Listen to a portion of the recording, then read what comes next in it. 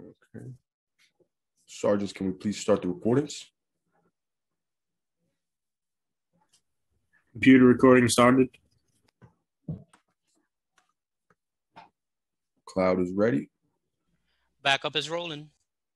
Sergeant Lugo,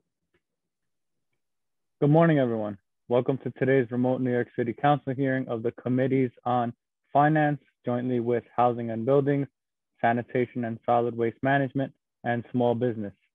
At this time, would all panelists please turn on your videos? To minimize disruption, please place electronic devices to vibrate or silent.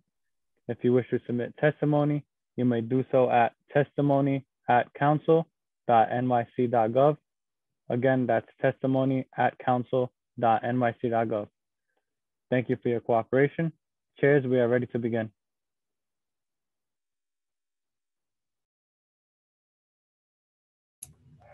Chair Dromm, you're muted. Thank you very much, Sergeant Lugo. Good morning and welcome to the City Council's fifth day of hearings on the Mayor's executive budget for fiscal 2022. My name is Daniel Dromm and I chair the Finance Committee. We are joined by the Committee on Housing and Buildings and soon we'll be joined by Councilmember Robert Cornegy. At this time, I'd like to announce that we are joined by Council Members Adams, Darma Diaz, Grodenchik, Koslowitz, Ampry-Samuel, Chin, Cabrera, Gjonaj, Powers, and Rivera. And I'm sure others will be joining us shortly. The executive budget for the Department of Housing and Preservation and Development totals $1.1 billion, up less than 5% or $53 million from its preliminary budget three months ago, of which 50 million comes from new federal funding.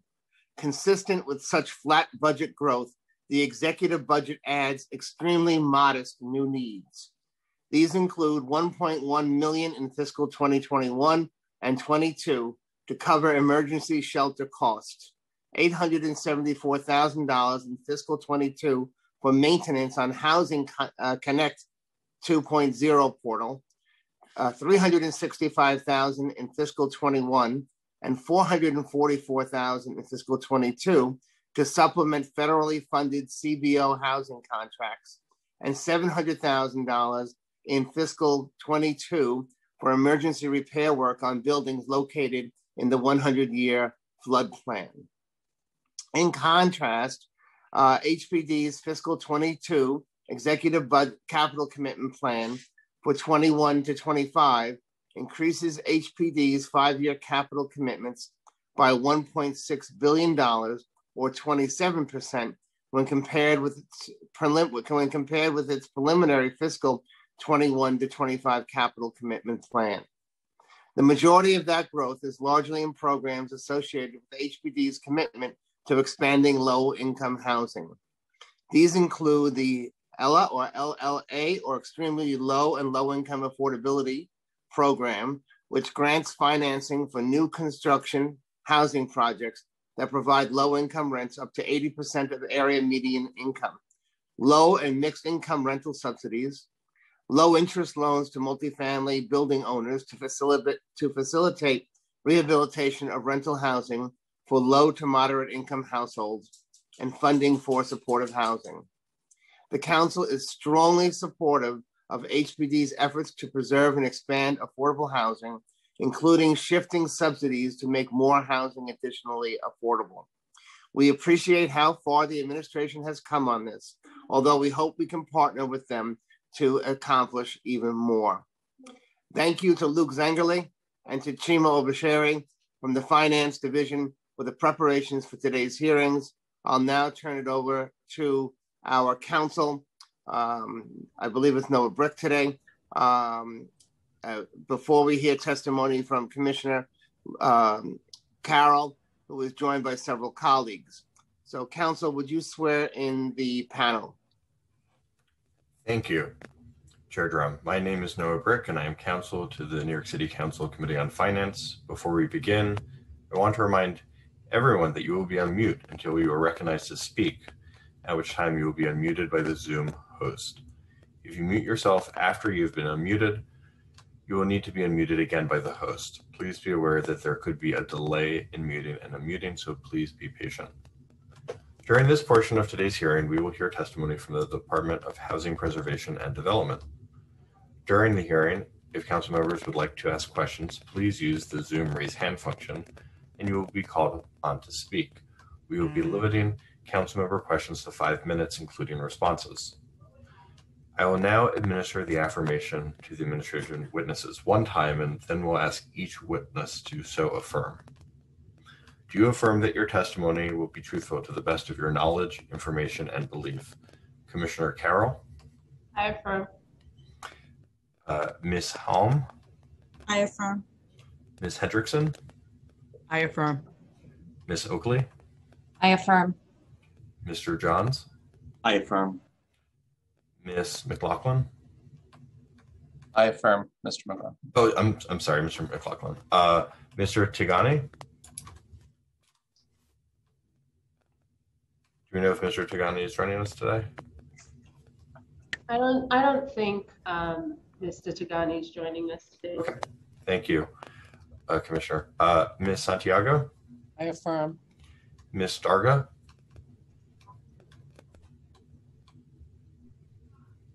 uh, Ms. Reynolds. I affirm. Thank you all. Mr. Carroll, you may begin when ready. I'm sorry, um, Mr. Brick. I'm being told that Mr. Taga- Tigani is supposed to join us. He may be having trouble logging in. Okay, um, let me put our IT team in touch with your city ledge affairs person and we can hope to resolve that. Thank you. And this is Ms. Darga. I was muted. I affirm. Okay, Thank you. May I proceed? You may, thank you. Thank you. Good morning, Chair Cornegy, Chair Dromm, and members of the New York City Council Committees on Housing and Buildings and on Finance. I'm Louise Carroll, Commissioner of the New York City Department of Housing Preservation and Development. And today I'm joined by our Executive Deputy Commissioners, Baaba Halm, Associate Commissioner for Financial Management, Rich Johns, and members of HPD's senior leadership team. As you know, on May 3rd, the remainder of our agency workforce began their return to the office. While many of our frontline staff, like our enforcement team, were out in the field and in our offices every day to make sure that our essential services never let up through the pandemic, teleworking HPD staff continued to carry out our mission to provide safe, quality, affordable housing while sheltering at home. Now that rigorous safety and social distancing measures are in place in our offices, we are thrilled to begin safely working together again. And thanks to a strong executive budget, our agency received critical funding to help us achieve our goals and to work towards an equitable recovery for all New Yorkers. Thank you for the opportunity to testify today on HPD's fiscal year 2022 executive budget. I will first provide a brief overview of our budget before describing some of the agency's key priorities in the coming year. I'm then happy to answer any questions you may have. HPD's budget relies on significant investment from the city and federal governments. HPD's fiscal year 2022 executive budget is just under 1.1 billion. However, this includes about 275 million in pass-through funding for NYCHA. Setting aside this pass-through funding, HPD's budget for programs and operations is about $811 million for FY22. Of this 811 million total, 132 million comes from city funds and about 673 million comes from federal funds. That means 83% of HPD's expense budget is federally funded. A big city like New York has dynamic and diverse housing needs on a scale that requires deeply a deeply invested federal partner. We are excited about the American Rescue Plan signed by President Biden in March, as it will help with the shortage of resources for certain subsets of our affordable housing work. Homeownership, senior housing, Section 8, tax incentives, and supportive housing, to name a few. However, as you know from previous testimony, this huge proportion of federal versus city funding in the agency's budget means many of our programs are restricted by federal requirements. City funding, especially the city's tax levy, is, a, is critical for flexibility and for strengthening areas not otherwise eligible for federal grant funds. Back in 2014, at the start of this administration, HPD inherited an impressive public-private partnership capable of building and protecting 15,000 affordable homes per year. Over the next few years, with new funding and new tools, the city increased that capacity, the production capacity, to 20,000 affordable homes per year. Finally, since 2018, HPD has met and exceeded our most ambitious goal of creating 25,000 affordable homes per year, a rate the city has never achieved before, in order to fulfill the mayor's Your Home NYC promise of 300,000 affordable homes by 2026. We are thrilled that the FY22 executive budget has added 1.9 billion to fully fund the remainder of our housing plan, ensuring that we can continue to generate much needed affordable housing over the next five years. We are also acutely aware of how critical our investments are for the most vulnerable New Yorkers in this time of recovery. New Yorkers at the lowest income levels have been a priority since the outset of the mayoral housing plan.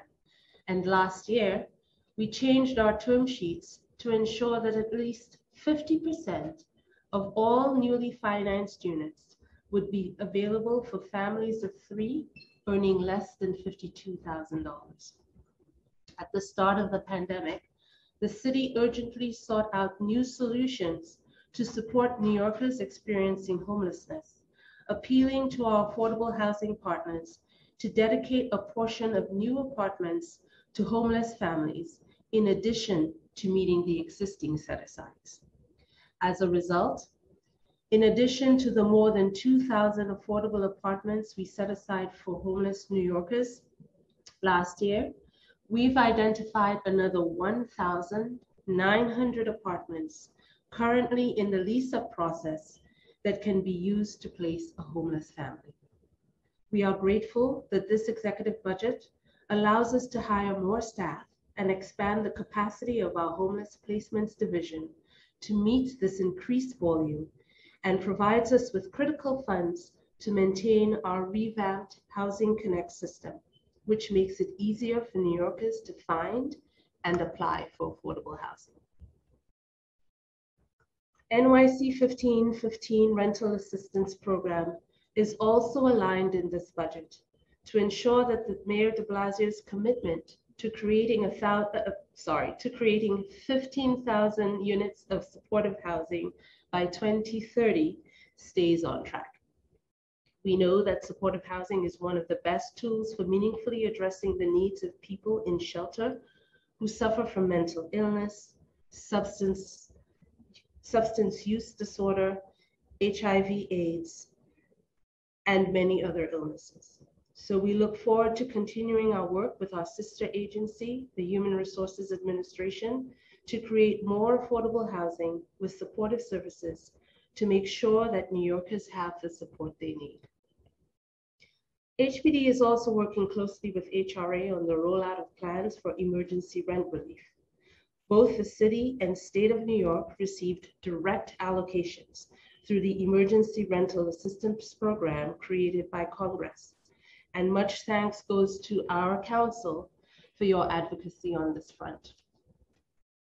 In New York State, the Office of Temporary and Disability Assistance, OTDA, will oversee the administration and in the city, The DHS, DSS HRA will oversee implementation in coordination with OTDA. HPD is consulting with our partners across agencies to support these efforts to make sure struggling New Yorkers receive the $2.4 billion available statewide for emergency rent relief. Both renters and homeowners are experiencing the financial burden caused by the COVID-19 pandemic. Most renters should be protected by the eviction moratorium now in place through August. And we are wasting no time reaching out to struggling homeowners, especially in communities of color, which have been disproportionately affected by the pandemic. This month, we completed repairs on the first home fix project, helping a low-income senior owner in Canarsie complete critical improvements to her roof, the stoop, and windows with nearly $50,000 in no interest forgivable loan.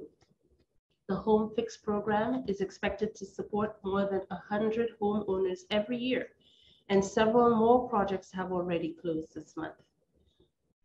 Providing small homeowners with not only financial assistance, but also counseling, technical assistance, and other forms of individualized assistance to help them achieve long-term stability.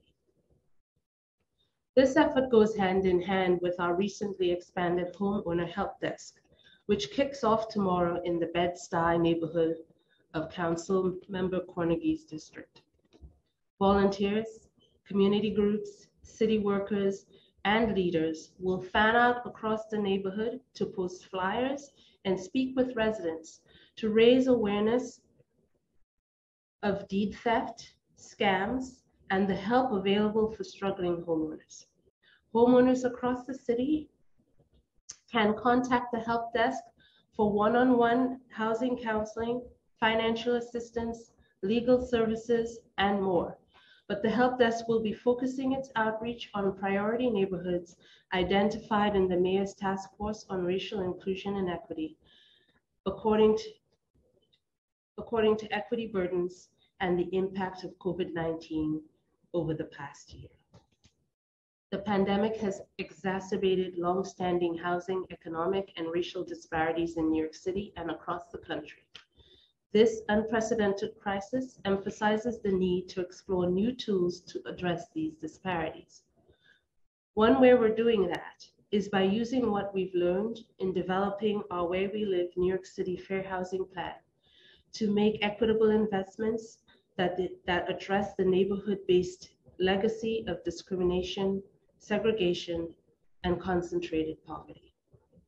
In March, we released our shared equity request for information to help our agency explore shared equity models that enable low to moderate income households and households of color build wealth through collective ownership of neighborhood assets such as homes, businesses, land, and others, while keeping these assets affordable for their communities in the long term. With the information we gather from the RFI, we expect to release a subsequent request for proposals or expressions of interest soon.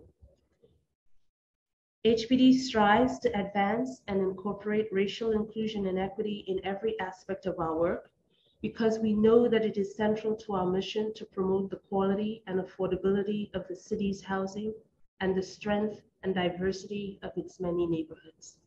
Last month, we released our second RFP issued exclusively for MWB developers as part of this administration's commitment to creating opportunities and addressing disparities for minority and women-owned developers.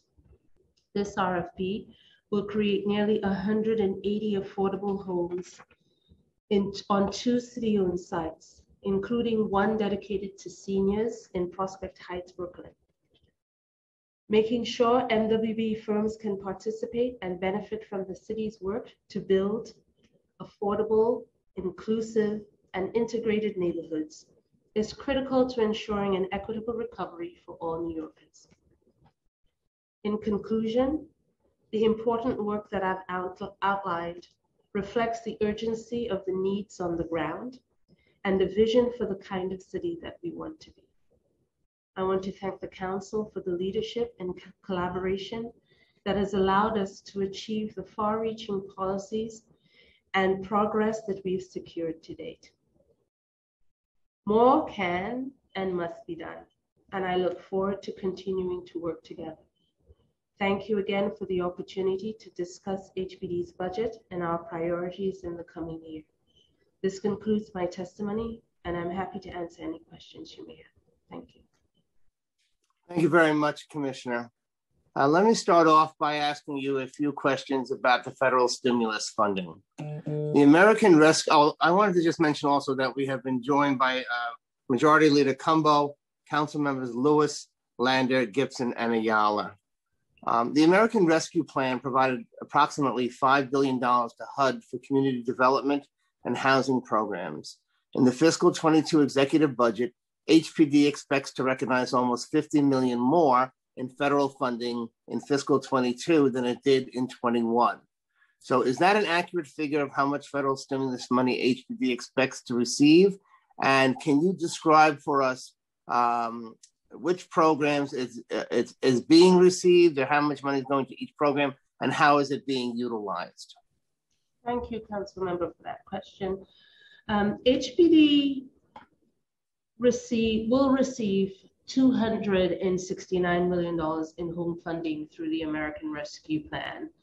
We are waiting for guidance from HUD as to how um, we can spend this money, what rules are attached to the funding, and we expect to get that guidance soon. Typically, home funds, as you know, is used to provide senior housing, rental assistance, social services, but we expect that um, the home rules would be expanded so that we may be able to use these funds more in furtherance of our support of homeless families, but we're waiting for HUD to give us appropriate guidance.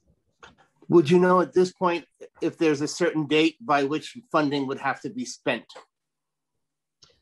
Um, I will turn to our um, Associate Commissioner for um, Budget and Fiscal, Rich Johns, to respond to that question. Hi, yes, thank you.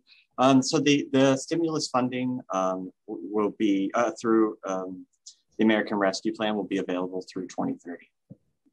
23. Okay, thank you. 2030. And, sorry. I'm sorry? Just to be clear, 2030. 2030. Okay, I'm sorry. Thank you. Um, Commissioner, you had mentioned that uh, $262 million figure, I think, in terms of federal money coming in. So um, is that inclusive of the money from the CARES Act and the new money that's coming in, or that's separate? Can you just explain that to me? Because our figure was different. Thank you, Council Member, for that question. It gives me an opportunity to clarify. So it's 269 million in home funding that we received under the, the American Rescue Plan. Under the CARES Act, we received $15.8 million in um, funds for our Section 8 um, rental assistance program. And so these funds um, will be used to help uh, automize, further automize our Section 8 program. Uh, as we've seen through the pandemic, the days of crowds of folks coming to the first floor of Section 8 um, in, in our building at 100 Gold Street are not, is not viable for the future. And so we would like to have a contactless fully automized system for Section 8. So we're going to use some of the money um, for that. We're going to use some of that 15.8 million for administrative costs as well. Um, and so this 15.8 plus the 269 million dollars is what we've received so far from the combined um, rescue funds from the federal government. And Commissioner, I think I read somewhere because you mentioned also the Section 8 vouchers. Uh, is there going to be a, a new opening for um, applications to Section 8 coming up next week? Uh, thank you, Council Member, for that question. Uh, we are always receiving applications for Section 8. While we expect an influx in, in Section 8 vouchers, we don't have them yet, but HPD is always receiving applications for Section 8, and we're always issuing applications for Section 8. Okay, because I received a, a notice from, uh, I believe it was the Stonewall Senior Foundation saying that there would be a new application period starting on the 17th. Um, thank you, Councilmember, for that question. I think I would like to call on Ahmed Tigani, who's just joined us, um, to further clarify uh, the, the issue concerning this application. Uh, thank you uh, for the question, Council Member. I'm not uh, particularly familiar with notices that have gone out or uh, notices that would go out to that organization, but as the commissioner said, we are constantly working with our partners in uh, development and we're working both in asset property management here at HPD and with the development team to make sure that project-based projects uh, other projects that receive housing vouchers are constantly being reviewed and we're trying to meet that need. I'm happy to follow up with your office specifically to get more details and get a specific answer to you. Okay, good. And I'll, I'll forward the email that I got to you as well so we can. Thank you, uh, sir. Yep. Okay, let's talk a little bit. I'm sorry, Commissioner. Councilmember, um, I believe that this notice went out from HCR, which is oh. why maybe Ahmed and I are not familiar with it, but we okay. will we will verify that for you. Okay. All right. Thank you. Yep. Um, the executive budget adds seven hundred thousand dollars in city funds in fiscal 2022 and the out years for emergency repair work on properties that are in the 100 year uh, floodplain and are not eligible for CDBG funded repair work. So, how will these funds be used? Thank you, Council Member, for that for that question. So, um, a lot of the while CDBG does cover um, ERP and AEP work, they require that um, the funding be used on properties that have insurance. A lot of the um, properties in the flood, floodplain are single and two family structures, and they often do not have insurance. So it's really necessary for us to find a different source in order to help these families, and that's why we're using tax levy here instead of CDBG. So, how will HPD determine which properties to allocate the funding toward? Um, so we have about um, there are we're, there are estimates of 71,500 residential buildings in the 100-year floodplain, um, representing about 183,000 units. And so we know we've identified um, these properties, and we're not including NYCHA, by the way, in those numbers. So according to our data, there are about uh, 385 buildings in the floodplain that have been financed by HPD through 2014, from 2014 to December 2020.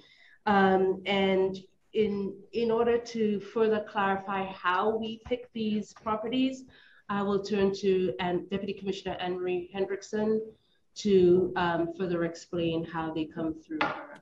Sorry, Anne-Marie Santiago, to further explain how we um, pick these properties.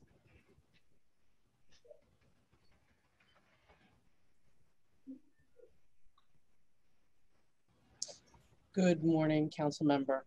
Um, as you probably know, we do emergency repairs in buildings as they come up. So we would go to anywhere in the city where there's an emergency condition where we've issued a violation, the owner has not complied, and the emergency repair program is going to restore heat or address lead issues. Uh, AEP buildings are selected on an annual basis and they're selected according to the criteria in the law and the AEP law. And for those buildings that happen to be selected and happen to be in the floodplains, they require this funding source. Can you just break down a little bit for me what's required by law in terms of determining who gets the funding? Again, if the building is physically located in the floodplain, and that is the location where we have to do the emergency repair, or where the emergent uh, alternative enforcement building is located. That's how it's determined. If the building is not physically in the floodplain, then we're able to use the CDBG funds to cover those repairs. Okay, I'm following you. Thank you. Okay. Can you get us a breakdown on how much of this funding is allocated to specific neighborhoods? So the funding isn't allocated by neighborhood.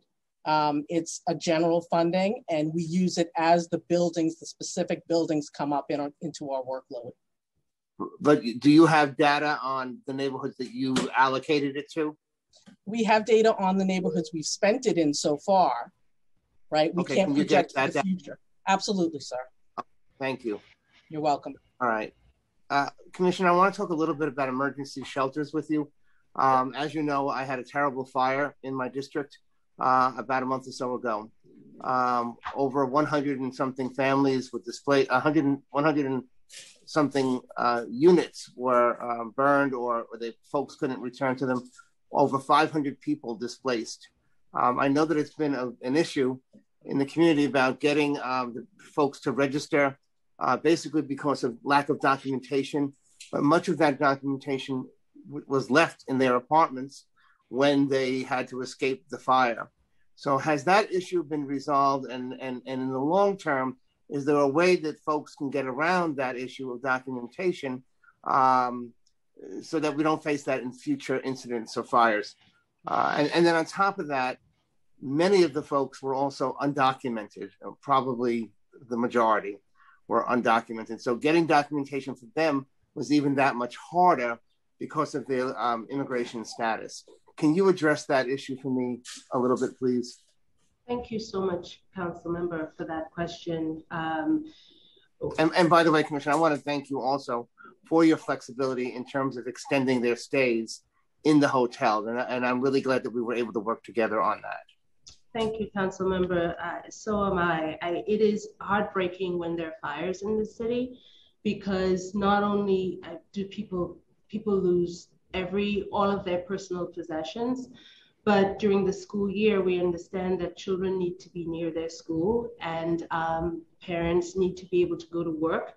And the challenge for us in finding places for people to stay near um, where their lives are um, is is one that concerns us very much. So we um, we are happy to work with you and the tenants in order to help them stabilize their lives, especially in a pandemic. So in terms of registration, you know, one of the we we understood the challenges that the tenants were facing, which is why we worked with MOIA, we worked with DOB, OEM, CAU, um, all of us together with HPD and Anne Marie Santiago's team have been meeting, and Hendrickson actually, have been meeting regularly to try to address the tenants' issues. Um, immigration status is not a factor in terms of registering with HPD. Um, we've tried to make sure that any language barriers were um, were resolved by having MOIA be involved in able to do translation and flyers. What we're really looking for in terms of information from um, the tenants is their household income and composition. That's really what we're focused on. Because um, from, this, from the moment we had the fire, um, I asked my team to locate housing within Queens and our marketing folks have been locating um, housing within Queens in order to be able to match the tenants appropriately with the housing that we find, both in marketing and through re-rentals. We've contacted CHIP in order to get lists of apartments from them that's available as well in Queens, but we cannot match the tenants to either rental assistance, which they most likely will need, or to the apartments that we're finding unless they give us that information. And so it's it's been um, quite distressing. I think that we've only gotten um, about 30 registrations out of the 89 folks that we're working with. Um, I know that Anne Marie Santiago is in constant touch with DOB about 20 um, units in the B section of the apartment complex may be available for those families to move back into soon. But the A line is going to be off offline for about 12 months. Um, so it's whatever help we can get to impress upon them that the the immigration status doesn't matter and that all we're trying to do is figure out how many people and what their income is so we can get them stable housing. And Commissioner, when I mentioned immigration status, I know that to you it doesn't matter. Uh, the problem with the immigrant community is oftentimes they don't have access to uh, documentation or identification as others would. So when they lose it, it's almost impossible for them to, you know, secure that. Um, and I think you do require some documentation in terms of identification. Am I correct about that? Um, you know, thank you, Council Member, for that, for that question. So my Deputy Commissioner, Henry Hendrickson, has been working very, very closely with the tenants. So I would like to call give a little bit more color of what the interactions have been and what the issues have been.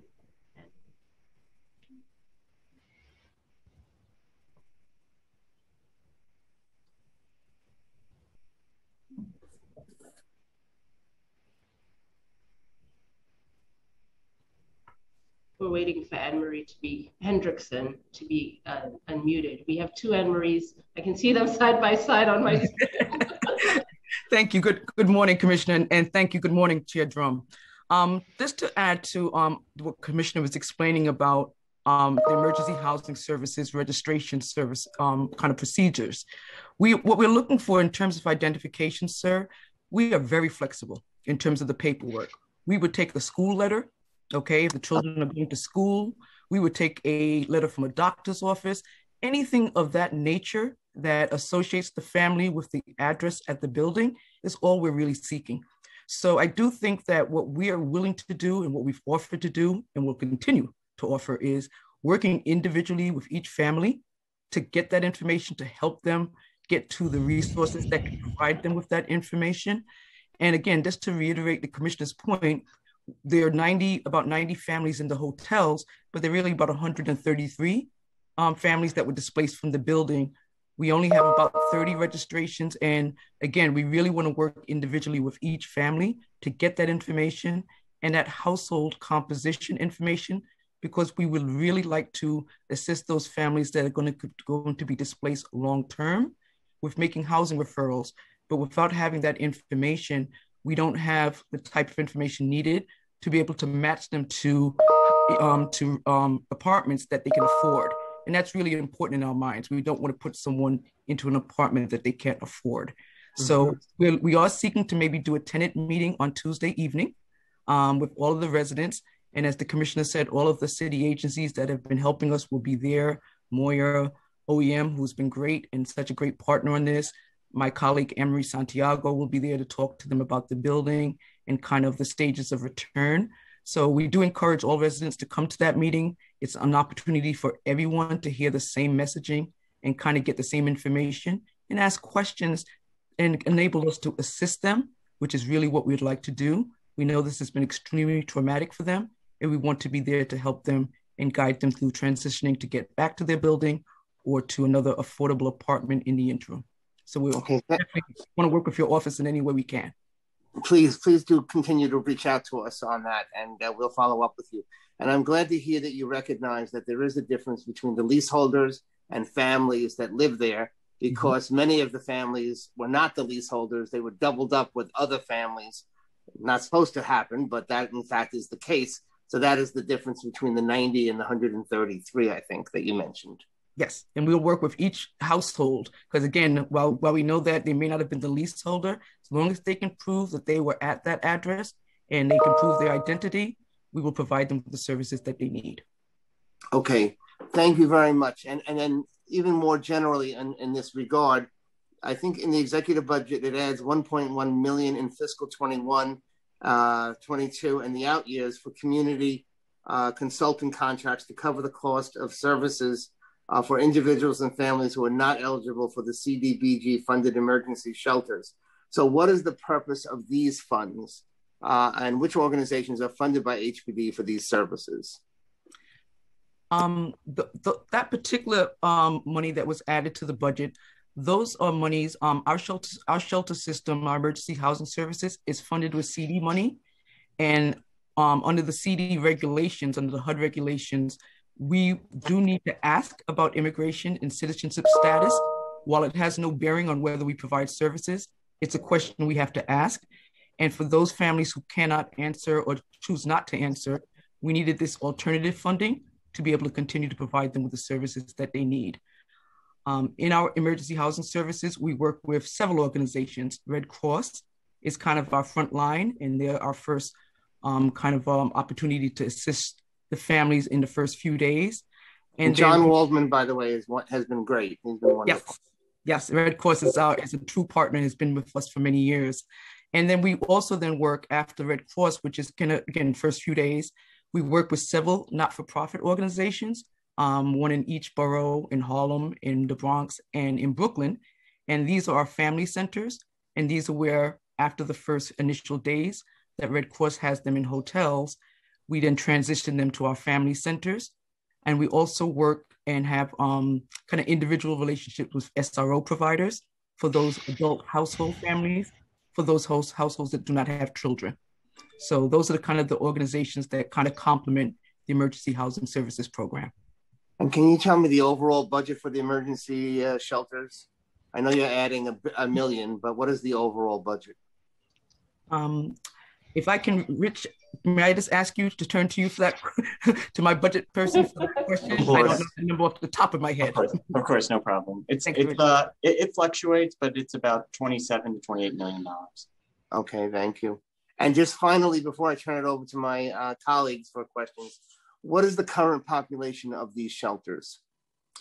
Um, currently, we have about 1,300 families, um, I believe, and that's split between the family centers and between the SROs. Let me give you specific numbers. Give me one second, sir. Okay. Uh, I, I, can provide that. You have that, Louis? Thank you.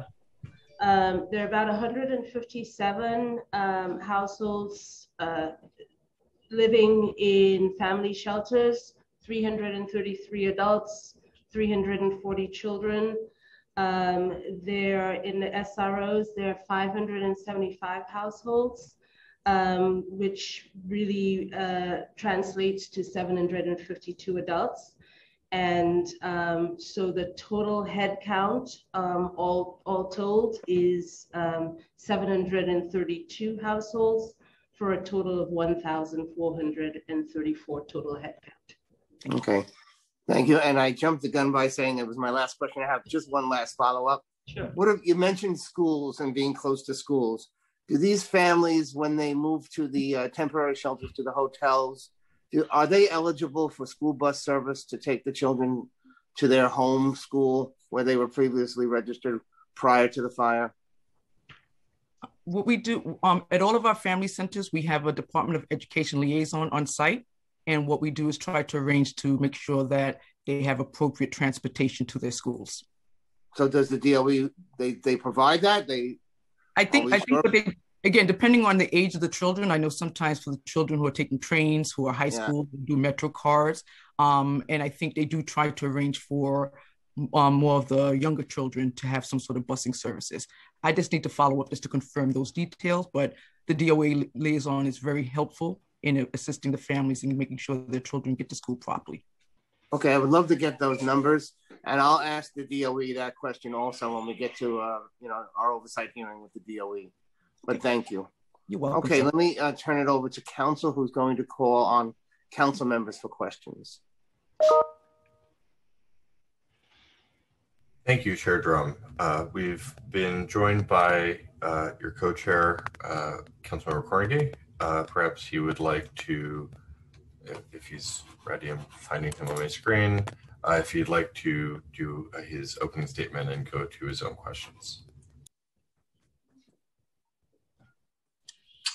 no, in the interest of time, I will let my um, colleagues begin their round of questioning and I'll come back. Thank you so much. Thank you. Uh, we have questions, please, from Council Member Lander, followed by Council Member Chin. As a reminder, um, please, uh, Council members, please use the Zoom raise hand function uh, to be added to the queue, and you'll have five minutes when prompted by the sergeant. So Council Member uh, Lander, followed by Council Member Chin. Starting time. Thank you very much to uh, our council and the chairs and the commissioner. Commissioner, I want to start with a word of praise. Last night, uh, we had a meeting with tenants from 11 uh, buildings owned by Greenbrook Partners, this predatory equity firm that has bought up 60 buildings in Brooklyn and is evicting tenants right and left and engaging in construction as harassment. And uh, Lois Winters from your team and also Sarah Desmond from DOB were on that call. And I just can't tell you how helpful they were. They've been working with tenants in some of those buildings already for a couple of years and have just stepped right up to really recognize just what a disaster this is. So I, I want to thank you uh, for the work that the administration's been doing to strengthen its capacity to fight harassment. Um, that leads to my first question, though. I know that you've had some limited headcount and there's been attrition, and that these are a couple of divisions that we've been trying to staff up and grow over uh, recent years. And I think it's possible that the pandemic is impinging on that growth. So, do you have what you need to keep growing these very strong anti harassment units in your um, at HPD so that it could support these tenants in the 60 Greenbrook buildings and, of course, many, many, many more all around the city?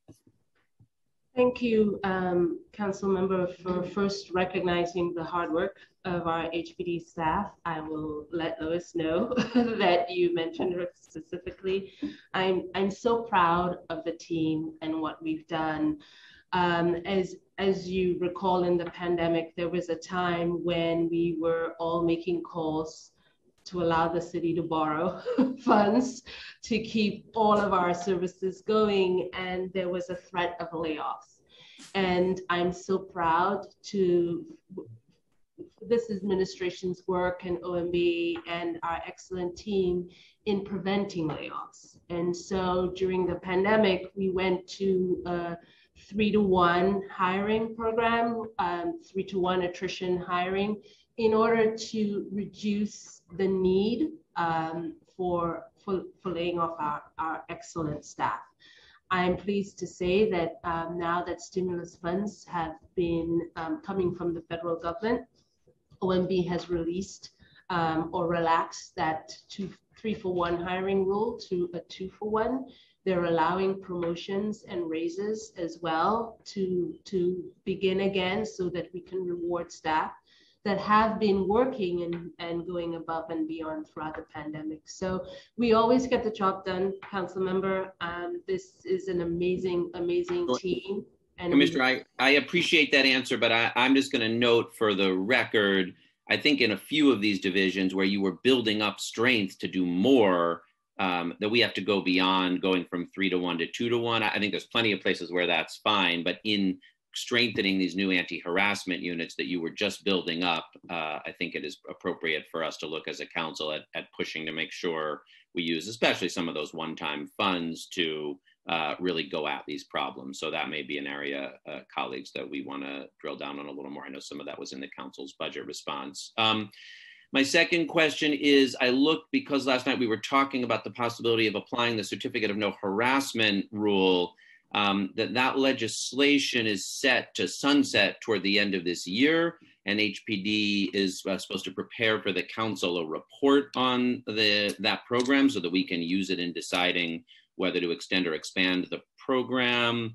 Can you just confirm for me that you're aware that that report is due and and we'll have it for us soon? Thank you so much, Council Member, for that question. Um, yes, we are, I have reviewed the report. It is going through one more level of review and it will be to the Council shortly. We apologize for the delay um, and we will get that to you as soon as possible. That's great. We still have, you know, it, it, expires, I think, September 30th. So, you know, with that report, you know, I think we made it due six months ahead of the expiration. So we would have time to review it and then work with the administration on in what form it should be uh, extended or expanded or renewed or, you know, whatever we decision we'll make.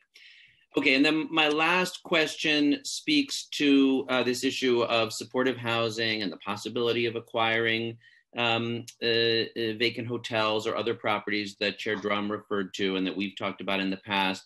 I just continue to have the concern that without some model like a land bank or some way for the city to do bulk acquisition, that if we seek to finance each individual deal in the normal way where it's fully designed and we work out all the rehab and we figure out all the service money and we let a provider do the whole deal in that way, that we will at best do a very small number of units and miss the opportunity um, to significantly scale up our supportive housing at this moment. So is HPD, I hear you that you need to wait to know whether what ARP funds can be used in that way.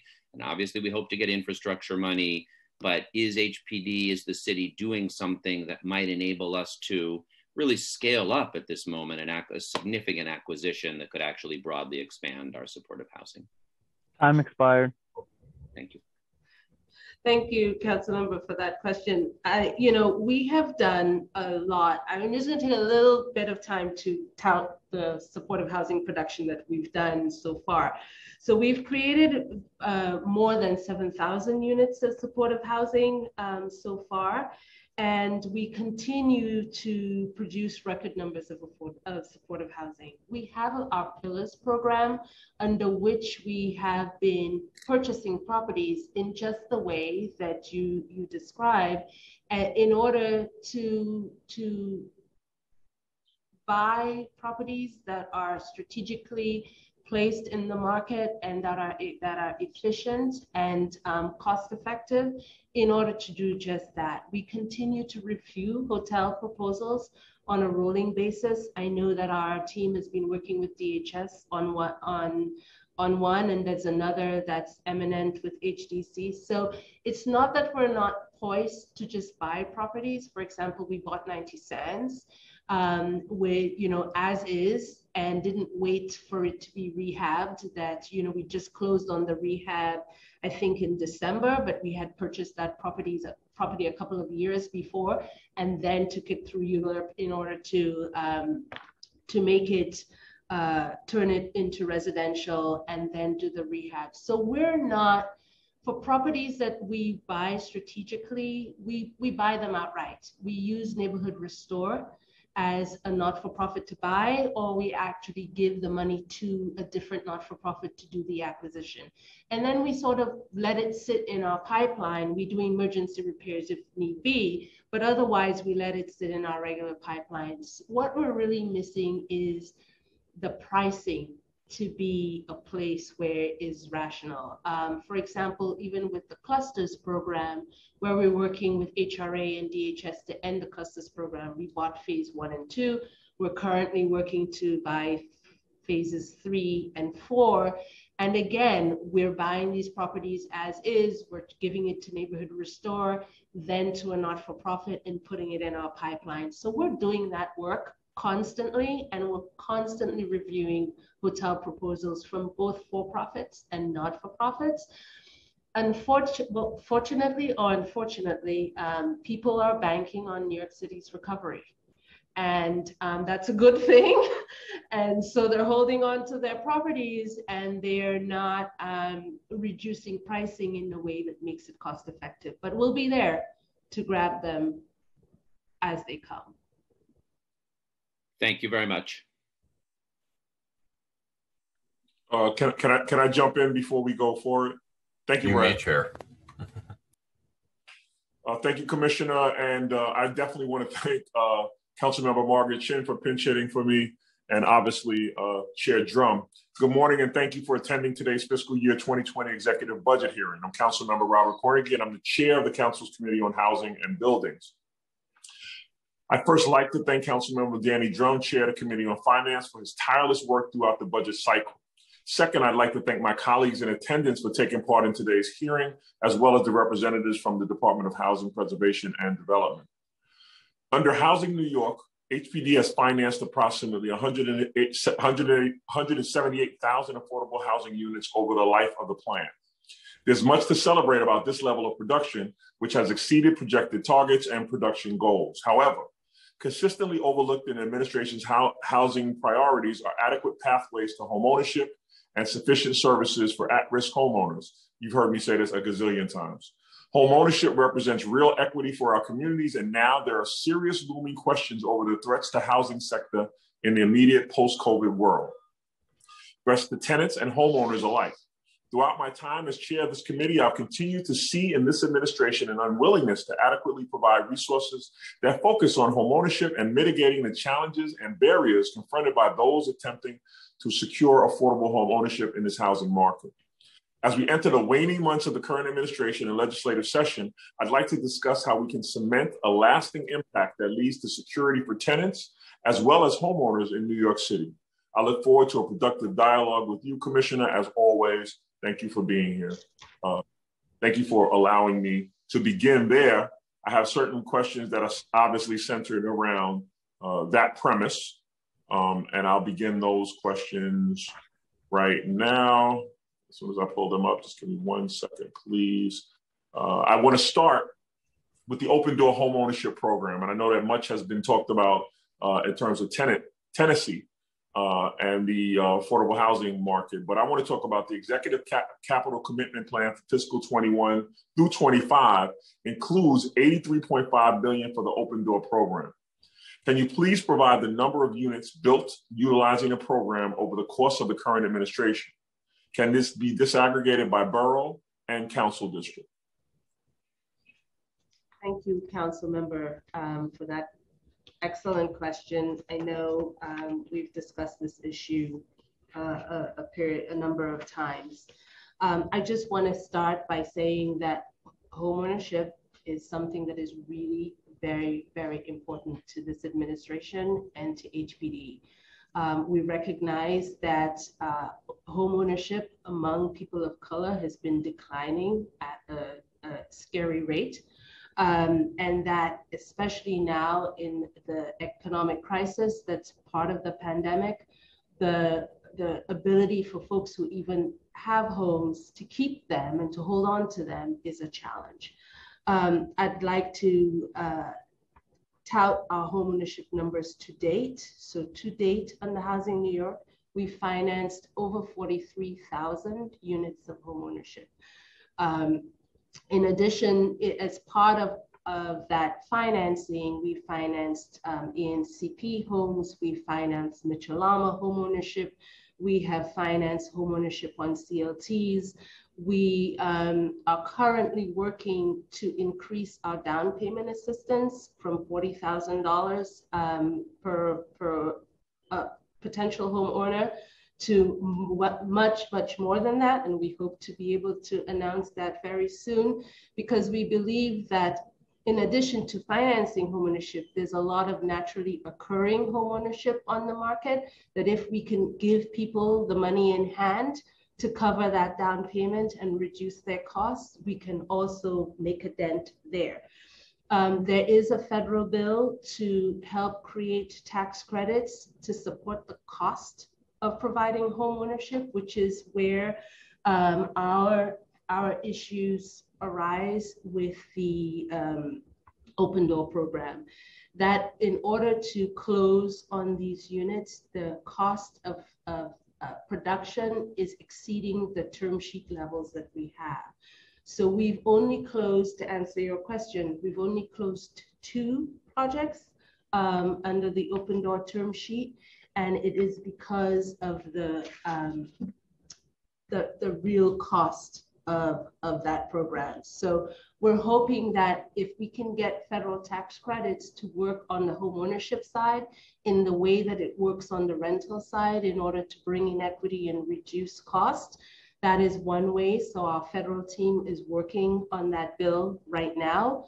Um, and we're continuing to try to refine um, the cost and the AMI levels to make that open door term sheet work. But I assure you, council member, Open Door is not the only way that we're working to help homeowners. We're expanding the homeowner help desk with the Center for New York City Neighborhoods. We're in Southeast Queens, in the Bronx, in Central Brooklyn.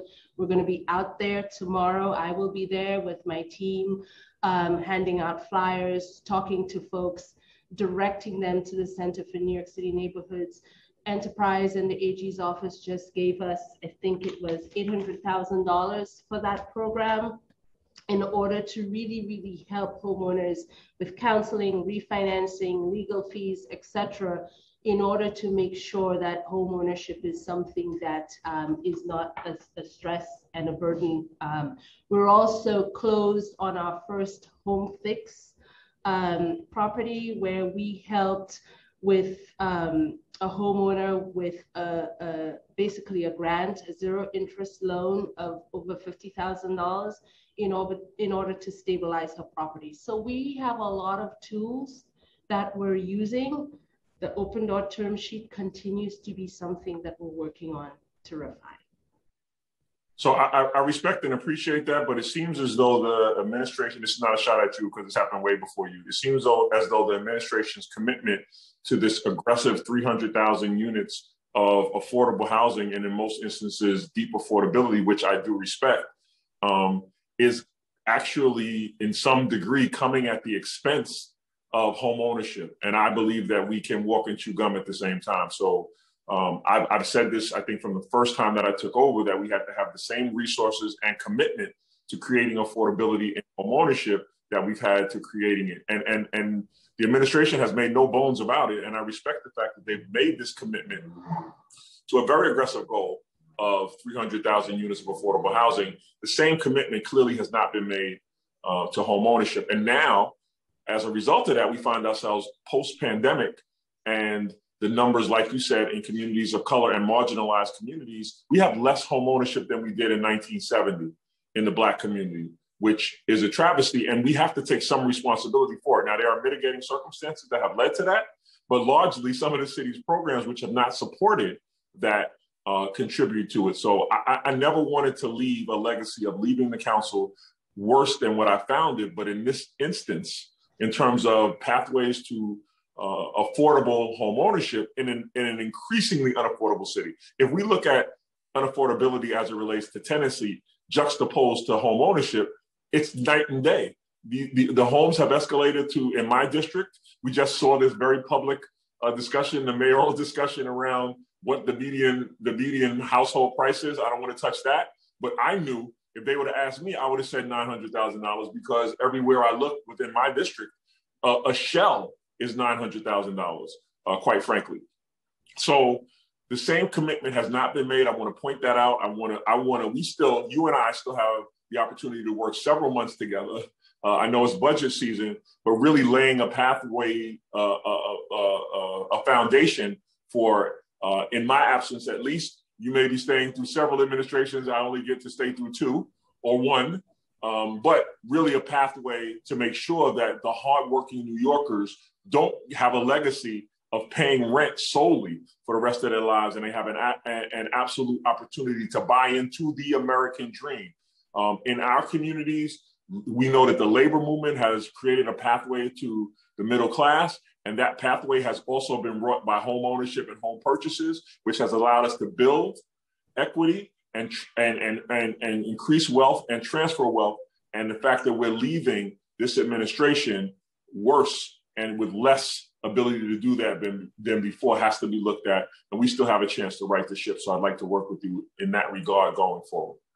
So thank you, Council Member. I, I, I, I, I want to say that the two open door projects we financed created 129 home ownership um, units of home ownership. I also. Well, that's way better context than two. Than two. Thank you. I, I just wanted to stress that. Um, you know, when we when we do developments, we tend to um, we tend to finance as many units as we can in in one development. So there were 129 units of home ownership created under our ANCP program, which you know is the um, tenants rent tenants that are renting to, to become homeowners. There were 128 units financed under Housing New York. So when we talk about over 43,000 units of homeownership finance, there's a lot to unpack in that number.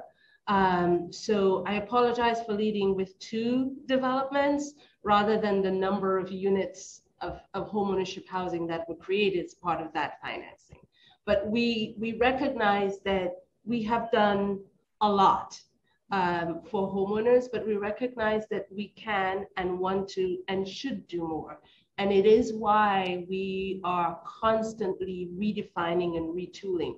So we really believe that that increased down payment assistance, putting that cash in a family's hands to be able to go out and say, I can afford that um, unit now because I can do make that down payment is one of the tools. The other tool is making sure that there are more sources in homeownership financing, the same way these sources exist for rental housing. And we're working on that on the federal level.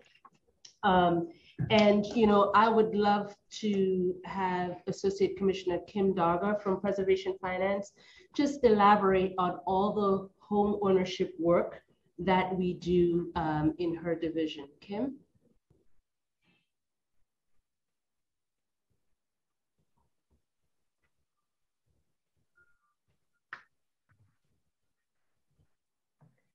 Um, good morning, council member. Hey, good It's morning. nice. I mean, It's- associate. nice. Good morning. Good. it's nice to see you again. Always. Um, so I have to say, I'm really excited about the work that we've done the last few years, and I think with a lot of encouragement from you and other council members across the city. Um, in addition to really um, um, re, you know, building the ANCP pipeline and making sure that those buildings move forward, um, and exploring new programs like Open Door. We we did launch Home Fix, I think, with a lot of encouragement for you to really help homeowners across the city uh, that are struggling um, to make repairs and maintain their financial stability. Um, and we're really excited that the first one completed, but we um, do have over 150 applicants that are moving through that the scoping process now, and um, we do be, we do expect that that will actually meet a huge unmet demand in New York City um, to help uh, existing lower income homeowners stabilize their properties. We also launched, it doesn't get a lot of um, discussion, but the Community Restoration Fund, which is um, a program to help um, basically homeowners that have distressed mortgages um, where they may be insured by Fannie Mae or FHA and um, they're delinquent.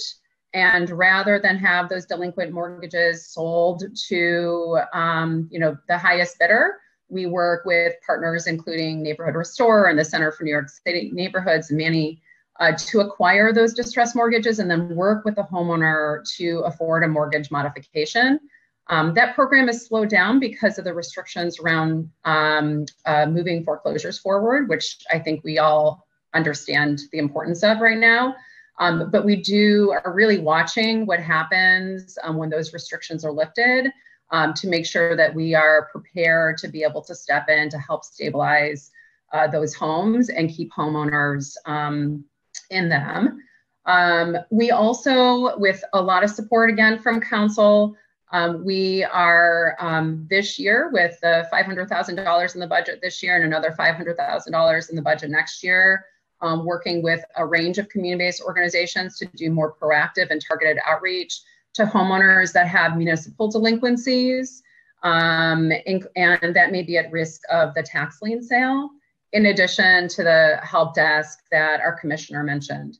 And then finally, I, I think um, um, I can't, uh, I guess, leave this conversation without um, uh, expressing how excited I am to see that there may actually be true relief coming um, from federal resources to help homeowners that um, are struggling given what has happened for the last year, especially, um, and more historically with um, mortgage relief, with relief for municipal charges, uh, and other payables, including utilities and insurance costs. And so I think we're uh, watching what happens with that funding really closely uh, to see um, how it's going to be utilized in New York City and also figure out how we could potentially help complement or supplement that funding to further support homeowners.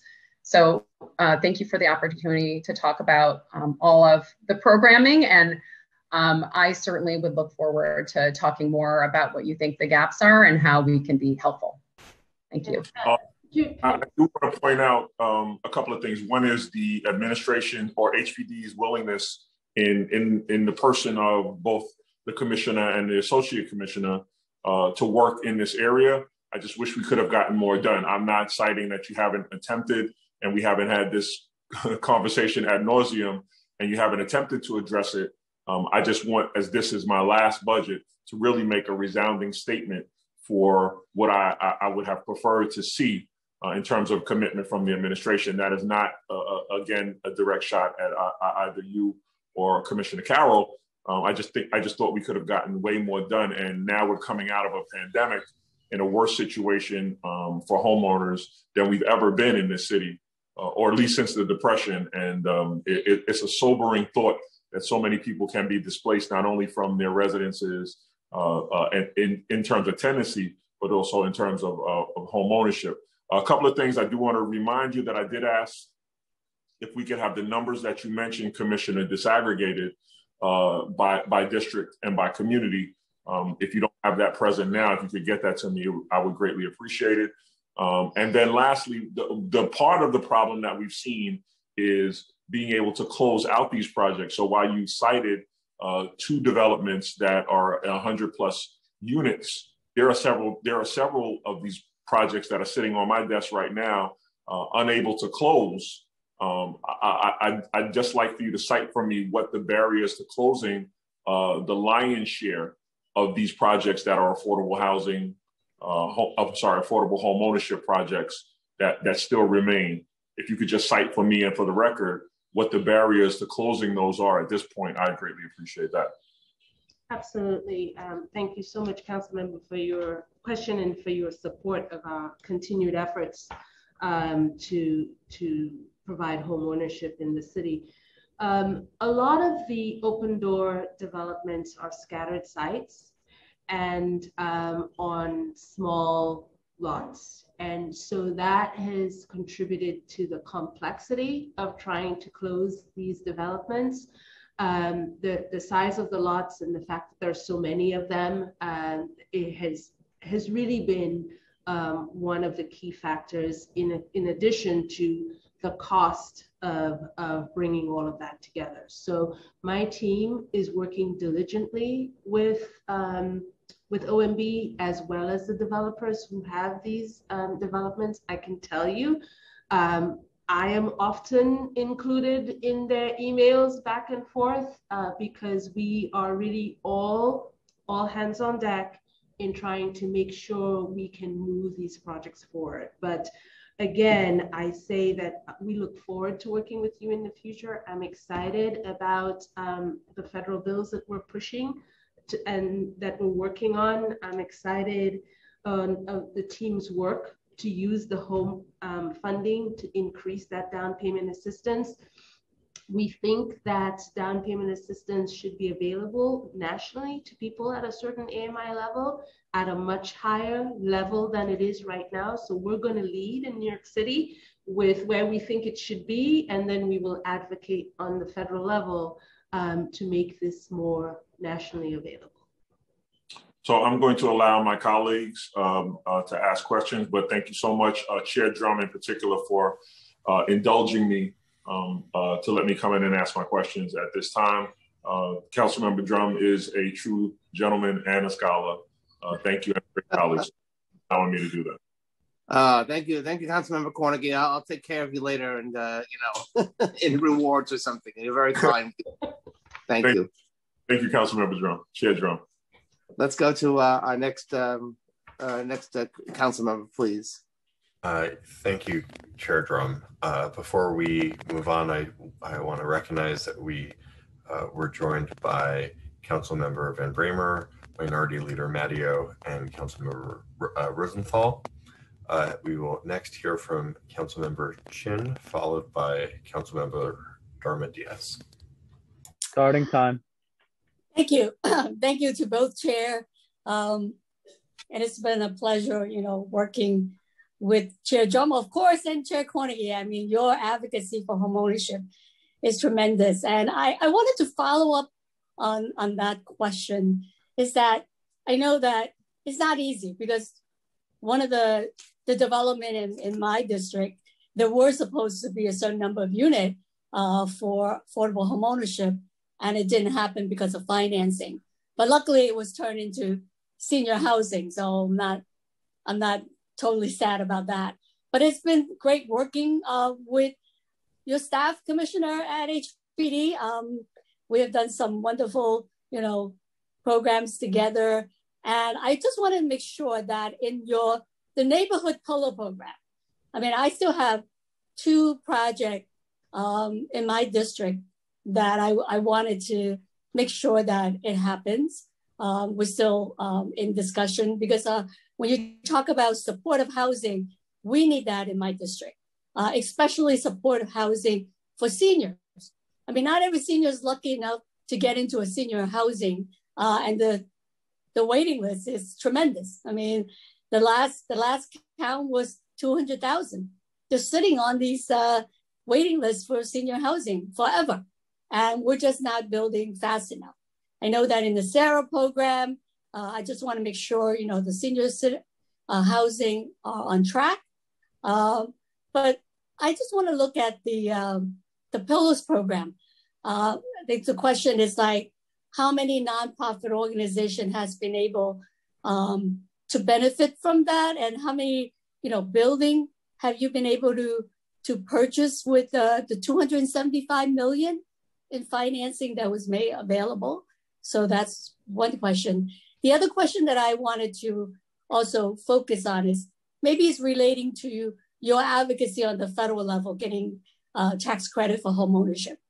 You know, we have built a lot of affordable housing, but how do we look at the affordable housing pool that we have and to be able to turn some of that into affordable home ownership?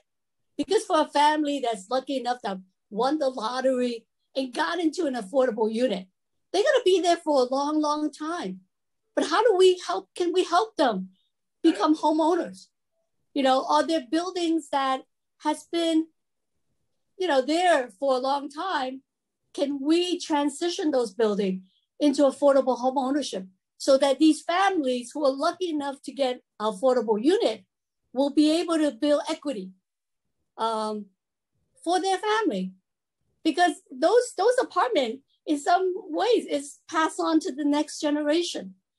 And so the stability, uh, how do we maintain that? How do we give them the opportunity? Because the housing market is crazy. I mean, it's so expensive.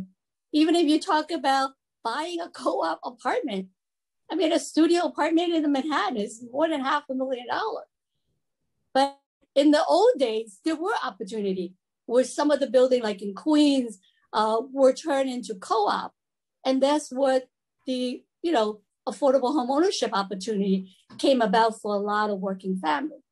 So I wanted to to look at like how do we help, you know, these families who are lucky enough to be an affordable unit. Uh, are there programs that you're thinking about, or maybe the whole idea of the federal tax credit would that help to transition uh, some of these buildings who are run by let's let's start with the one that's run by nonprofit. You know, can we start with them first and to see how we can help them, you know, transition, you know, those affordable rental unit into affordable home ownership unit. Thank you. Thank you so much, Council Member Chin, for that question and for your continued support and um, of our agency and our work and for our partnership um, we, uh, to, to, to tackle the first part of the question, which is the Pillars program, um, we have purchased 12 buildings as part of the Pillars program. And of, of that 12, with about 479 units um, in these in these 12 buildings. Um, we have, uh, there's another 35 buildings with 3,243 units um, that have closed with pillars as a, on, a, as a secondary program where we've given just a tax exemption to support the acquisition of that of that property, of those properties. Time expired.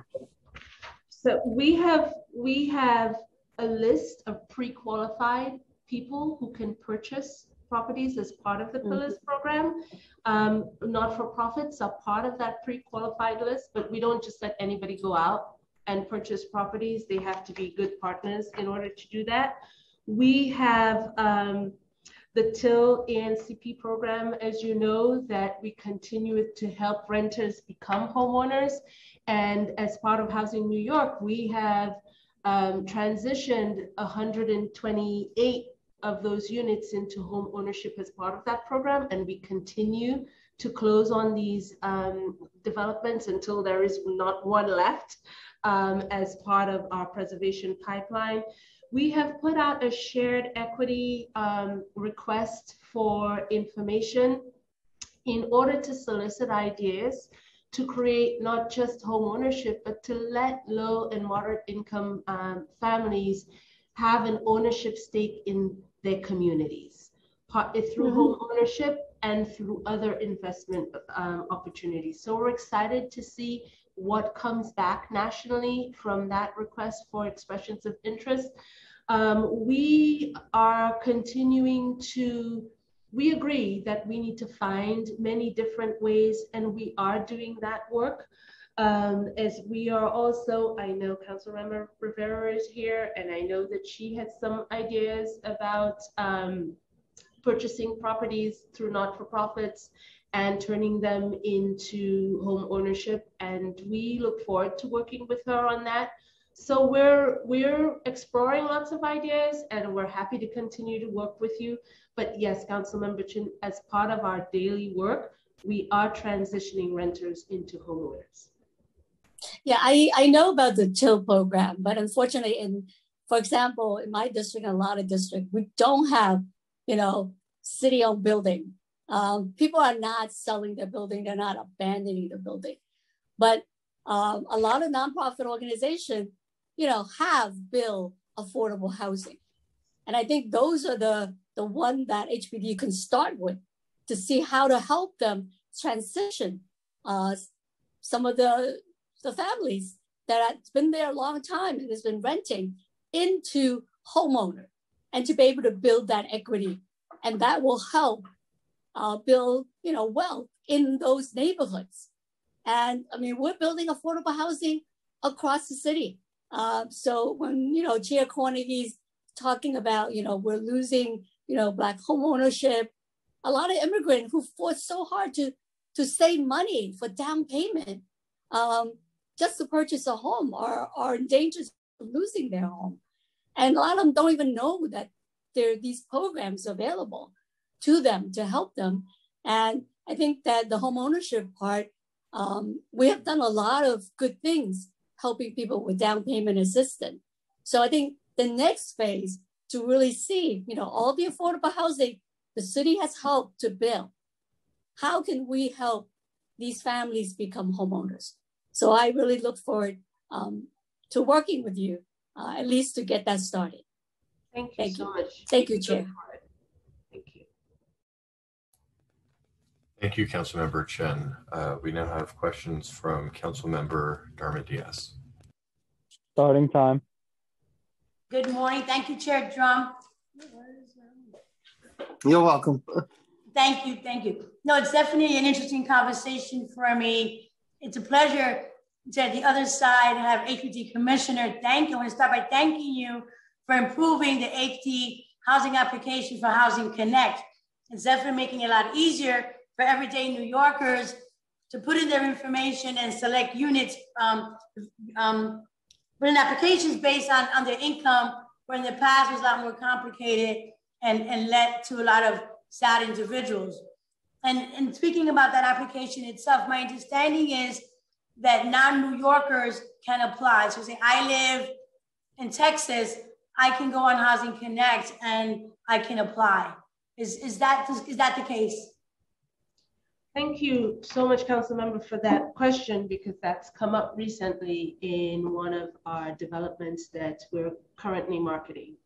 So um, the Constitution prohibits New York City from preventing um, outsiders, outside residents from applying to our housing. However, we have um, our solution has been that there is a preference for New York City residents. And so until there is no New York City resident that qualifies for our low, low income housing, um, we're not able to offer it to um, a, a non New York City resident.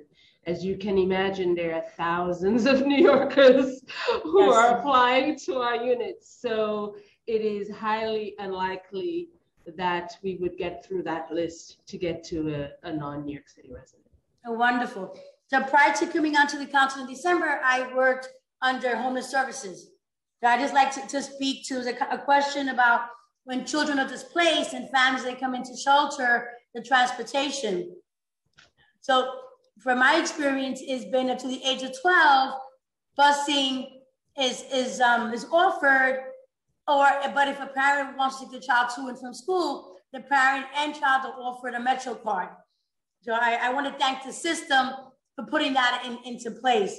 So definitely, thank you for doing that and pushing that, that conversation, that collaborative. It's working well. It's, it's quite effective to know that families not only being displaced due to fire, but that the financial hardship is, is being taken away from them. And moving forward, in my closing is for Councilwoman Chin. I want to thank her for your willingness to take displaced adults into your community. And in one of our hearings, I asked my colleagues to please open their doors for displaced individuals. And I was comfortable with selecting what worked for your community. So just, just to hear the Councilwoman Chin saying she welcomes displaced individuals and willing to work, I just want to say thank you. I turn it back. No, no more questions. Thank you very much. And that's typical council member Margaret Chin, always open to taking people in, and, and we really appreciate that about her. Thank Uh, Uh, Chair Commissioner Dromm, we've just added uh, questions from Councilmember Rosenthal. If Okay, could call very good. Councilmember Rosenthal. Thank Starting you very much. Thank you. Um, it's great to see you, Commissioner. Thank you for all your hard work. And to Council Members Cornegy and Dromm, thank you for this like wildly informative hearing. Um, so thank you for that.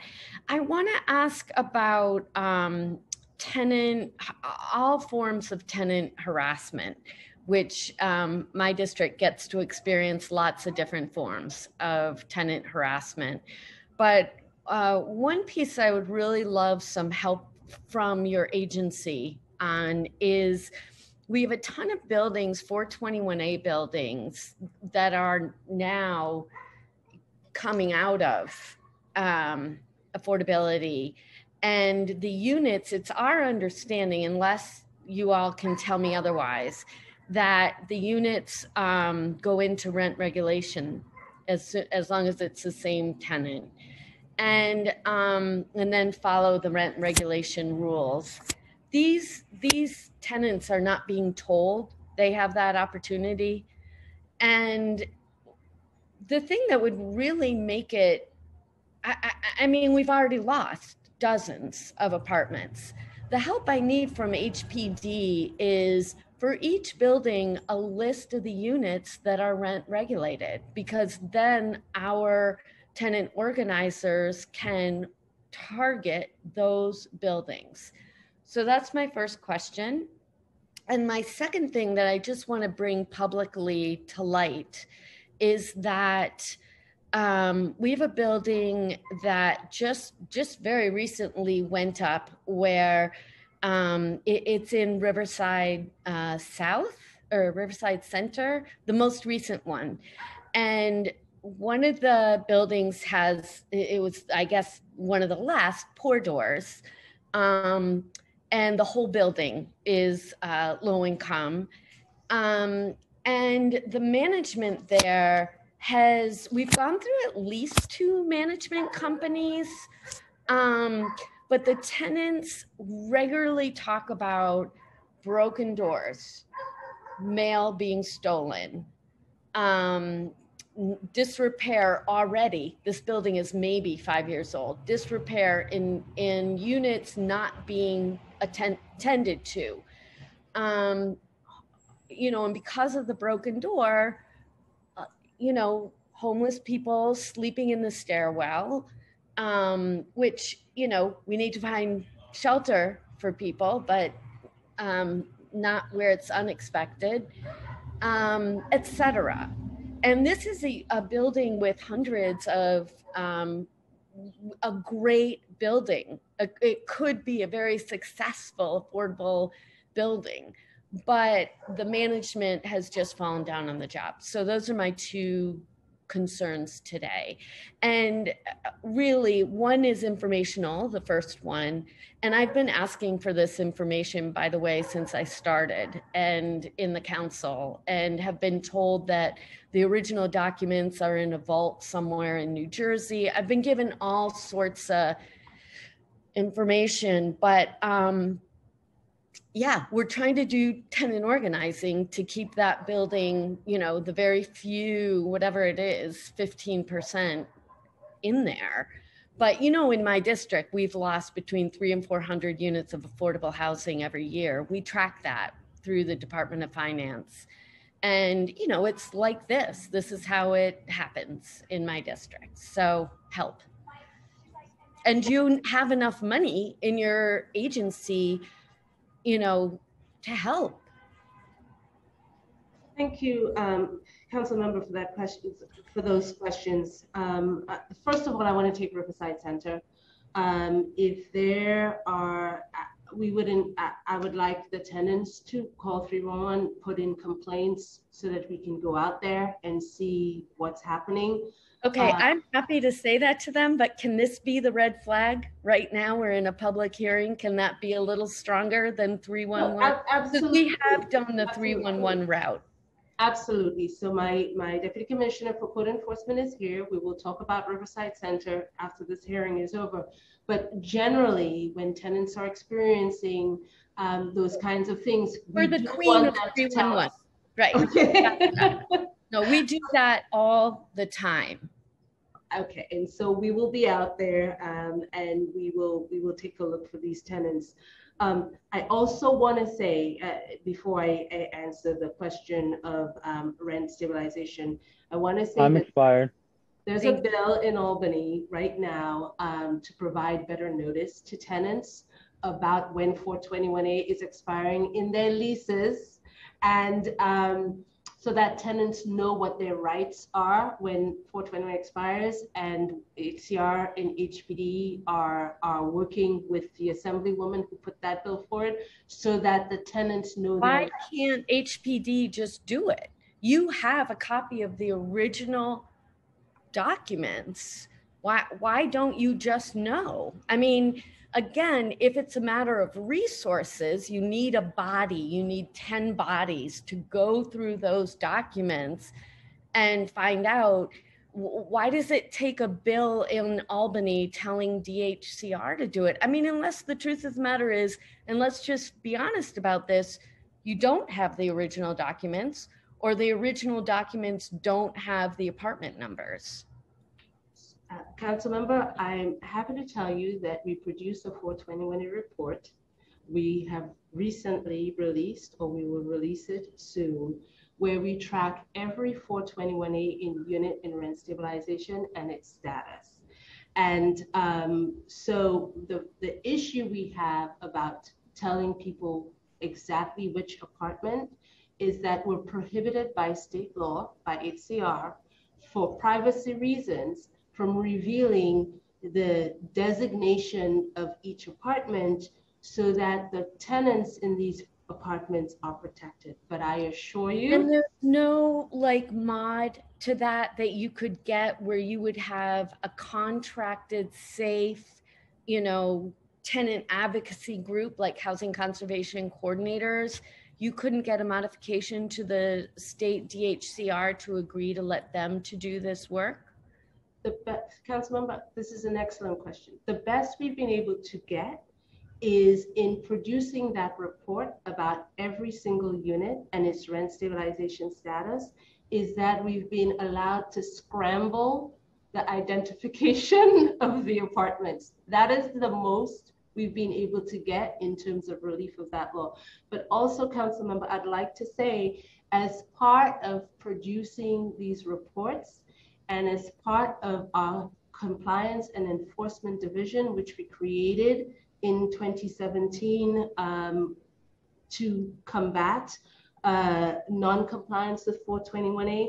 We have brought over 72,000 units since 2017 into compliance with 421A. So the combination of doing that report and the combination of a compliance and enforcement unit, which I mean, I want to say that number again, 72,000 How were you able to do, right, how were you able to do that if you didn't know the apartment numbers?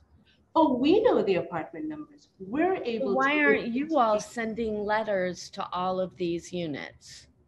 We, we have brought all of those units into compliance. No, no, like on, going after the landlord. on my Upper West Side, I've got like 20 buildings. Have you sent them all letters? I, I, I do not believe we've sent the Okay. tenant individual letters, but we have corrected the rent stabilization status and I understand. No, no, no, I understand. That's amazing. Don't get me wrong. Chair, I'm going to turn it back to you. I, I would just leave you with a couple of things. One, if your staff could follow up with me about um, 100 Freedom Place, it's really miserable over there for the tenants. Second, uh, the 421A report, if anyone has that, I, I would love to see it. I don't know if other council members already have it, but that would be great and probably help us.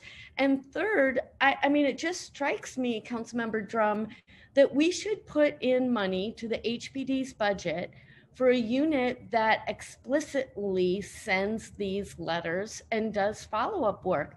H, if HPD can send the letters, right? Maybe we can't, maybe a tenant organizing, org, organizing group can't, but if HPD can send the letters, why? I'm just asking a very common sense question. Sounds to me just like a funding thing. Let's just add, you know, let's have a 10 person staffed unit to do it. So with that, I turn it back to you. Thank you, Chair Dromm. Thank you, Councilmember Rosenthal, and we'll work with you together on this, on looking further at that issue, definitely. Yeah, uh, Commissioner, I just have a couple of follow-ups. Uh, there are no other questions from council members at this point. So um, let me just start by saying, in the beginning of the 21 calendar year, the council committed $500,000 of its discretionary funding to create its community lien sale outreach initiative in order to raise awareness um, uh, related to the city's property tax lien. What resources does HPD allocate towards outreach uh, regarding the lien sale? Thank you so much, um, Chair Dromm, for that question, and thank you so much for the $500,000 in discretionary funding that you gave to us. So we have used this funding to partner with the Center for New York City Neighborhoods to um, give assistance to homeowners who are at risk of getting on the tax lien sale list. We have done outreach, we've given technical assistance, counseling, referrals to other programs. We also connected it to the homeowner help desk, um, which we are we recently expanded. And we are, with the help of the AG's office and enterprise, we're among 10 municipalities and counties across the state who's implementing anti-displacement strategies as part of our anti-displacement learning network group. So we're working with enterprise the, and the AG's office on that. We're creating a portal, a homeownership portal that would, with the Center for New York City Neighborhoods and the AG's office, to direct homeowners for full service um, of, about every question and issue that they're facing in terms of um, displacement. I also want to, um, and, and, and, and liens, but I also want to point out DOF's work because they have a, a program that homeowners who have difficulty paying their taxes and are on the tax lien sale can enter into a payment plan in order to um, prevent sale of the liens.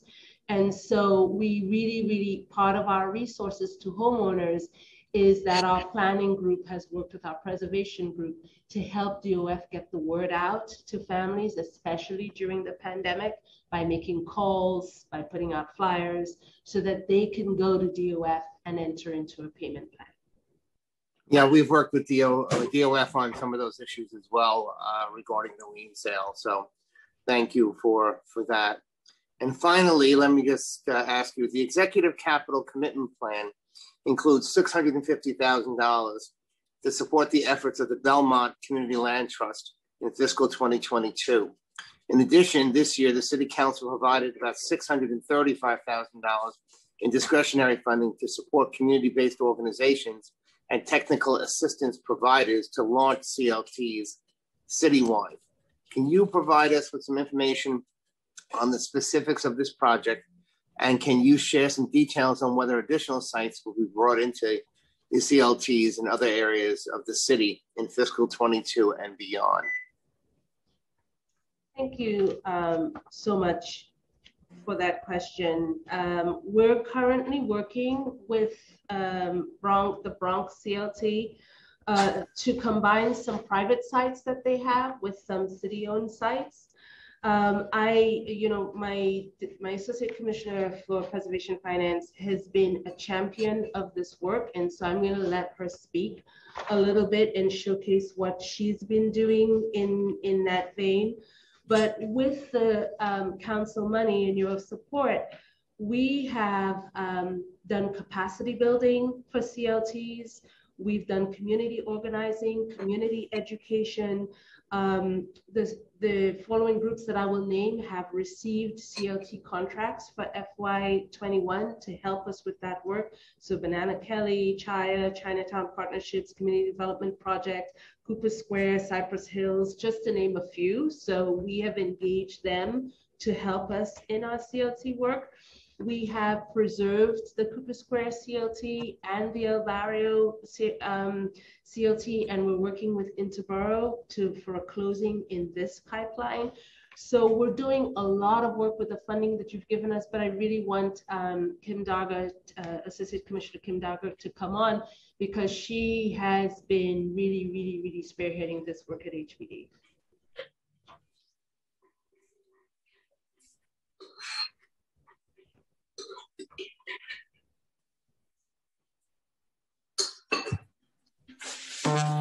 Hi, good morning, Council Member uh, Good morning. Chair.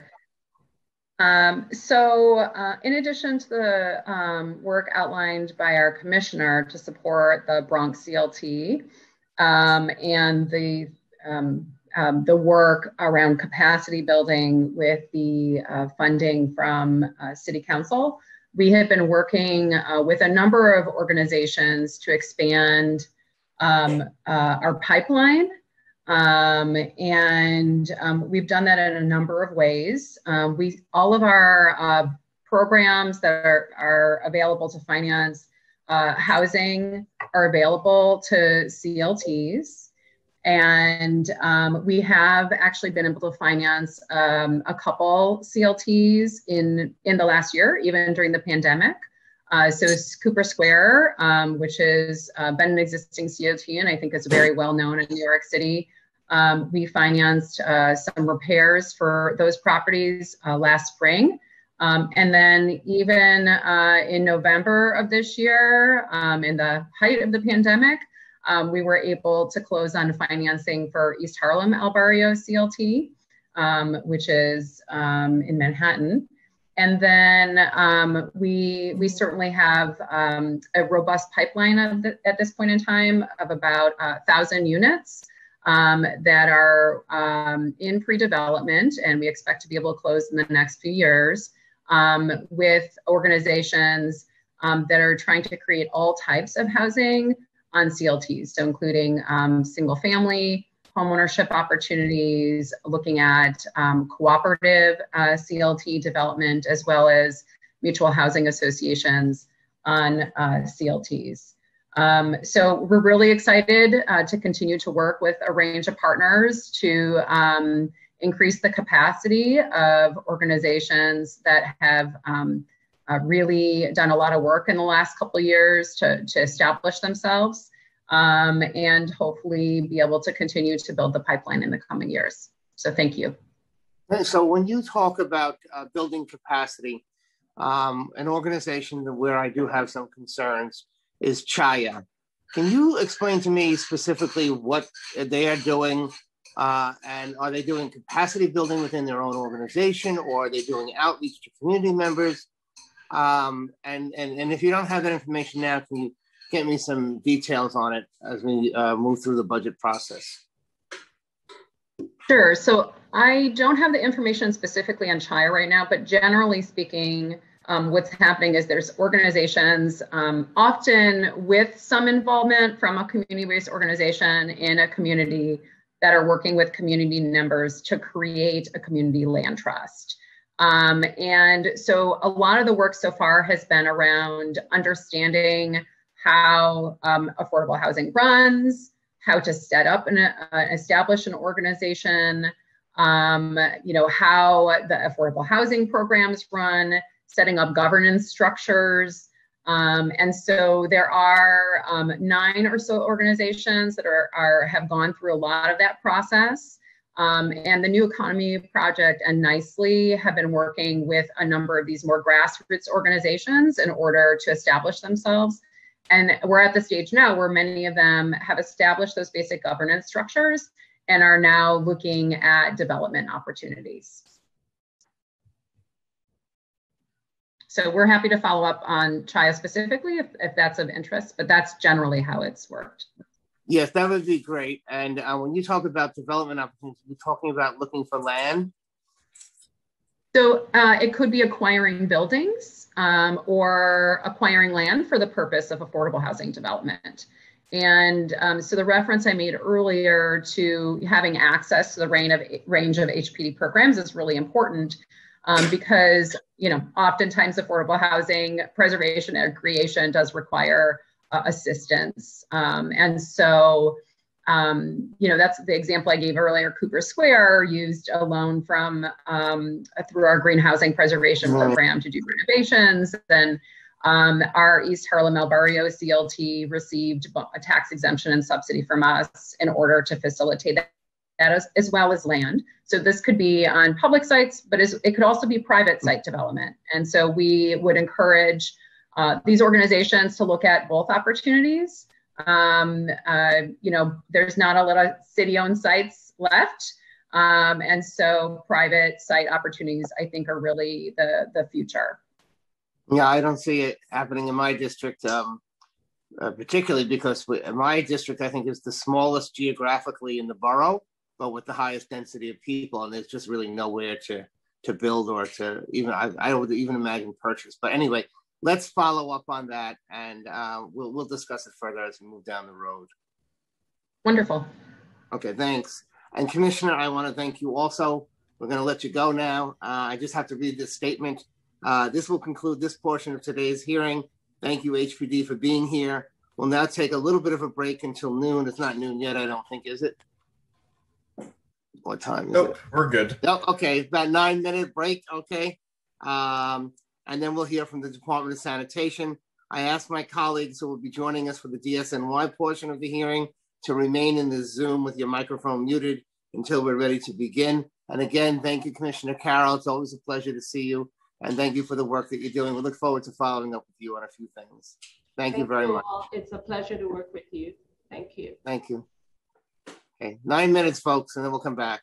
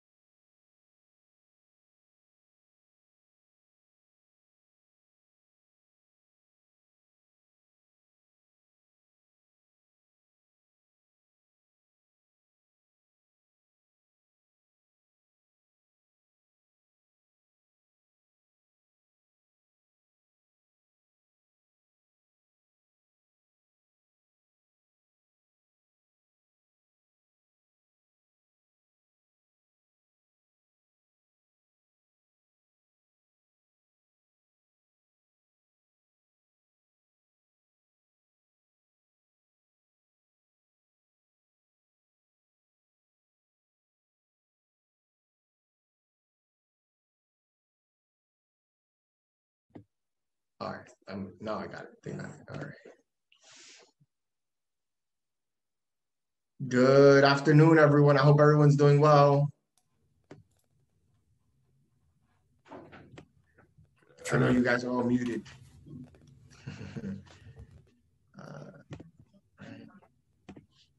We're waiting for Chair Dromm to return, which should be uh, quite imminent. Sounds good. Thank you.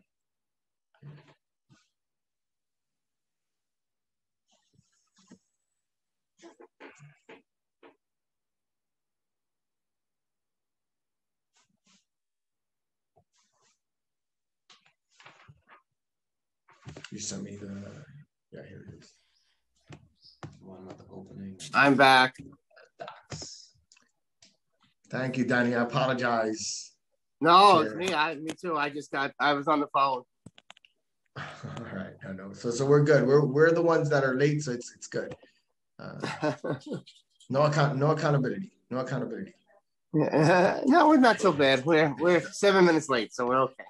All right. I know you're busy, that's for sure. We're all right. We're all right.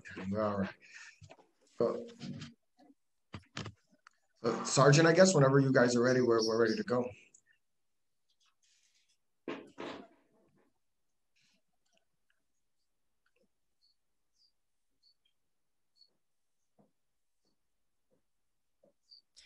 This is Chief Sergeant Lawrence Rafael Perez. Chairs, we're ready to start whenever you are. You can go right ahead. We're live.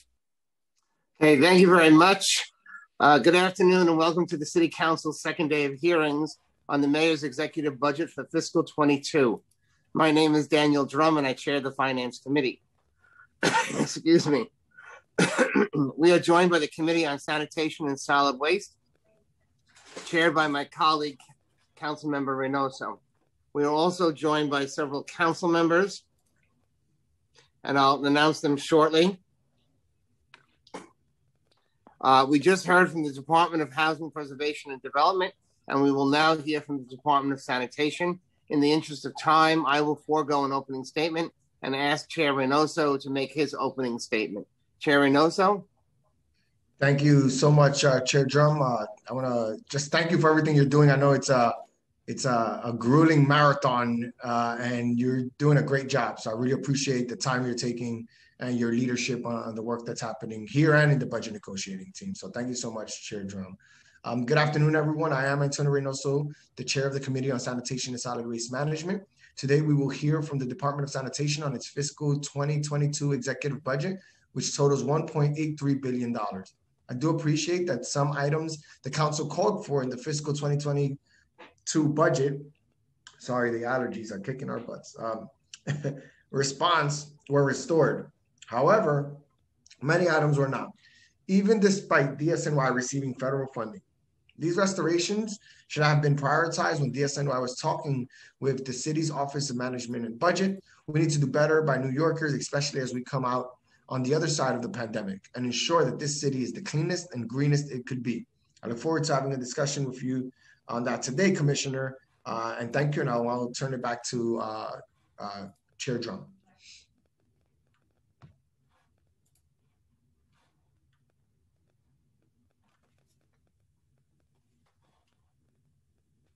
Um, and, and I'm sorry, uh, Minority Leader Matteo, do you want to speak at, at the opening? Okay, sorry, your hand was up. Okay, As as Chair Dromm is not here, he was about to ask me to swear in um, DSNY. Um, thank you. My name is Noah Brick, and I am counsel to the New York City Council Committee on Finance. Before we begin, I want to remind everyone that you will be on mute until you're recognized to speak, at which time you will be unmuted by the Zoom host. If you mute yourself after you've been unmuted, you will need to be unmuted again by the host. Please be aware that there could be a delay in muting and unmuting, so please be patient. During this portion of today's hearing, we will hear testimony from the Department of Sanitation. During the hearing, if council members would like to ask questions, uh, please follow the example of Minority Leader Matteo and use the Zoom raise hand function. You will be called upon to speak. We will be limiting council member questions to five minutes, including responses. I will now administer the affirmation to the administration witnesses one time, and will then ask each witness to so affirm. Do you affirm that your testimony will be truthful to the best of your knowledge, information, and belief? Commissioner Grayson? I do. Mr. Uh, Corolla? I do. And Mr. Anderson? I do. Thank you. Commissioner Grayson, you may begin when ready. Thank you. Good afternoon, Chairs Dromm, Chair Reynoso, and member of the City Council on Finance and Sanitation and Solid Waste Management. I am Edward Grayson, Commissioner of the New York City Department of Sanitation. Thank you for the opportunity to discuss the department's fiscal year 2022 executive budget. With me this afternoon are First Deputy Commissioner Salvatore Serrallo and Gregory Anderson, the Deputy Commissioner for Policy and External Affairs. At the Department of Sanitation, our mission is to keep New York City healthy, safe, and clean by collecting, recycling, and disposing of waste, cleaning streets and vacant lots, and clearing snow and ice. The men and women of this department provide critical services to all New Yorkers, services that help make our city a thriving, vibrant place to live.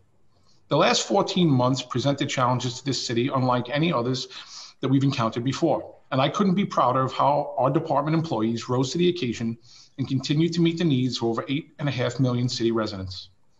Throughout the pandemic, COVID 19 did not stop refuse and recycling from being generated or the snow from falling.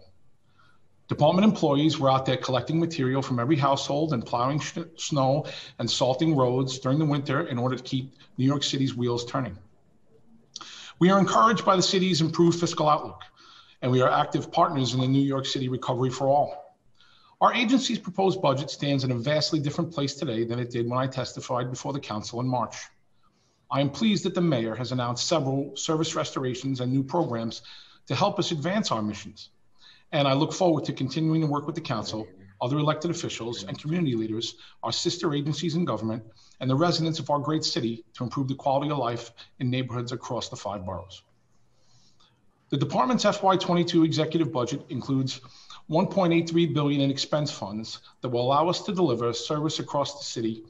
And these funds include 832 million for the Bureau of Cleaning and Collection for household refuse recycling and organics collection, litter basket collection, street cleaning, and other core operational functions.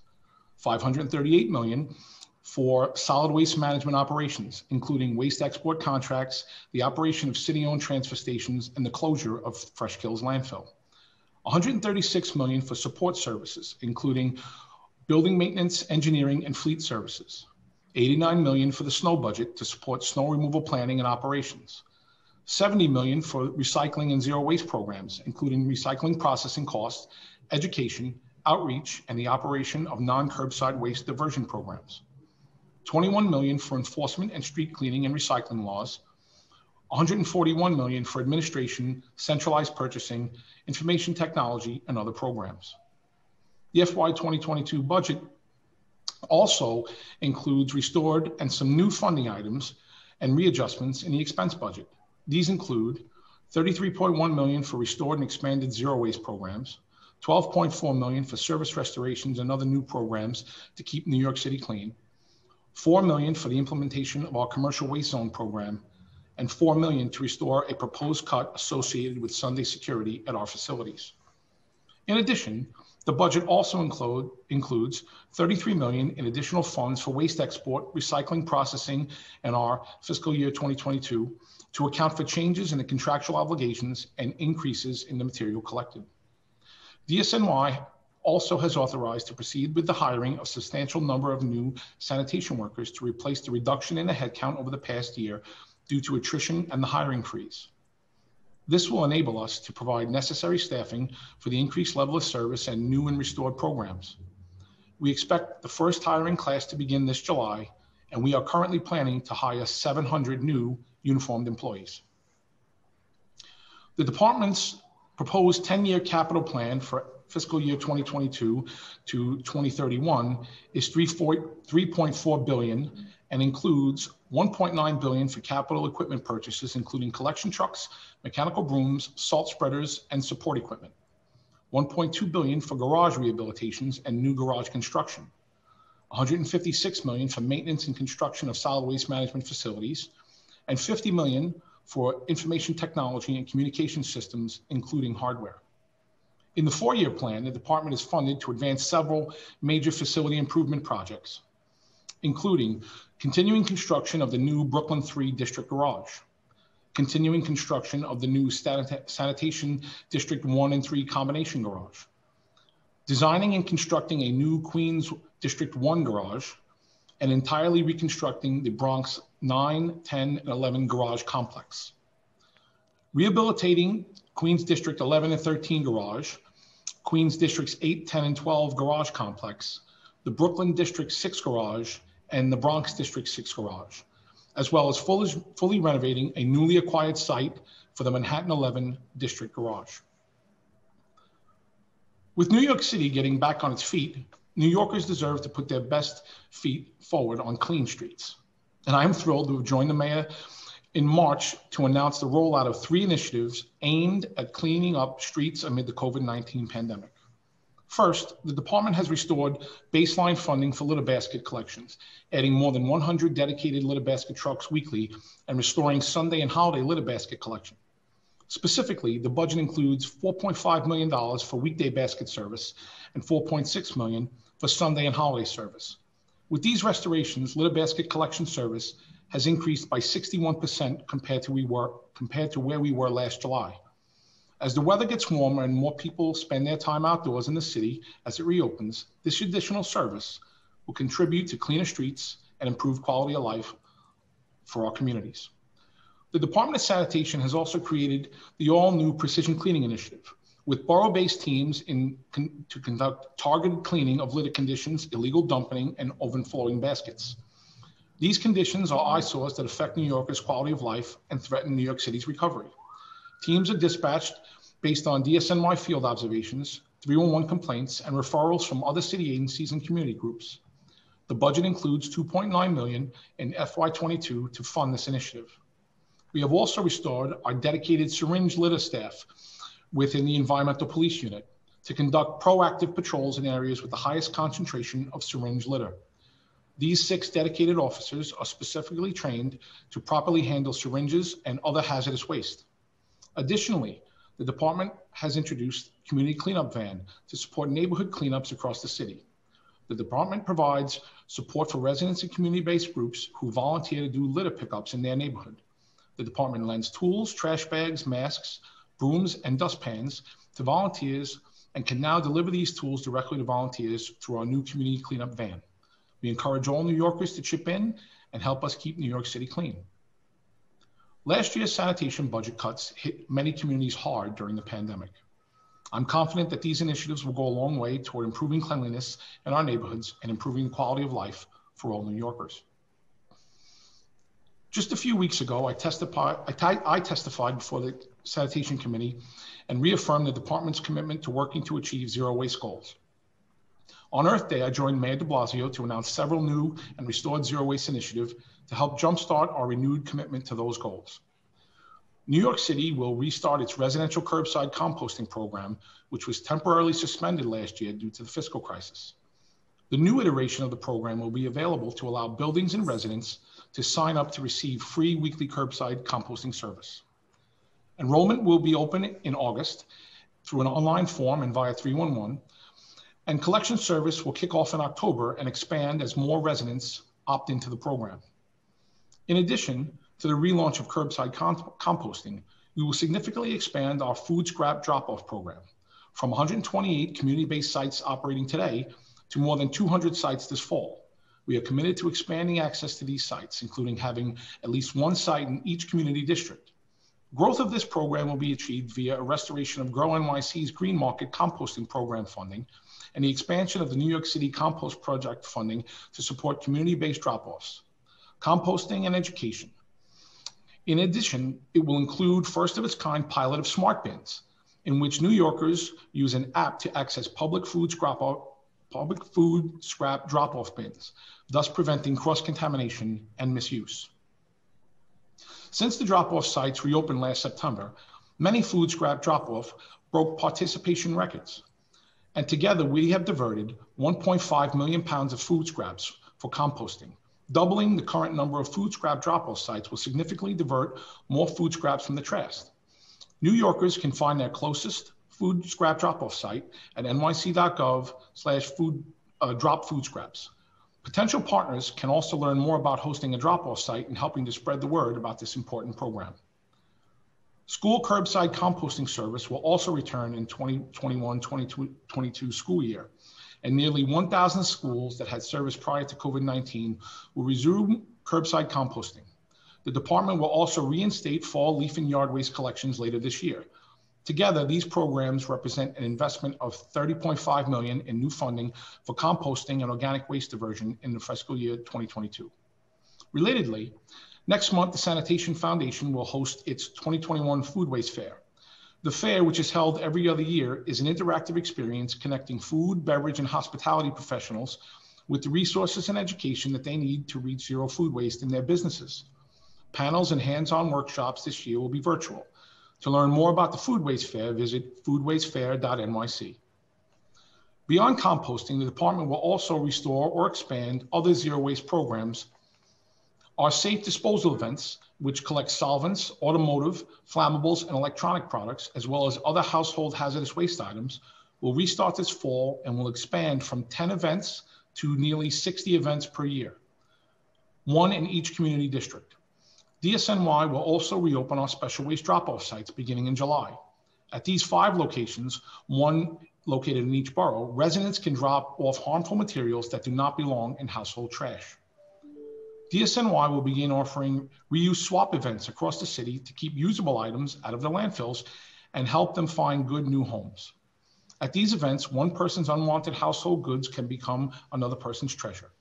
The executive budget includes an additional 2.6 million in FY22 to support these special waste and reuse initiatives. The commercial waste sector also plays an important role in achieving our zero waste goals. Commercial waste zones will create a safe and efficient collection system for commercial waste that provides high quality, low cost service to New York City businesses while advancing the city's zero waste and sustainability goals. The new system is expected to nearly double the commercial diversion rate for recyclables and organic waste. Following a delay due to the pandemic, the department began the competitive procurement process by issuing part one of the request for proposals in November of 2020.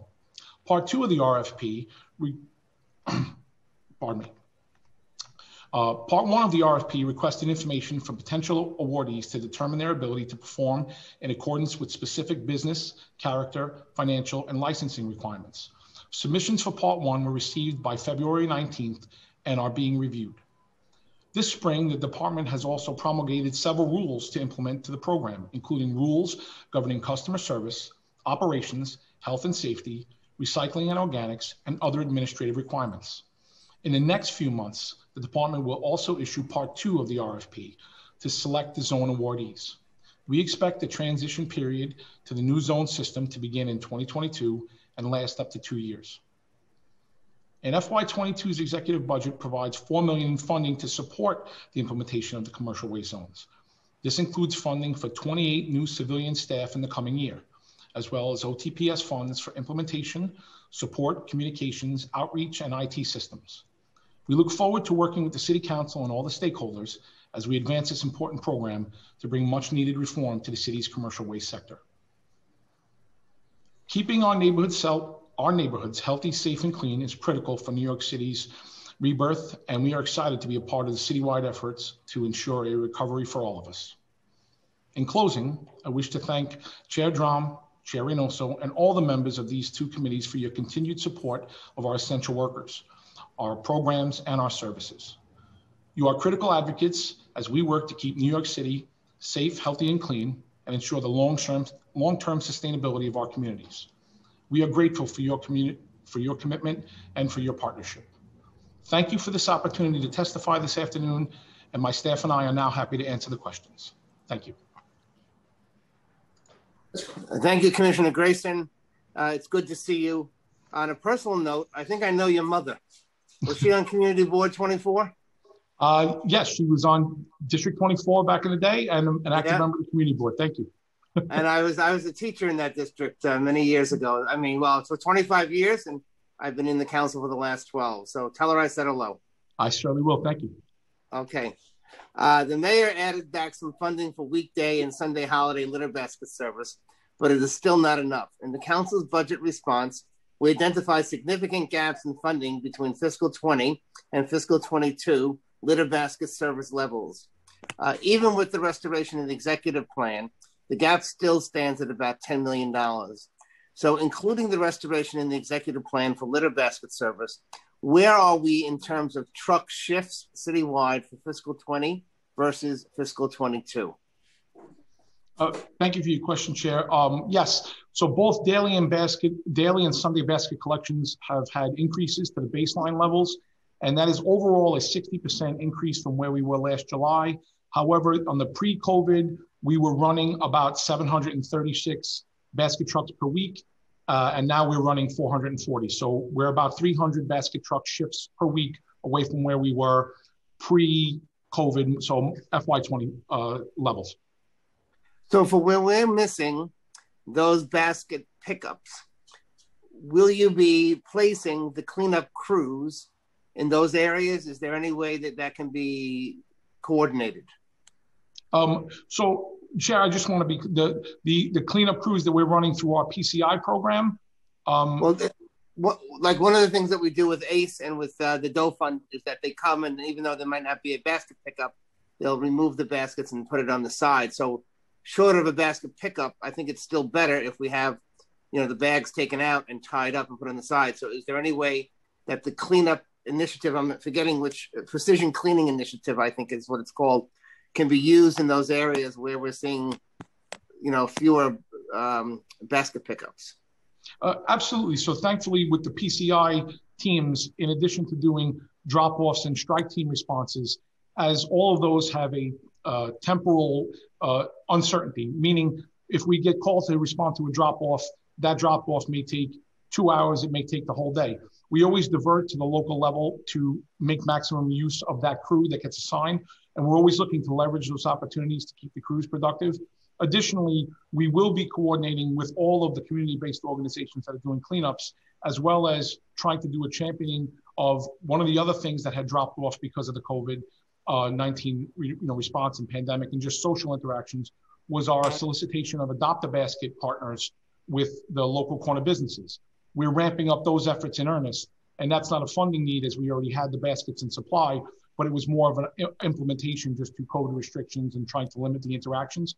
However, we it, that is part of our plan to make sure that we're providing additional access to have a partner. I couldn't agree with you more. The more partners we have, the easier it is for us to work with, uh, you know, the, the landscape. When you talk about community organizations, are you talking about organizations like Wildcat, ACE, uh, Doe Fund? Is that what you're talking about? Well, yes. We also we we want to make sure that that e- even as we we continue to do uh, at the planning stages of where the new uh, cleanup corps are going to be, we intend to know where the local stakeholder organizations that are doing cleanups and the other city agencies that are doing cleanups, they're going to be generating material in some cases. And our role in that is to make sure that we know where they are so we can coordinate the back end pickup once they're done with whatever their response operations are for the day. Okay, great. Thank you, Commissioner. Uh, what's the average street and sidewalk cleanliness rating citywide? Uh, what was it in 2020, and what is the rating in the current fiscal year? Uh, we are down about this year, uh, fiscal year to date, we are at a, a 93.4, 93.5, and we are about between three and four basis points, you know, with every new month that comes on in Delta. Um, I am hopeful uh, since we restored some of the services uh, that we were able to do. The April, we just got the April ratings for this current fiscal year. It's back up to a 95, but we have definitely seen an impact on street cleanliness ratings and litter in the street. And we're very hopeful that the new programs and the restorations will help us get that number moving in the right direction. Okay, thank you. Uh, the executive plan also includes 2.8 million in fiscal 22 for for the precision cleaning initiative.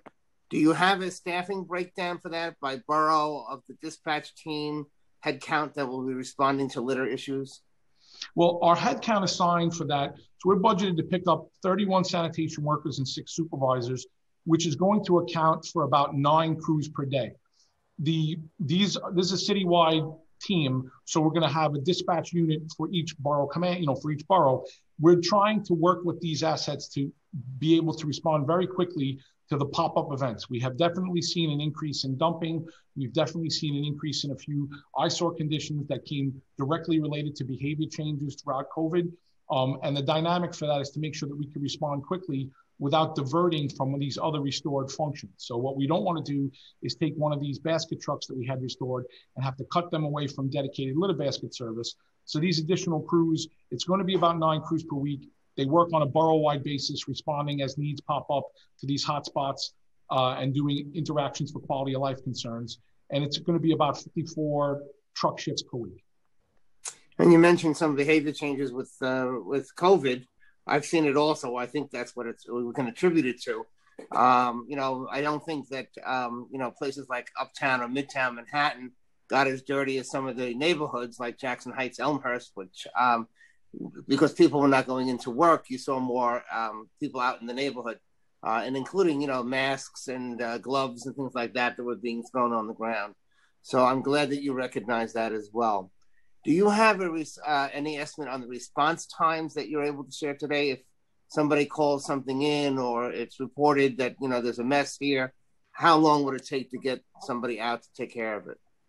Um, usually we do very well with regard to responding to the critical uh, needs, um, but that is also a temporal. So uh, we can, I can circle back with you, and I, I don't mean to delay the answer. Uh, right now, our, we've been running the program for a short period of time. Again, it depends on what we're responding to. Sometimes we'll get eyes. Our key thing is to get we get response on all the complaints within 24 hours, where we have an estimation of how we can respond. If we have a crew that can get there and pick it up quickly, if it's something that is a minor condition that is only, let's say, going to take an hour or two to resolve, we'll be there very quickly.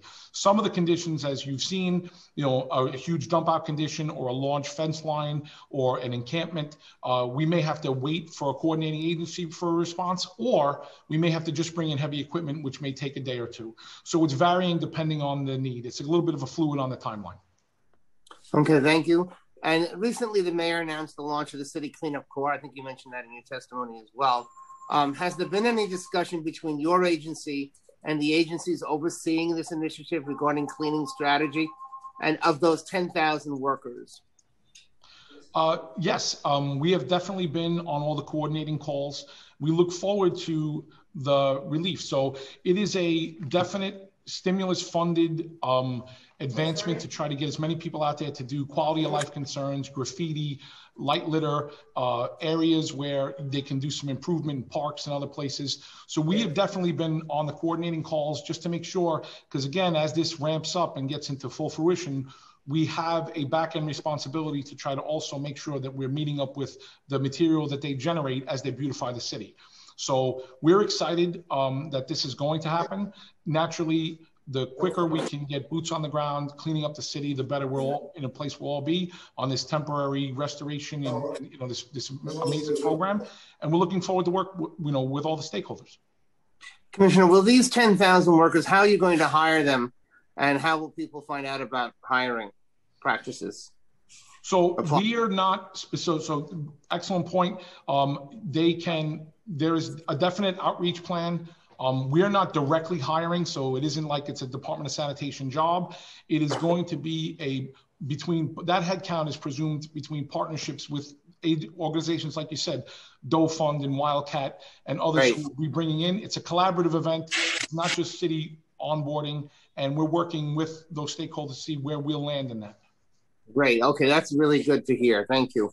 Uh, the fiscal 22 executive plan includes 509.1 million in federal funding for fiscal 22 that was swapped with city tax levy funding, which is approximately 28% of DSNY's budget.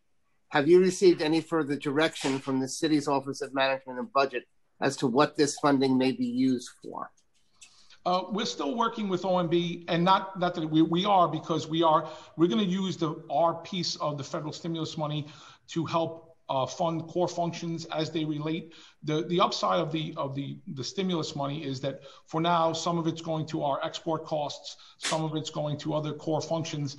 The freedom to be able to use the money and OMB's guidance for every category that it helps offset the tax levy does free up agency funds to then go do these service restorations. So we're still finalizing every place we can put it. For now, it's going to some core services, a lot of it in export.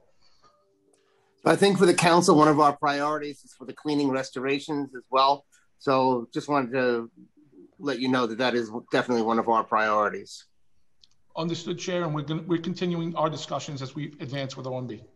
Okay, thank you.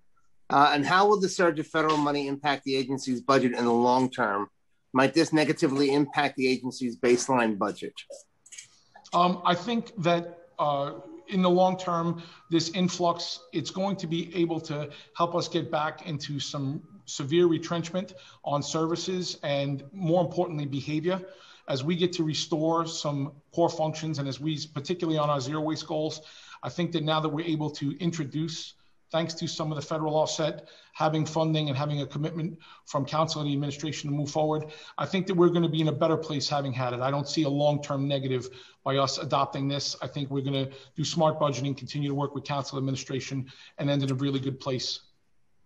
Okay, thank you, uh, Commissioner. Again, I'm going to turn it over to Chair Reynoso, and then I think there'll be some council member questions as well. Chair Reynoso. Thank you, Chair Dromm. Uh, Commissioner, uh, Hi, by the way, just wanted to say hi. I hope you're doing well. I'm good. Uh, thank you, thank you. Uh, or good. I wanted to ask um, composting. It seems like the uh, the investment that's being made for composting this year is similar to the years uh, prior to COVID when we had the pilot programs uh, in the city of New York. Can you talk to me about what the budget looked like for composting prior to COVID and what it looks like now and what the differences are? Because if we're spending the same amount of money, why not just do uh, a pickup service with routes uh, in the pilot areas the way we had it before?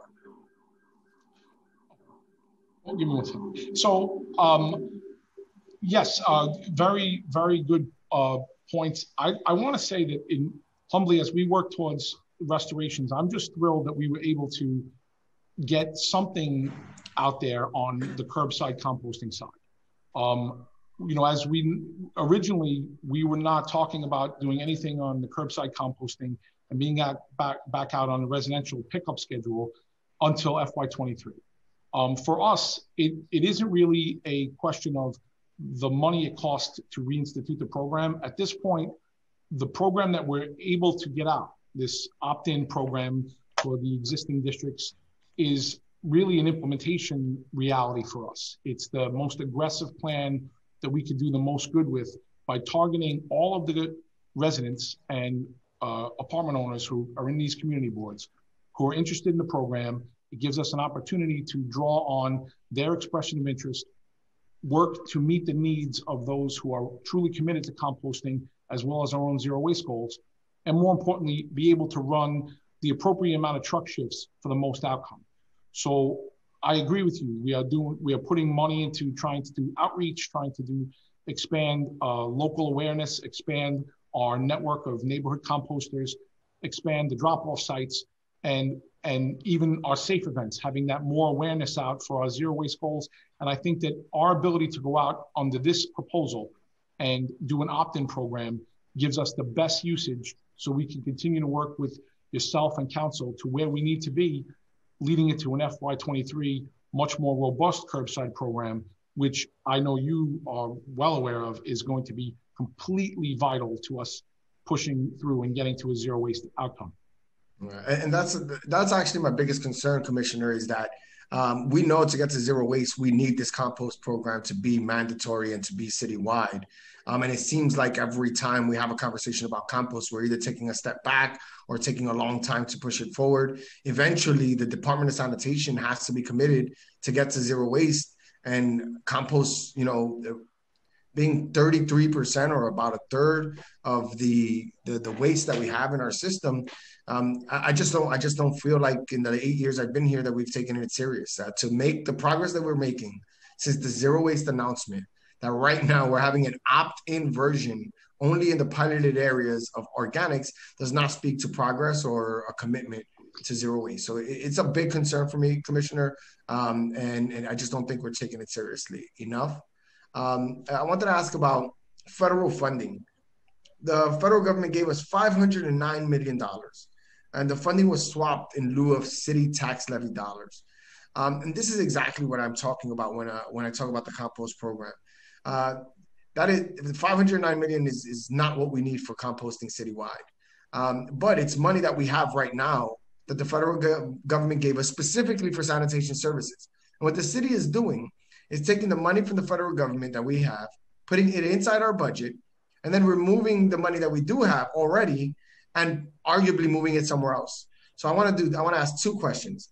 This $509 million, do we have a commitment from the administration that all of the money that came from the federal government for sanitation will be for sanitation? So I expect your budget to increase by 509 million in fiscal year 2022. And two, why not use that money to do the hard work of the composting program, which is the initial work that is going to be very expensive.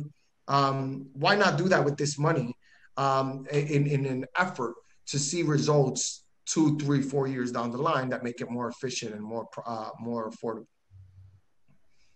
But I, I, I am absolutely thrilled that we have uh, the opportunity to be discussing this infusion of federal money. Um, you know, last September when I was appointed as acting commissioner, you know, when we were talking about we were talking about laying off city employees and retrenching even further. So the fact that we are now at this place where the city's recovery is in effect, and we expect, you know, a boost thanks to the stimulus funds that came in. Um, it's amazing that we're able to, you know, look to offset and make the best usage of it. To that, to your exact point, sir, um, we continue to work with OMB uh, to ensure that we're maximizing the use of the federal funds. And to that end, um, I am thrilled to have federal stimulus funding, but we're working to make sure that we are using it to their best usage on where it fits in, where uh, we're going to get what qualifies for Recovery Act money, what qualifies for FEMA funding, you know, we're running a lot of different programs that have a different bucket that they can be put in. And we're still working with the administration to make sure that we're getting the best valuation for not just our agency, but also as it fits in with the overall city's economic outlook.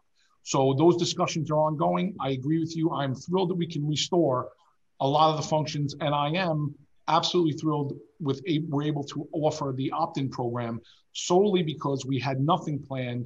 It's definitely one step in the right direction.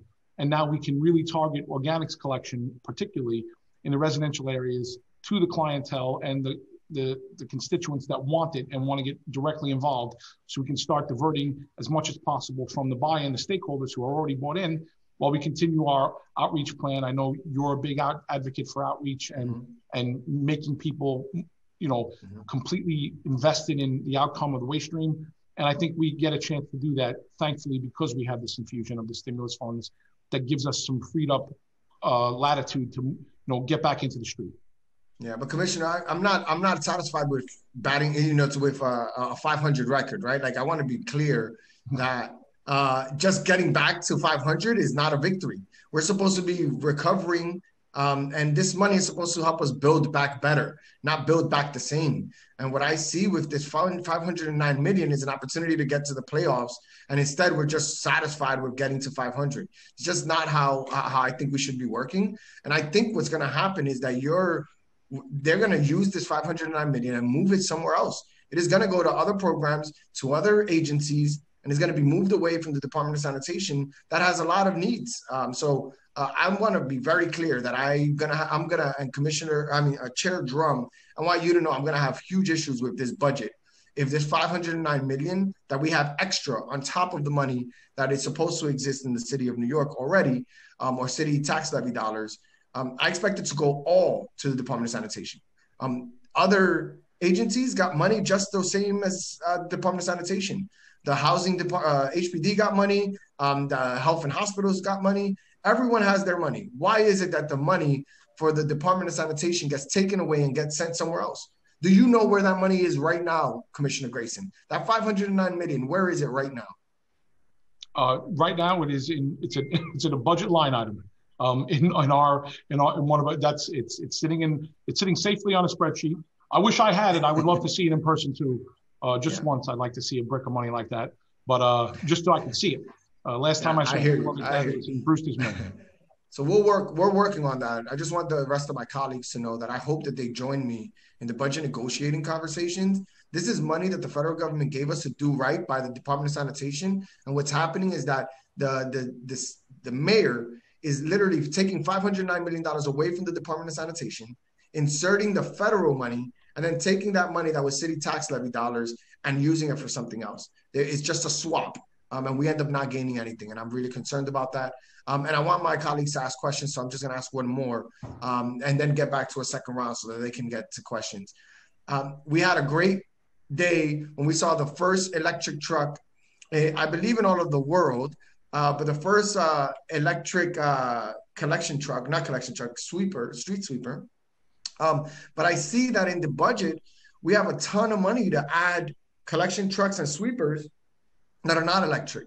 I just want to know what the capacity of these companies that exist overseas have to build faster and whether or not the city is investing in infrastructure to be able to charge these electric vehicles um, in your garages and why we're not just buying straight electric. Why are we even talking about diesel? Um, and just want to have a conversation with you about uh, how fast we can move to this electric state. Great question. And it was amazing for you to join us when we unveiled the first of its kind, full size, uh, fully electric mechanical sweeper. We are very excited about the technology and where it can go. Um, and yes, we also have a all electric rear loading collection truck, of which we're looking to expand. We have one in use right now, and we're looking to have another, you know, seven uh, come into the fleet.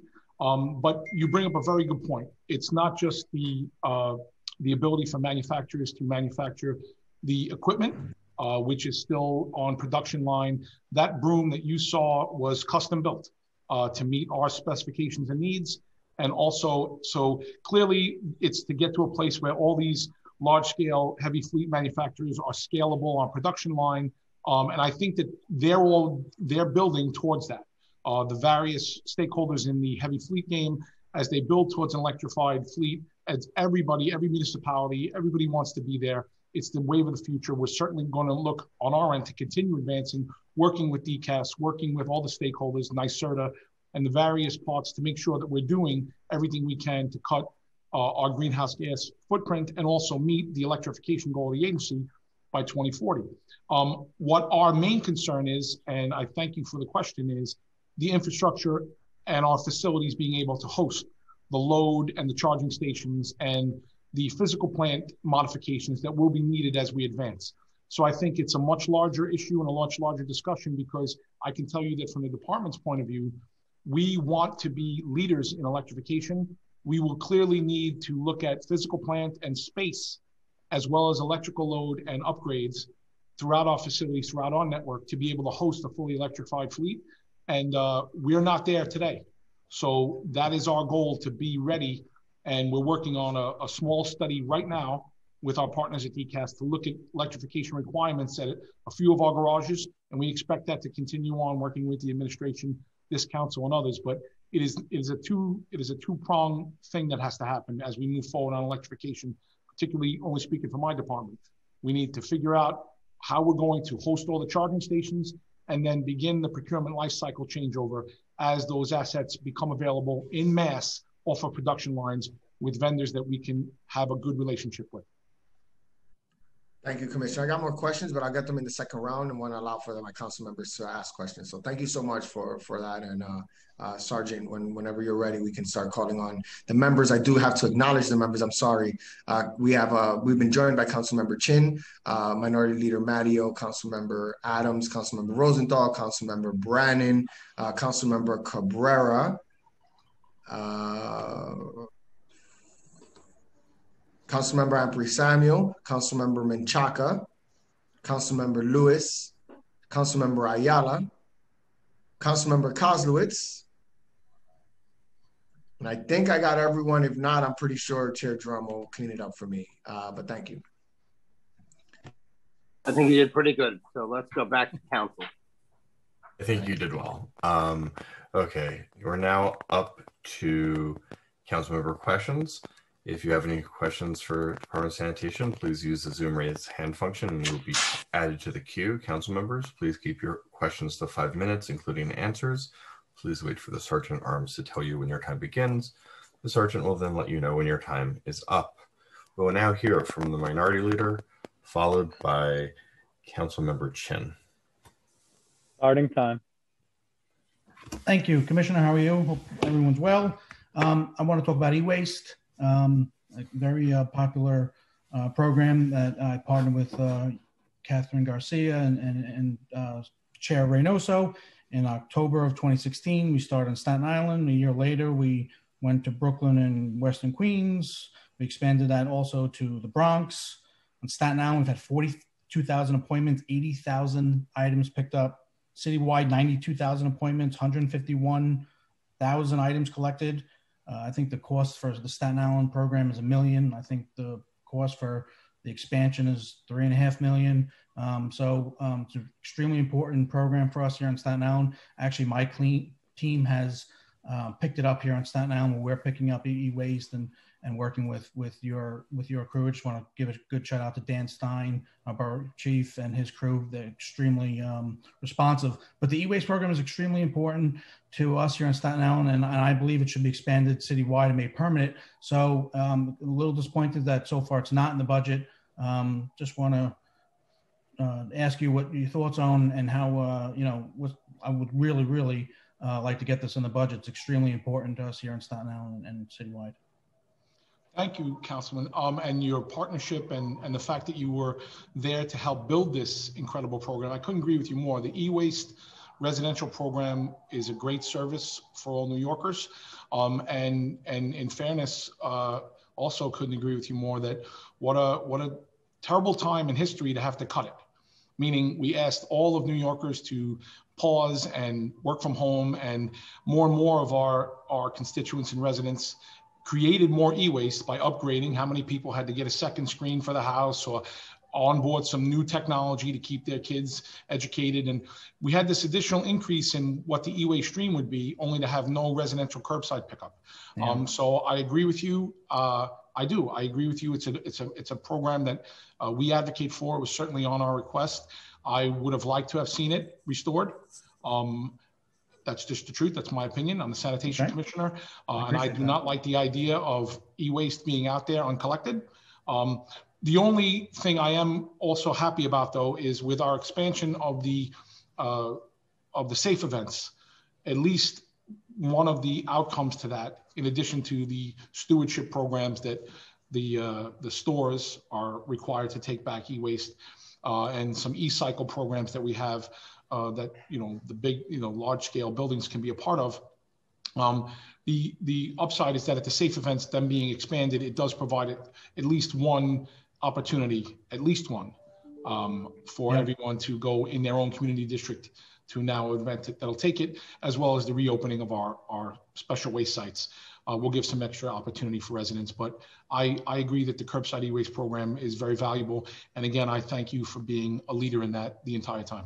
Oh, my pleasure. And you know, it's it's not an expensive program. It's it's honestly a no brainer for uh, at least us on the council side to push to restore it. Um, so I'm going to be pushed to to restore that. You know, uh, we're, we're, going around. We're picking them up from seniors um, and working with with with your your staff, and um, um they're also dropping it off to us at a certain site. So, but it's extremely popular in Staten Island, and, and it's extremely needed. And the way we did it with the appointments and everything was done within two weeks uh, a really, really well uh, run program that I, um, I think it's imperative that we get back to Staten Island and the other parts, but also that we expand and make permanent citywide. So uh, I'll be pushing for that in the budget, and I'm, i appreciate your support. And anything you can do on your end, I appreciate. Um, let you know the, the budget was was extremely tough on sanitation last year. A lot of quality of life stuff. Just one other thing I want to mention. Um, I um, I allocated money out of out of uh, you know out of our funding for uh, Sunday pickups in my district, and I'm, i was happy to do it to pick it up because I think it's necessary. With that said, um, you know I'm a term limited council member, um, so I just want to make sure that my district um, is uh, under review for sanitation to pick that up when we have the full restoration, and because I've been I've been funding it out of out of my discretionary funds. Um, so just want to make sure that it's on the radar that uh, my district, uh, you, you, you, it's while it's being funded, it's being funded through my end. So I just ask that moving forward that um, look for look to funded from uh, the budget's uh, priority. Understood. Thank you, sir. Thank you, and thanks for everything. Thank you, chairs. Thank you. Uh, next, we have Councilmember Chin, followed by Councilmember Adams. Starting time. Thank you. Thank you, Chair. Um, thank you, Commissioners. Great to see you again. Wasn't that long ago, uh, the preliminary budget. And we're glad to see, you know, some of the really good program got restored, like, you know, the, the neighborhood um, composting. And I, it's great to hear that more sites will be open up. And I think that is really such a, you know, terrific program because I started composting because it was close by at one of the, the farmers market, not really a big farmers market, but it was a composting site. Um, and we need more of that throughout uh, different neighborhoods in the city. And people want to participate, just that those sites or bin have to be available. And in your testimony, you talk about uh, an app. I think that's great for a lot of the young people who are tech savvy that they can participate. So I'm really um, looking forward to that. Um, in the budget, you know, one of the things that I remember um, at a press conference with the mayor a couple of years back about, you know, getting rid of rats uh, and really concentrating on these uh, rat mitigation zone. And there was no money um, put uh, in the executive budget. I think that as the city open backs up, um, you know, we want to make sure that the neighborhood that benefited from this program um, don't get inundated with rats again. You know, so I think that we need to really um, continue with that program. And my question is that in the new needs uh, that we saw in the executive budget, uh, there was increased money in the waste export and recycling process. I mean, we do send, spend a lot of money um, doing that. The recycling part is good, but why are we spending so much money? 56.9 million to ex- export our waste to other area. And I guess looking at that is that if we do more recycling or more composting, wouldn't that help decrease the exports of waste? um, you know, with a target of zero waste, because a lot of the the waste is organic. I mean, in in different household, that's really what you know a lot of it is. So how do we? What is that money? I mean, like in terms of if you do a, a breakdown of, of that amount of money, and then how can we, you know, by expanding programs like organic pickup and composting, how can we decrease that budget? Thank you, uh, Councilwoman. That's a great question. Um, and the money we we saw throughout uh, COVID-19, um, so we do, we export our waste uh, and we have to have long-term contracts with uh, reputable vendors to be able to take our waste, uh, preferably by rail or barge, uh, and reduce truck traffic. But in essence, that tonnage per day is, you know, at a fixed cost per ton uh, that's a variable with, with, with multipliers. So we had to adjust for the multipliers that we're in. So it's just the, the cost per ton increase that is scheduled, as well as what COVID-19 did with us, you know, and as we recover, we'll see another fluctuation, hopefully back towards normalcy in our trends, but we had increased tonnage. Um, so we had increased, so we took on more tonnage and we're paying so more than expected. So we had to adjust the budget to account for that. And the cost per ton delta. What you brought up, though, is epically important, and I thank you uh, for, for shining a light on it. Absolutely. The more waste we can recycle, the better we will do on the out years of the costs because of processing and processing costs and handling. And the more we can do with recycling of metal and paper and organic material, everything that gets diverted from the refuse waste stream can go to a different processing method that uh, as we get scalable, particularly on the organic side, should be able to offset the big cost delta for the, for the removal of refuse. So the costs of doing business are exactly that, they're costs. Uh, we have an exporting program. We have to remove the waste. We have cost per ton analysis for each of the commodities we collect. But ultimately, the zero waste goal and having as much refuse diverted from the black bag, so to speak, into you know the green bin and the blue bin and the clear bags and the organics, the brown bin. All of those delineations, the best we can do to keep everything going from landfill uh, they are not only better for the environment, but overall will totally change the cost benefit and cost basis per ton for every other commodity. Well, the fact that we are banning, we banned the plastic bag, we heard from the preliminary budget, um, I assume that also saved us money for doing export. And also we were able to get some more money, you know, from the, the money that was charged for the paper bag to, to create more, to buy more reusable bag to give out in the city. And I saw Department of uh, Sanitation, you were out there uh, doing that in the neighborhood. And I, I think it's great. I think that my final point with the, you know, the exporting um, the waste is that I would, you know, the local, you know, the composting that we have going on in the city um, with different, you know, organizations is doing that. I think we really should look at expanding also, you know, with the recycling uh, products that we collect. That how do we create uh, jobs within the city to do it ourselves rather than exporting it out? Uh, so that's something that hopefully we can, you know, look at creating, you know, jobs through collecting composting, through collecting, you know, all the recycled product, especially all the paper product, because people working from home, I mean, all the delivery, every little thing you order comes in a big box. and how do we generate that into uh, resources, money for the neighborhood uh, and for local residents to be able to, you know, create jobs and job opportunities and, and small businesses in that area.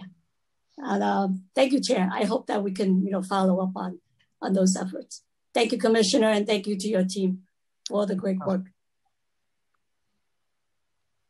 Thank you. Uh, we will now have Council Member Adams, followed by Council Member Brannan. Starting time. Thank you so much. Uh, welcome, Commissioner. It's great to see you um, in this hearing today, uh, and the work that you do is absolutely tremendous. Um, the, the, first thing I'd like to do is echo every sentiment of co-chair uh, Reynoso uh, in this hearing, and I applaud him for his remarks. Um, as a member of the budget negotiating team, I will stand with him um, in assuring that DSNY gets every penny of that uh, $509 million. The first thing that all New Yorkers saw at the peak of this pandemic was the demise of cleanliness in the city of New York. And I don't know about anyone else, but on a lot of levels, on every level, I'm not willing to go backwards. So we need that funding. We need that funding exponentially. And the mere fact that it's being floated here uh, in this hearing that it could potentially go someplace else is completely unacceptable to me. So Chair Reynoso, I stand with you flat-footed on that and ensuring that that uh, funding goes where it belongs into DSNY. Um, that I also want to give a shout out to my co-helpers in cleanup, and that's ACE, that have done a tremendous job in District 28. They have been phenomenal um, throughout this pandemic and even pre-pandemic. So I really do want to shout them out also. Um, we have had such an, uh, an issue um, over the past year, a tremendous issue, um, as you said, Commissioner, more with illegal dumping. Um, we've had an e-waste issue uh, that has been very prevalent also, um, particularly in my uh, small business corridor on Liberty Avenue. DSNY pitched in and, and you did what you had to do, you know, in spite of a cut in services. So again, hats off to you. I only have one question and it may seem very, very trivial, so forgive me, but I have followed many a mechanical broom throughout District 28. And I'm just curious about the training for the drivers because where there is no place to get close to the curb, the drivers tend to drive center street. And all that does is swirl the dust up. And I know because I've had to stop my car, pull over so that it wouldn't fly over. But the dust tends to fly on vehicles, it tends to fly on people. You know, it tends to fly into, um, you know, the sidewalk and residents as well. So I'm just curious basically about the training, you know, the drivers who are um, supposed to be cleaning up. But those mechanical brooms seem to have a mind of their own, especially if they're driven not alongside the curb because of parked cars, but through the center of the road. So uh, if you could just let me know what, what that's all about. Absolutely. Uh, Commissioner, I'm so sorry, Commissioner. I'm sorry. I want to add to uh, uh, Councilmember Adams's question. Um, I'm, I'm, i hear that they're supposed to have water, um, and I, I've not seen a mechanical broom in my district with water, just throws the dirt up in the air. Um, and everyone has to clear out, wait for it to settle before they can come back out. Um, all the cars are, are dirty, uh, you know, never wash your, your car right before out the side street parking. So I just want to let you know that, you know, are they supposed to have water? Just explain to us the life of a mechanical broom so that we know what we're looking for. Um, because I agree with uh, Councilmember Adams about just not understanding exactly what the protocol is there. I, I thank you both for the question. It's not a trivial matter, and don't mistake my uh, my my smile and my little laugh as if it, I, I'm, I'm happy with that. I'm not. And I will absolutely walk you through the basics quickly on what's going on there, typically when you see it. You brought up a great point, Councilwoman, on the fact that uh, the mechanical brooms now not getting to the curb and that then they're traversing the center line. Uh, compliance is a key issue to the effectiveness of the broom operation. Um, so first and foremost, all broom operators are highly trained. Uh, it's one of the most complex pieces of equipment we actually run on a daily basis. And the men and women that operate those brooms are excellent operators. And what we're asking them to do is very unique driving skills, getting as close to the curb as possible, keeping people as safe as possible, and then pulling in and out of traffic routinely and constantly as it relates to their ability to get to the curb. Those brooms on the side, there is a spray bar there is the water we fill up from a hydrant. We fill that with hundreds of gallons of water. And then a spray bar is in effect to keep, it's for dust suppression because we know we're going to run our gutter, the, the sweeper brooms, which are the two brooms on the side. They push everything towards the center of the unit. Um, and we're trying to do dust suppression. The challenge when you may or may not, depending, it's all temporal, is as everyone knows, we have 90 minutes to cover a specified area of streets. So when you're looking at, especially in the alternate side, it's a 90 minute block. Depending on when that broom operator is not 100% in control of when he or she runs out of water. So they start with a full tank of water and then they go. And then at some point in time, they're often required to have a tank up in the middle of the route. Depending on where they sit inside the, the, the inside the segment time, uh, they may or may not have run out of water. So sadly, if you catch a broom that ran out of water, yeah, you will get a baseline level of dust because we're now not suppressing the dust as we sweep. Um, and then we they have to get to a safe area where there's hydrant and load up, and that's hopefully all to try to keep the schedule. One of the things of late that is definitely a challenge for our broom operators and the city as a on its cleanliness is the fact that we are we are only sweeping the alternate side parking areas one time per week. So now it is more is epically important to try to keep the schedule and take advantage of whatever the open side is. So I'm we do messaging to try to get more compliance with how they can properly tank up to run less block faces without using water. But there's water, there's training. And when they're in the center of the road, that's usually for travel. We keep the brooms down so that when we can snipe back into the curb, we can do so quickly. Otherwise, we would lose time trying to redeploy the brooms. So we sweep the entire time on the route solely to be able to cut in and out of curb accessibility as it avails itself. I appreciate the response. It, it just seems, and I'm sure Chair Reynoso will concur, it seems that sometimes it defeats the purpose. My, my thought, you know, in, in following behind mechanical brooms uh, as often as I have, why don't they just turn them off when they see that obviously things aren't working, um, you know, and that it's really causing quite a mess. But um, I appreciate your response. And like I said, uh, I certainly will uh, champion the, continue to champion uh, DSNY for all the great work that you do um, and ensuring that the funding is appropriated into uh, your agency where it belongs. Thank you, Commissioner. Thank you, Councilwoman. Thank you. Uh, now, Councilmember Brannan, followed by Councilmember Rosenthal. Starting time. Thank you. Thank you, chairs. Good to see you, Commissioner. Always got a shout out uh, BK10 and BK11 for all the great work they do out here. I speak to those guys more than I speak to my wife sometimes. So, um, it, but they do a great job. Uh, I have two really quick things. Um, it, has there been any discussion around committing uh, with the getting the administration to commit to advancing the, the capital improvements to the garages in Brooklyn, Bronx, and, and Queens?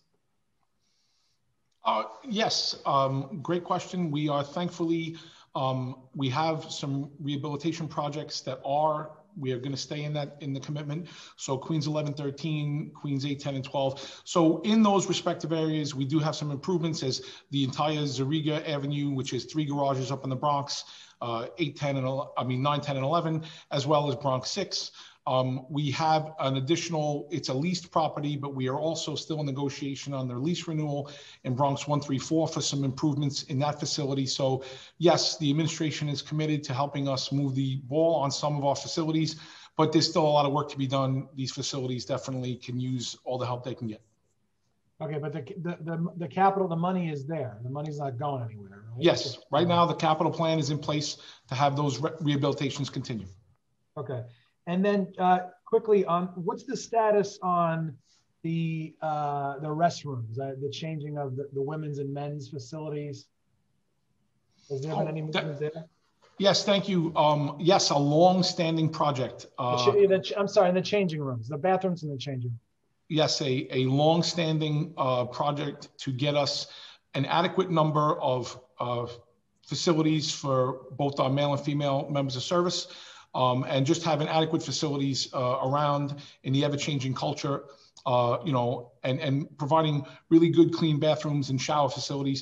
Our sanitation workers uh, are uh, are afforded the opportunity to naturally shower at the end of a shift and make themselves, you know, they're out there doing a dirty job, so to speak, and we want to make sure that they have proper facilities. We are in a, in a very good place. Um, so we only have a few, a handful of locations that are still in the pipeline for this year. The funding's in place. We had, with the construction pause that happened because of COVID, we had to stop the, the rehab of at least nine of those facilities but they are the the vendors are back in the construction is ongoing so we look to be in a very good place as it stands right now all of our uh, all of our employees have a place for a suitable shower and changing what we're doing right now is uh, giving a, a, a, more secular upgraded uh, shower situation for a lot of areas where there's a commingled district where we have to have a bunch of people go to one centralized location. And the uh, we've got some pretty smart construction going on, but the funding's in place for that. So at the end of this fiscal year, we, we expect to have that uh, project completed. And finally, my predecessor started it when she got here, and uh, I'm hope, very hopeful to finally get the ball over and give proper facilities to all the locations. Right on. Thank you, Commissioner. You, you guys are great. I mean, you guys have been um, amazing through COVID. And, um, you know, I like to say sanitation workers are everyday heroes, right? I mean, we, we don't even notice when you guys pick up the garbage, but we, we go nuts when you don't. So it's a thankless job and uh, we appreciate that. And I, I thank you for uh, indulging me. That's all I have, chairs. Thank you. Thank you, sir. Thank you. Um, Councilmember Rosenthal. Starting time.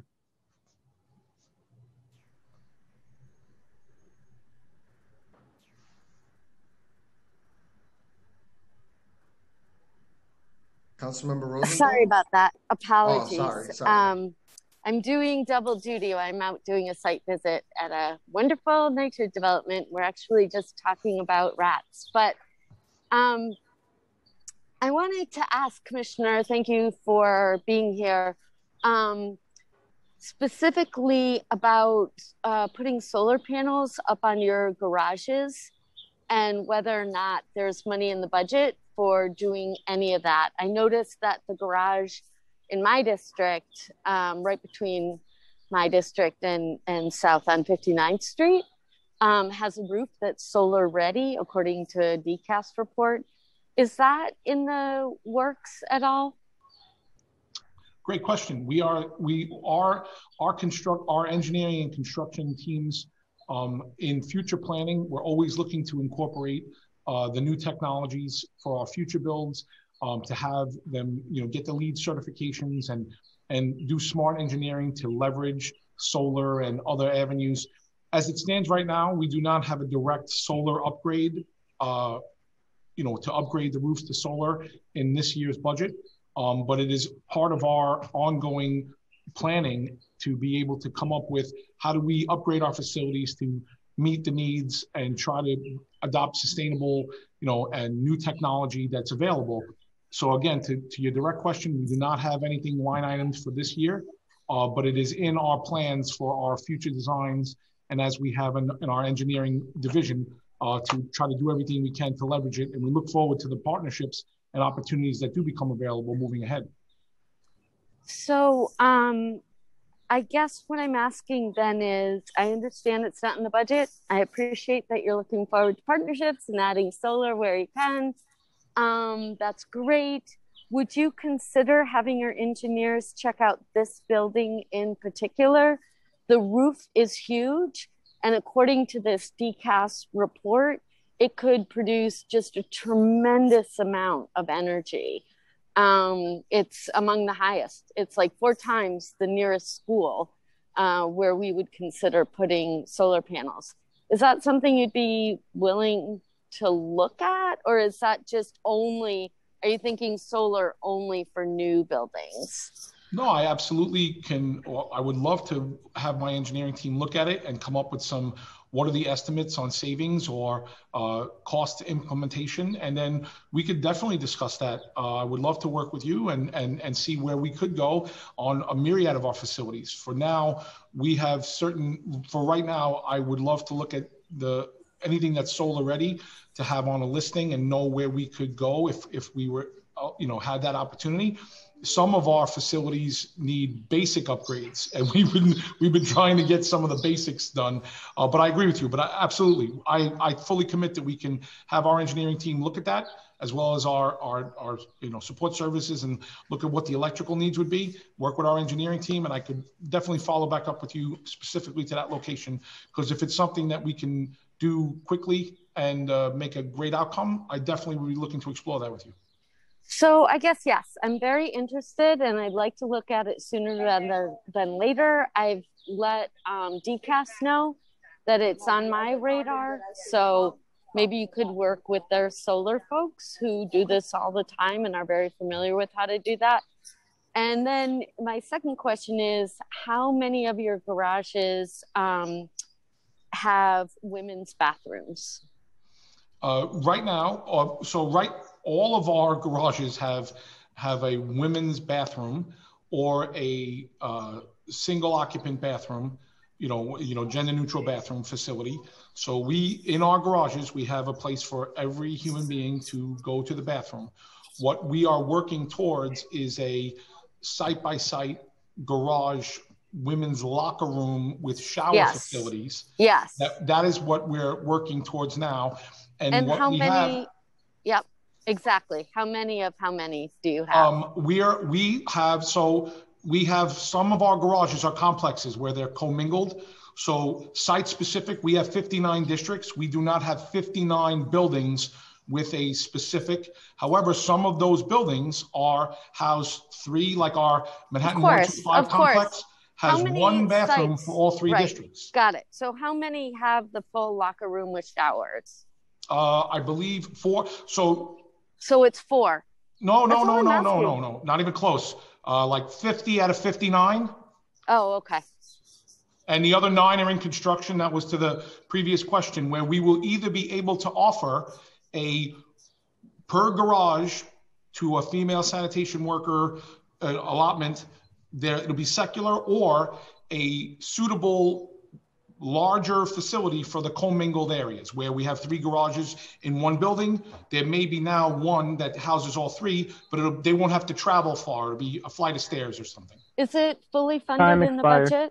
Yes. That's my last question. It's Yes. fully funded with the Yes. expectation that it'll end, be finished when?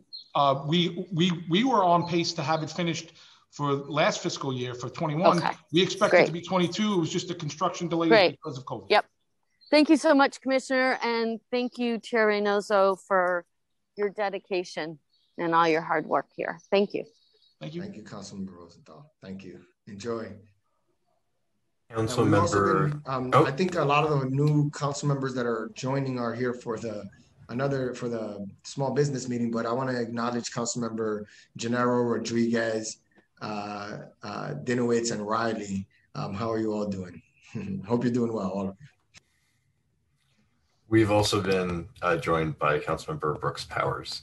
Um, now uh, we have Councilmember uh, Darma Diaz with her questions. Starting time. Good afternoon. I want to say thank you to Chair Reynoso to bring up, bringing up the conversation of the sweepers. It, it reminded me to one of my issues that I'm having in the district. And no matter how hard we work, Commish, you and I, you know, and staff on the grounds, I still see we're having some issues. And I want to know if it's systemic, if it's a systemic issue, or if it's just pops out to me in within my district utility companies leaving behind their barricades. I, have noticed in at least three of my locations, whether it's a gas company or Con Edison, there's work permit, permits from last year on the barricades that are there, and I don't see any activity, or the work seems to have been completed, but they're still there, and they're not allowing for a true sweep of, of the blocks or of, of the curbs. My, my question is, is it something that's, that you're seeing citywide? I, I want to reach out to the company, to the utility companies and say, hey, you know, come get your stuff off my streets. Uh, to that, uh, I totally understand what you mean. And to that end, it's not just exclusive to your district. Um, for places that had, and, and a lot of it, you know, we're expecting a lot better uh, compliance overall as we move forward. Two things I think are in play there was a lot of pause on some of the infrastructure work that was going on. So they kind of occupied a space and they had their own staffing challenges or whatever. And then, like you said, they may have left the, uh, the barrier areas up to be able to have an easy access so that it stays accessible for when they're going to come back and complete the job. Um, so to those ends, we have that. It's it's around. Um, I'm hoping that they, as they onboard either new work crews or also recover with all of us that some of those jobs can be completed and then those barriers will be taken away. We have how, however, when we know that it was left erroneously, meaning the job's been complete, but then the, potentially the cleanup crew didn't come back, we've made those contacts to try to remove the barriers. So what we can definitely do is work with you to look at all the areas and then try to get a follow up on what's the status of that job? Are you coming back? And can we do better to get access to the curbs? Because I think you're 100% right it is weird to have this secular area of a block face blocked off for potential work and then never seeing work done. And I de- it definitely doesn't help me sweep the street and it doesn't help residents park and it just gives the bad impression. So I, I, I appreciate you bringing that up and it's not just in your district and I would love to work with you further to do better on that. Thank you. So I'll, I'll be following up with some pictures. You know, I have pictures. So I'll send yes. them over with location. Thank you again. You got it. Thank you. I believe that our chairs have uh, additional questions they'd like to ask at this time. Chair Dromm? Actually, I'm going to go to Chair Reynoso. Thank you, Chair Dromm. Uh, just uh, alternate side of the street parking, uh, I know that uh, we're talking about it. Are we are we ever bringing it back? I think at this point the mayor uses it more to get good press than he does care about the data behind it. Um, like what what are what's happening with alternate side of the street parking in a like in a meaningful way. Um, I want to. I live in a in a two family home, and our streets are the the, the trees are the shed, um, and just the the the pickup is just one day is not enough. Uh, I just want to know where we are with alternate side of street parking. Thank you, Chair. And as it stands, so as as a as when when we entered into the reduced sweeping first when covid happened we suspended alternate side for weeks on end. And then when it was brought back it was brought back in the, the current iteration of one time per week the last posted day. Uh, and our headcount and our operational expectation leading into fy22 continues with the single day sweep throughout the city there are some areas of the city that have been okay and as we look at the broader you know, it, ASP and, and sweeping has always been a topic. It's a topic that uh, it's you have the mixed feelings about. Uh, most people they hate to move the, for the broom, but then when we can't sweep the street, it, you notice it right away. Very similar to what Councilman Brown was saying, how you don't notice it until it's not done. Yep, and right now, the accessibility concerns that we have are only heightened, meaning how many people move, the compliance issues that we have, how many people move with the broom. It really shows its true uh, impact now that we're down to one day per week. Uh, if you don't move, if you're a Friday sweep, you know, if your Friday's your scheduled yeah. day and the people on the block don't move, now we're not coming back for another seven days, uh, which is only seven more days of litter. And I think that we might have a bigger challenge as we see. You brought up the the canopy and and and the, the tree lined areas. As we move forward again, uh, you notice it even more once the canopy starts to fall in the fall, literally, and uh, we we see now additional leaves and litter that we can't get to because the curbs we are only coming one time a week. So at this point in this budget, um, while the original intent of having the reduction was COVID related, at this point it is part of an evaluation process as to where the city needs to be. Um, I'm the commissioner of sanitation. I love clean streets. I would sweep every street every day uh, just because I can always find her. Um, however, that is not realistic. Uh, I'm an expert. I can tell you any, where anything's dirty. But uh, we want to work with council. We want to work with the administration, and we want to figure out where we're going. But for right now, to your point, we are still expecting to run FY22 on this singular day per week, except in the metered areas where we're still running six days. And there are definitely parts of the city that I agree with you, sir, need more than that. Yeah. So I guess I'm gonna get back to the 509 million. There's no reason. And look, if we you guys want to use a scalpel instead of doing it, returning it back to where it was, then let's talk about that because just uh in my on my block, two cars didn't move on Thursday. And that means we got two weeks worth of trash that are gonna stay there. Um, and it just it's part of the dirtiness. Uh, and I just I just want to clean. So um, you know, and I'm not gonna call a personal call to the to the garage to help me out here. I want the city of New York to be clean. So this alternate side of the street parking should it should be data driven, not politically driven. And I feel like right now the mayor just likes to tell people that they don't need to move their cars, um, and and and that the joy of not having to move your car is more valuable than the clean streets. And I don't agree with that assessment. I'm like you, Commissioner Grayson. I see trash. I want it gone. Um, so uh, appreciate you you you, you like giving me the heads up on that. Um, and then just one last thing, the save as you throw uh, study. There's money now. I'm gonna keep telling you guys. There's money. The money is not an issue right now. I'm considering the half a billion dollars, which accounts for about 23, 22% of our entire budget for sanitation. Um, there should be, we should be doing all the studies and starting to work towards the laying down the groundwork for what needs to happen to get to zero waste. So I just want to know what's going on with the study. And my last question is going to be around marketing and, and outreach. You said we've expanded that. I want to know, I need more details as to like, what does that mean? Is it $2 million about organics? Like just, just what, what is, what is the outreach looking like? I, I appreciate the questions and I definitely appreciate the interest in, in save as you throw, pay as you throw and, and looking at feasibility. So internally, um, we have experts in our Bureau of Recycling Sustainability who have looked at this. I would love to actually, outside of this caucus, um, share that information with you, have a, have a real sit down as to what we know internally. Um, as it stands right now, we are not, um, the budget right this second does not have a funded study in it. Um, however, we would love to talk about all the expertise that we have had and then work together on what do you think we need to study? You know, realistically, knowing what our incumbent knowledge base is, and and really come up with a plan. So uh, we're open-minded to that, absolutely. And I definitely hear, uh, you know, between all of our conversations since I've taken this role, I understand where you are on the study, and you know, we are definitely committed. We we really do believe that that the outreach uh, needs, and I'm very happy that we're bringing on uh, Bureau Recycling Sustainability staff um, to go out and do outreach and be back out in the communities.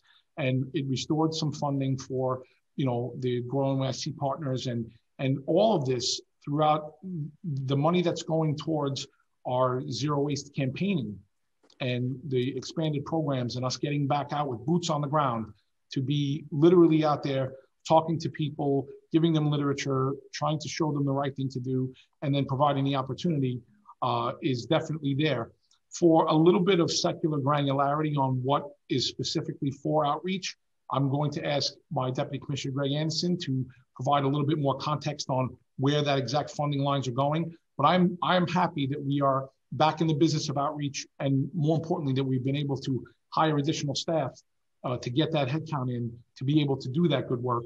Um, and naturally, messaging and, and partnerships with you and your support are going to be critical to get us even further along. So Greg Anderson, please weigh in with some uh, numbers for the councilman. Sure. Um, good afternoon, Chair. Um, so in, in fiscal year 22, we're currently budgeted for around 9.7 million in outreach and education uh, funds. That includes um, everything from our, our partners in the compost project that do outreach and the master composter class and, and those sorts of activities, as well as um, mailers and, and advertising and marketing related to organics and to our other uh, uh, programs that have a, a, sort of marketing and, and outreach component.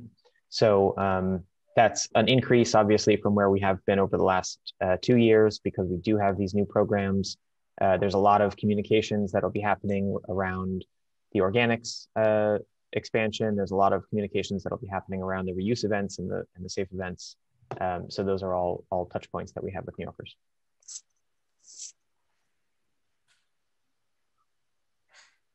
Thank you all, and I just uh, want to say really excited about the work with commercial waste zones. See that there's actual money, and we're going to expand our our people from one person to an actual uh, group of people that are going to be able to do this work in a meaningful way. So thank you for that, and I'm very proud. Uh, I think this is our last time we're going to meet related to executive budget hearing, and I just want to say that the time I had with uh, Commissioner Garcia, and now with you, Commissioner Grayson. Um, I, I, couldn't be prouder of an agency and the work that this agency does. Uh, when we talk about how city and government can work, the Department of Sanitation is always a central agency to show like efficiency and, and just uh, things things just happening um, because they're supposed to. So just want to thank you so much for all the great work that you guys have done in my time here in the executive budgets. Um, and uh, uh, I'm, I'm going to miss these meetings and hope that uh, the Department of Sanitation continues to be the greatest agency in the city of New York. So thank you. Thank you, Chair. Um, your leadership really and your partnership for the entire time, you know, in my 22 years with the department, uh, prior to becoming the acting commissioner, and now the commissioner, um, I was the ranking chief and, and right there with your partnership and implementation uh, with my predecessor and now you and the rest of the committee members, uh, just want to thank you for your leadership and partnership. Um, we have truly benefited, the, the people of the city have benefited from your commitment to zero waste and environmental justice. And uh, thank you so much for everything you've done. Thank you. And uh, Commissioner, before I let you go, I just want to ask you a couple of questions about Get Food.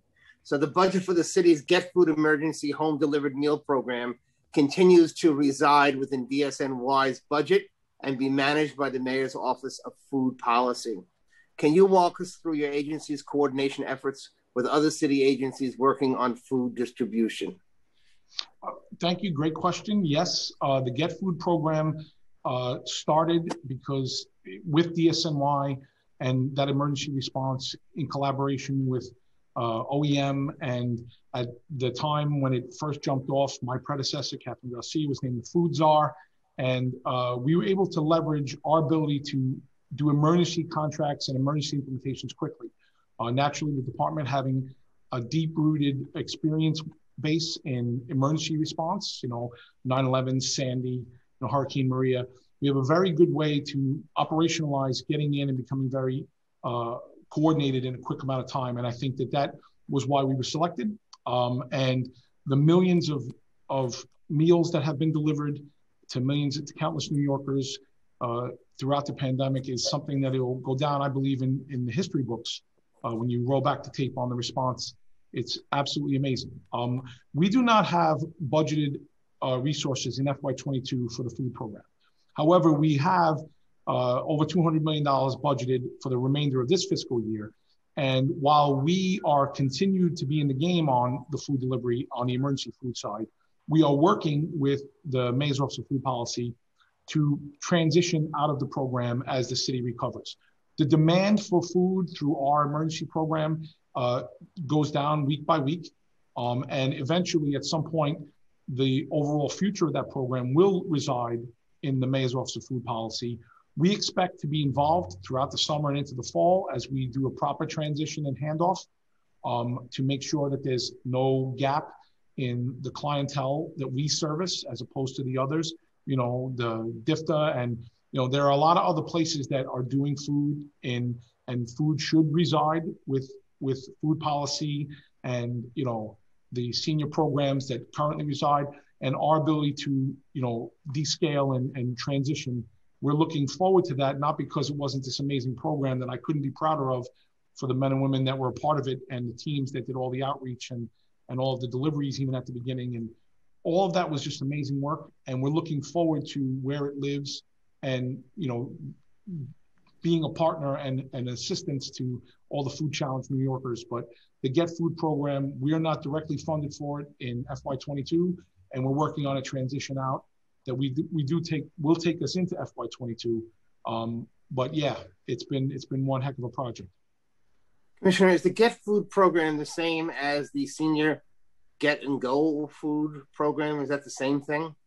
So it the our Get Food um, is started out in relationship to when other programs were, were shut down, we did grab and go meal support that was going on at some of the DOE locations and the various locations. So in the beginning, we were overarching with a lot of areas, but there are still the secular, you know, Meals on Wheels programs and other DFTA sponsored programs that are happening, you know, running parallel to the Get Food. Okay, and so Commissioner, we have some other questions about the breakdown of the budget and the food and stuff like that, but I'm going to leave that for a written response because we're over time here. Um, just one last question. So the, the meals that you're going to be providing, at least through the end of the uh, year, are they culturally um, sensitive meals for the needs of the folks that um, are still getting them? And, and also, I noticed you said that the demand for food is down. Perhaps the demand for food is down in some areas, but in my area, in Jackson Heights, Elmhurst, for example, it still continues to be a very high need in our communities. And I just don't want us to lose focus that certain communities are still really relying on this food. Uh, duly noted, sir. And, and we, we, we're not definitely not looking to run away from the project. We want a nice, smooth transition to make sure that all of those still in need are getting food. And as to the the the, the accessibility to uh, sensitivity on diet, we have a good uh, mix of halal and kosher and various other specified dietary needs. Uh, we've taken painstaking steps to try to make sure that they're meeting all the demands. And we've really done a lot of good work to try to offer all of the options that would need to be available to make sure that we're giving a very wide uh, opportunity to meet all the cultures. Okay, and just even down to the uh, the type of lima beans that folks get, or the type of uh, rice that folks want, you know, it comes down to that as well. So I'm sure you're aware of that, though. Yes, sir.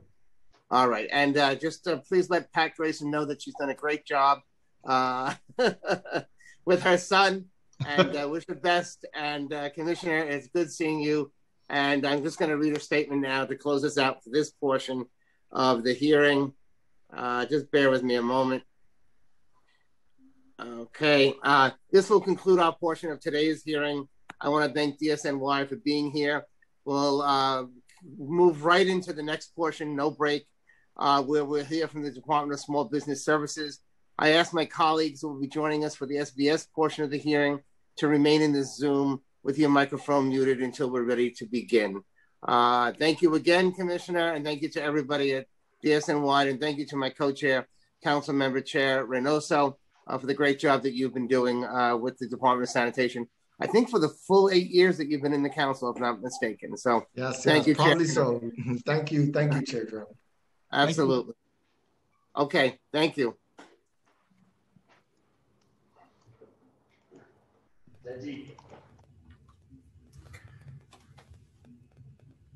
Looks like Chair Gjonaj is, is here and ready to go. Yes, and I believe Hey, Chair Dromm. We're also joined by SBS, so uh, Okay. we can start when you're ready. Okay, very good. Good afternoon and welcome to the City Council second day of hearings on the Mayor's uh, executive budget for fiscal 22. My name is Daniel Drummond. I chair the Finance Committee. Um, I think we did more than two days, but anyway, we are joined by the Committee on Small Business, chaired by my colleague, Councilmember Mark Gjonaj. Um, let me just see if I have a list of the council members who have joined us. Yes, uh, we have Council the Chair Gjonaj, Council members Rosenthal, Adams, Ampry-Samuel, Ayala, Brooke Powers, Darma Diaz, Koslowitz, Chin, Dinowitz, Koo, Menchaca, and Riley, who are here. And um, we are joined, okay. So we just heard from the Department of Sanitation, and we'll now hear from the Department of Small Business Services. In the interest of time, I will forego an opening statement, and I ask Chair Gjonaj to make his opening statement. Chair Gjonaj. Good afternoon, everyone, and welcome to today's remote budget hearing. I first want to begin by thanking my dear friend, Chair Dromm, for all of the work that he puts in during these budget hearings year in and year out. It truly is a pleasure watching you navigate and keep everything focused, Chair. Um, thank you for all that you do. Uh, the city is a much better city because of you and the work that you've committed to making the city a fairer city. My name is uh, Mark Gjonaj. I'm the chair of Council Committee on Small Business. Today, we'll be hearing from the Department of Small Business Service on their fiscal 2022 executive budget, which totals $317.6 million.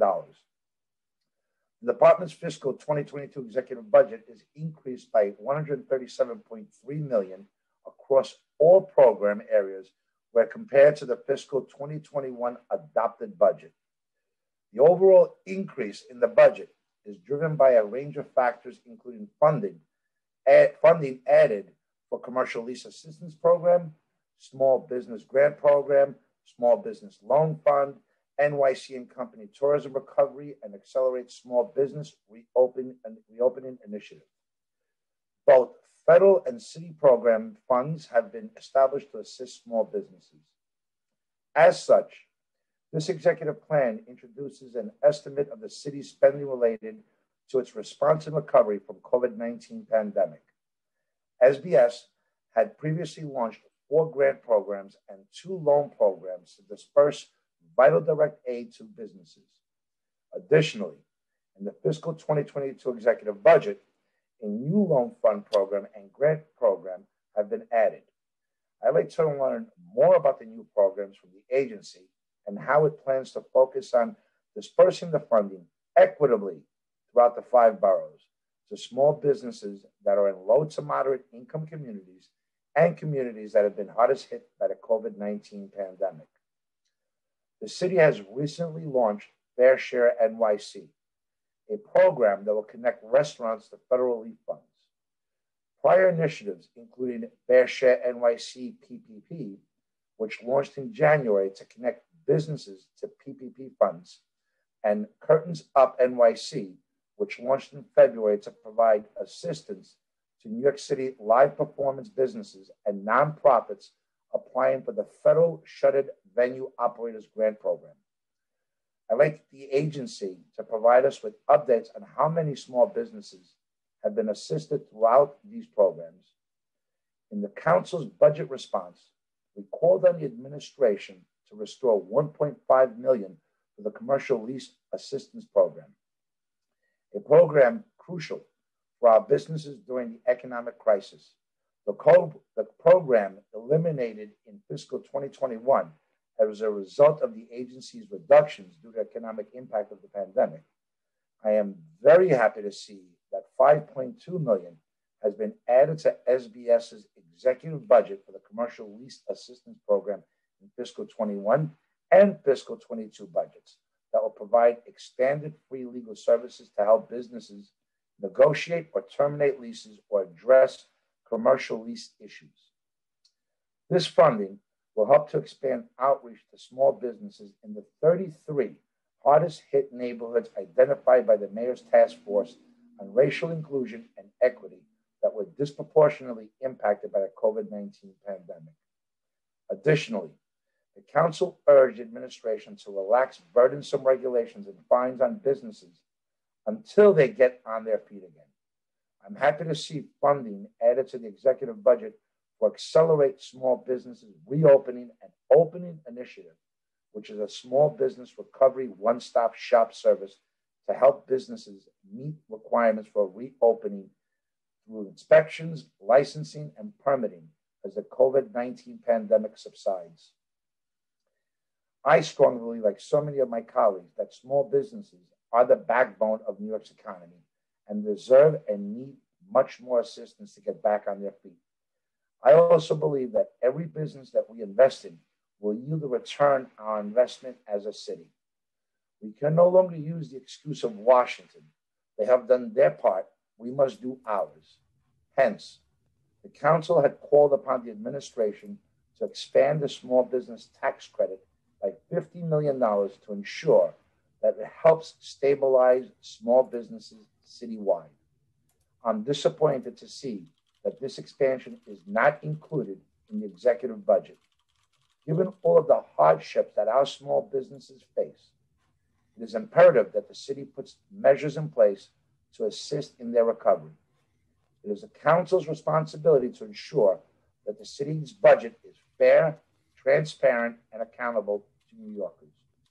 As the chair of Small Business Committee, I will continue to push for accountability, accuracy, and ensure that the budget reflects the needs and interests of the city.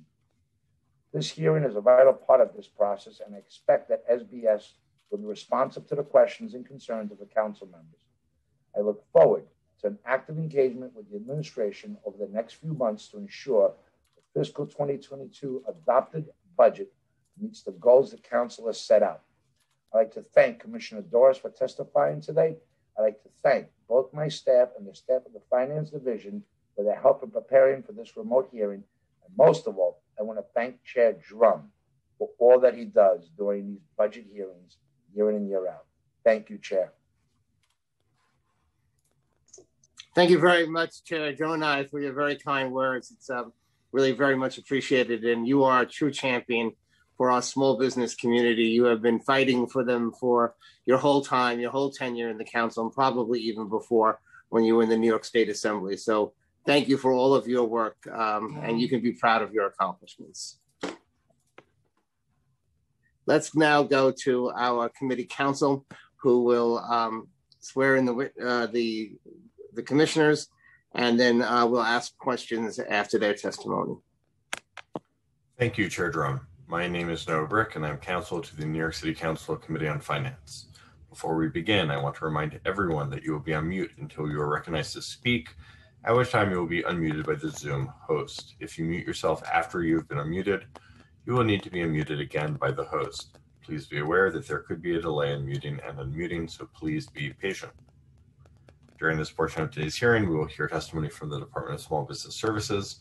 During the hearing, council members would like to ask questions, please use the Zoom raise hand function and you will be called on to speak. We will be limiting council member questions to five minutes, including responses. I will now administer the affirmation to the administration witnesses one time and then ask each witness to so affirm. Do you affirm that your testimony will be truthful to the best of your knowledge, information, and belief? Commissioner Doris? I do. Ms. Mallon? I do. Ms. Gross? I do. Mr. Schwartz? I do. Mr. Becker? I do. And Ms. Glover? I do. Thank you all. Commissioner Doris, you may begin when ready. Uh, thank you. Good afternoon, Chair Dromm and Chair Gjonaj and members of the committees on finance and small business. As mentioned, my name is Jonnel Doris. I'm the Commissioner of New York City Department of Small Business Services, and I'm joined here by First Deputy Commissioner Jackie Mallon and members of our senior leadership team. As SBS, uh, we aim to unlock economic potential and create economic security for all New Yorkers by connecting them to good jobs, creating stronger businesses, and building thriving neighborhoods across the five boroughs.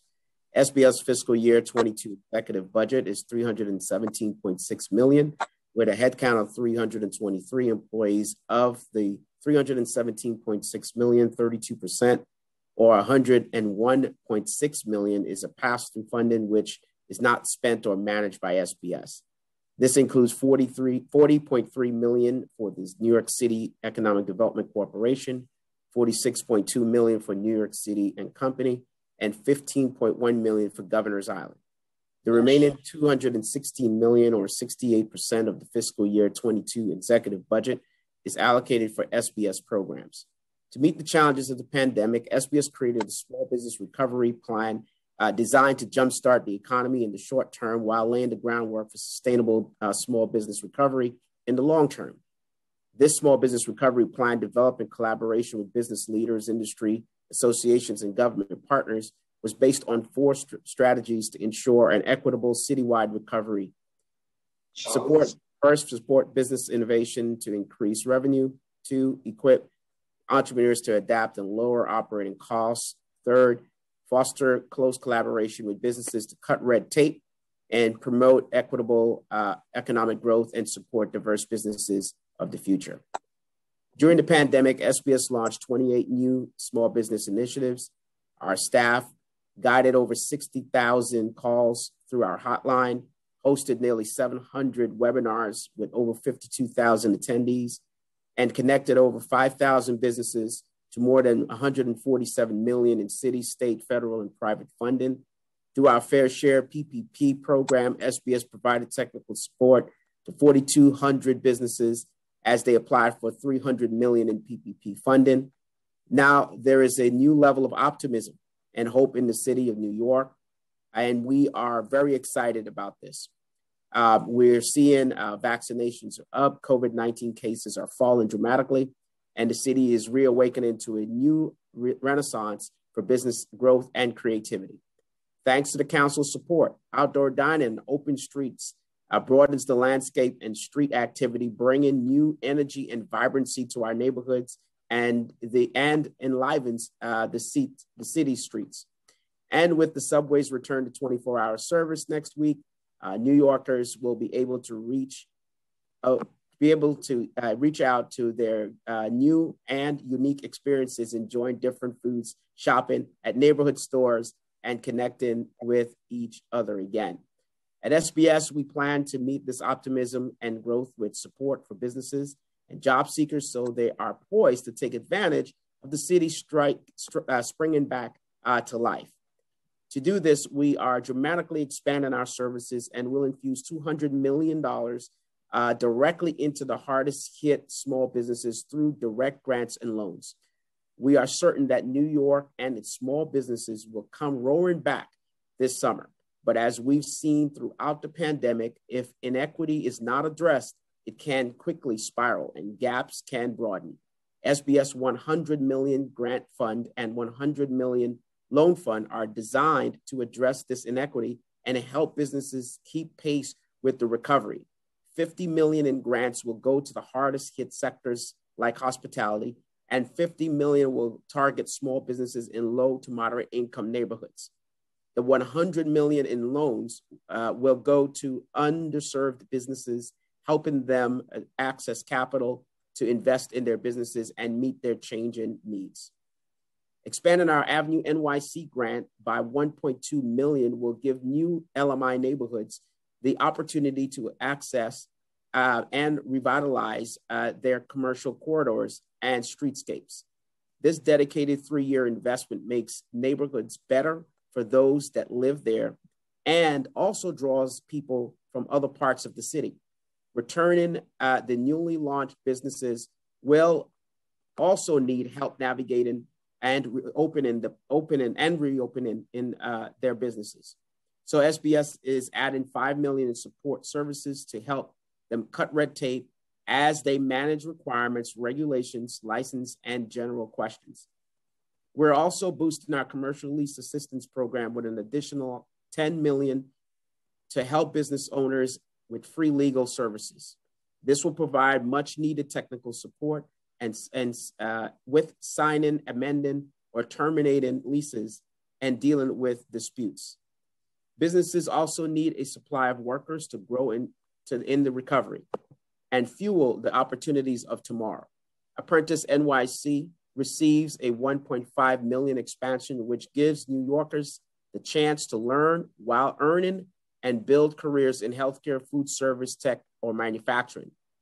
The Career Pathways program provides 2.5 million for training underserved and underrepresented populations in web development, data analysis, and nursing.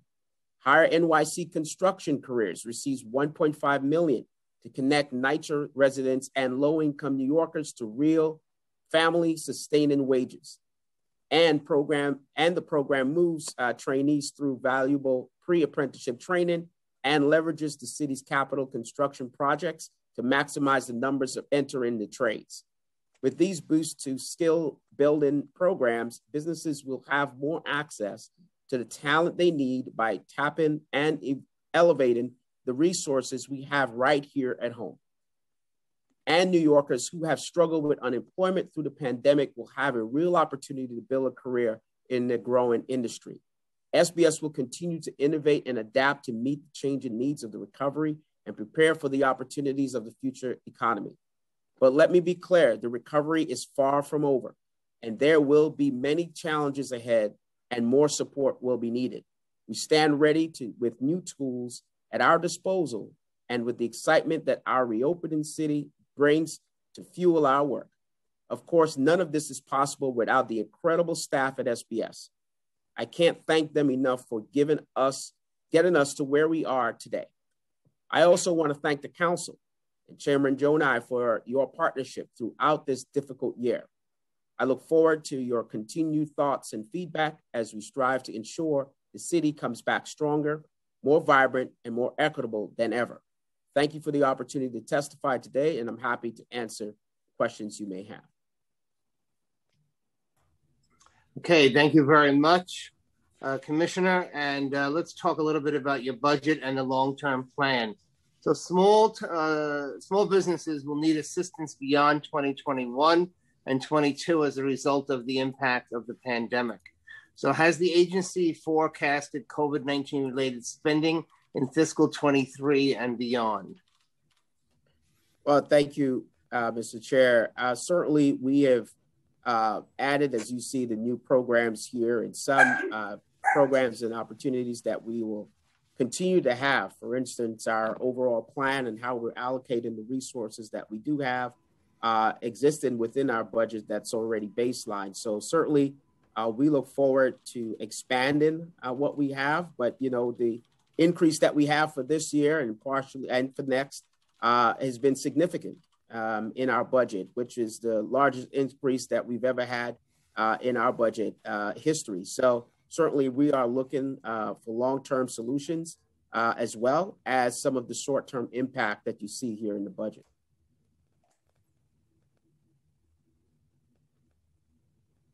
Yeah, Dromm, you're muted. Thank you. um, is it in the 23 and beyond budget or not? Uh, I believe we have some of our, our programs, as you know, are, are in the 23 and beyond. Uh, the loan and grant programs are in the 22 budget. Okay, Commissioner. Try- that's okay. I apologize. Yeah, I was just trying to make sure that um, uh, I get all that's in the 23, but we can, we, will have the team on, just take a quick look before we end. We can come back with a, with a. Okay, or we'll follow up with you on it. Yeah. So um, does the agency believe its expense budget is sufficient to support to support small businesses as well as provide the city's job seekers with a full array of employment services, particularly now when the need is so great? Well, thank you so much for that question. Yes, we do. Uh, again, we, you know, with an infusion uh, of, of resources, uh, both uh, for small businesses, uh, you know, we're, we have a $100 million for a grant program and $100 million uh, we're going to build a, a, loan program and several resources for small businesses and for workers. Uh, additional uh, six or so million uh, in supporting uh, our workforce program, which you know is the largest component of our budget, makes up about 27% of our budget. And so, yeah, we are uh, believe we have sufficient resources. We're also adding headcount, uh, I believe about 21 or so headcount to SBS. And so uh, we are ready uh, to take on uh, the needs that that we have right now. So, are you uh, concerned about the city's economy rebounding um, quickly enough so that small businesses will be able to satisfy the terms of their loans? And uh, if um, businesses might struggle to pay off the additional debt that they're taking on, you know, I, I, I think I heard a report yesterday that 20% of small businesses within the city um, closed due to um, the pandemic are no longer in business, and that those who remain are still struggling. So, you know, those debts and those loans are still going to come due. What are you What are you concerned about there? What are the concerns there? Yes, certainly. I, you know, uh, Mr. Chair, I, I believe that they are ongoing concerns, and in few things that we want to make sure um, that we do. Uh, one, um, you know, we've surveyed uh, the businesses who have uh, received our funding, um, and uh, the majority of them are open. Uh, the majority of them are, uh, you know, holding up to their obligations.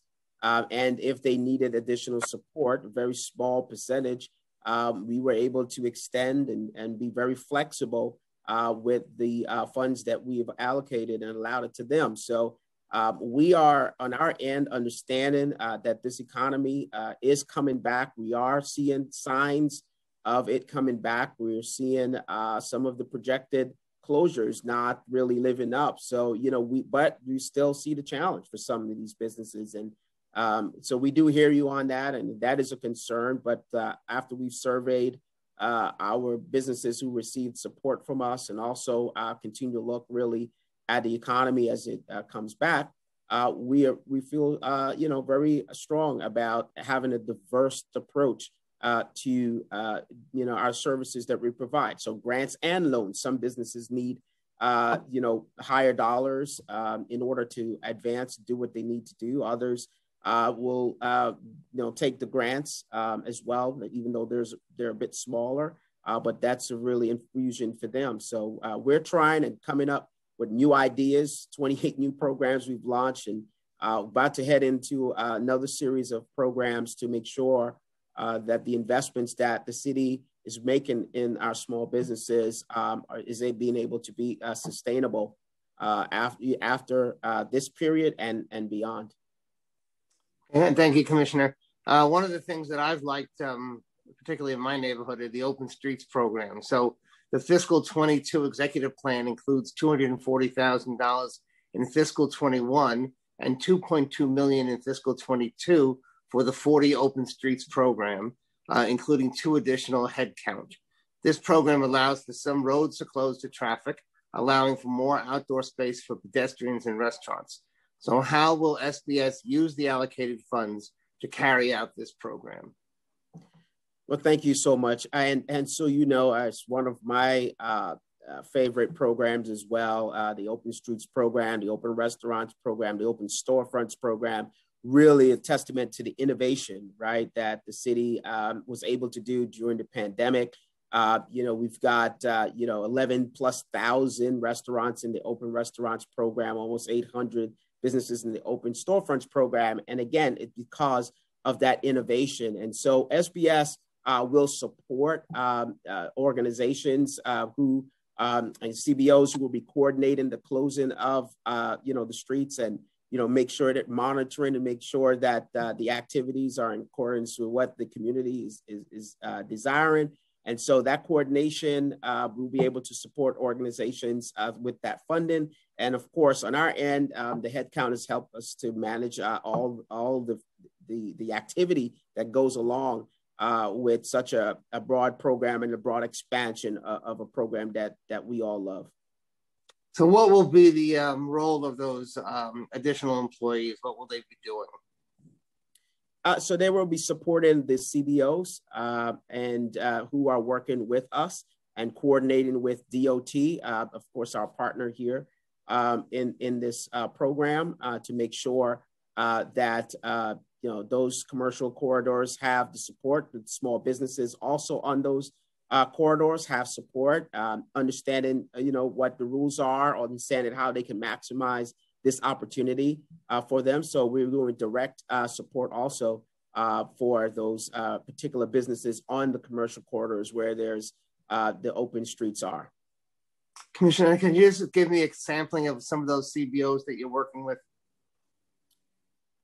Uh, sure. I, I uh, Blaise, uh, my uh, ex-deputy commissioner Backer, maybe he can give an idea of some of the CBOs we are working with. Sure, of course. Happy to. Hi, Chair Dromm.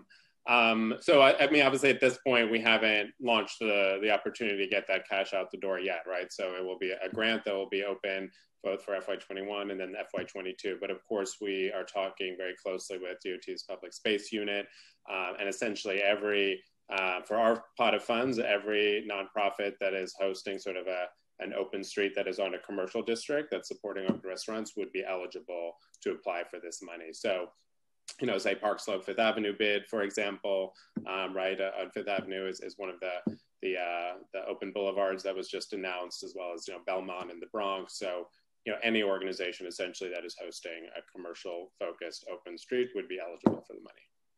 Okay, so a lot of bids. I, I hear you say. Um, bids and non bids as well. Yeah. Okay. Uh, will you share that information with us before you come to a final conclusion, or is is that is there a way for us to know also what you intend to do with that funding? Well, um, I, what I would say is that our goal is to get the money out as quickly as possible. Clearly, the FY21 money, these groups have already been hosting open streets in some cases as early as mid March. So we want to get the money out there and reimburse them as quickly as possible. Our goal is to model it after sort of our, our COVID 19 strategic impact grant. So we can essentially, as long if an organization is eligible to apply for the money by hosting open street via DOT's process, they could then apply for that money in a very simple application process and we would turn it around you know as quickly as humanly possible so we can get that money to them. So i don't i'm happy to share whatever the council would like. I don't think we the, the evaluation aspect of it will be highly simplified in order to get money out the door. I'm just concerned about what you mean about the um, the organizations that have been uh, working with DOT those, those organizations.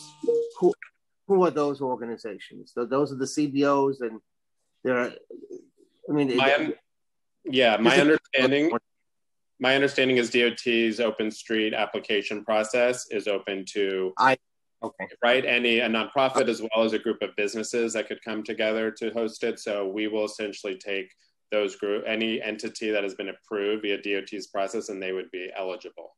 Okay, I got it. Thank you very much for for that information. Let me turn it over to Chair Gjonaj for questions. Thank you, Chair Dromm.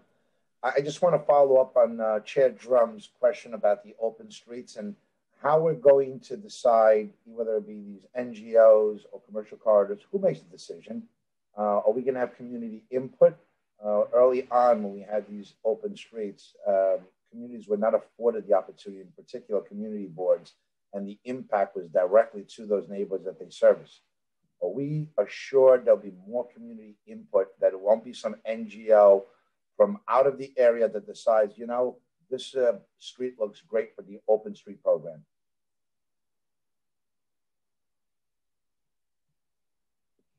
Commissioner? Or, oh, yeah. So I'm sorry. I thought uh, Commissioner Back, Deputy Commissioner Backer was going to respond. But I was muted. go ahead. You can go. I was just going to say, uh, Chair Joe, uh, Gjonaj, D- SBS is not does not have a role in deciding where open streets would be. So, right, that is DOT's role. So, DOT's application process does that what I was saying to Chair Dromm is that once those have been decided by DOT, we would make those that are on commercial districts eligible for this additional support. So they're not having to, to you know, use their existing funding for supporting open streets. But I, I, I, I we cannot, we're not involved as, um, in the process of selecting the open streets.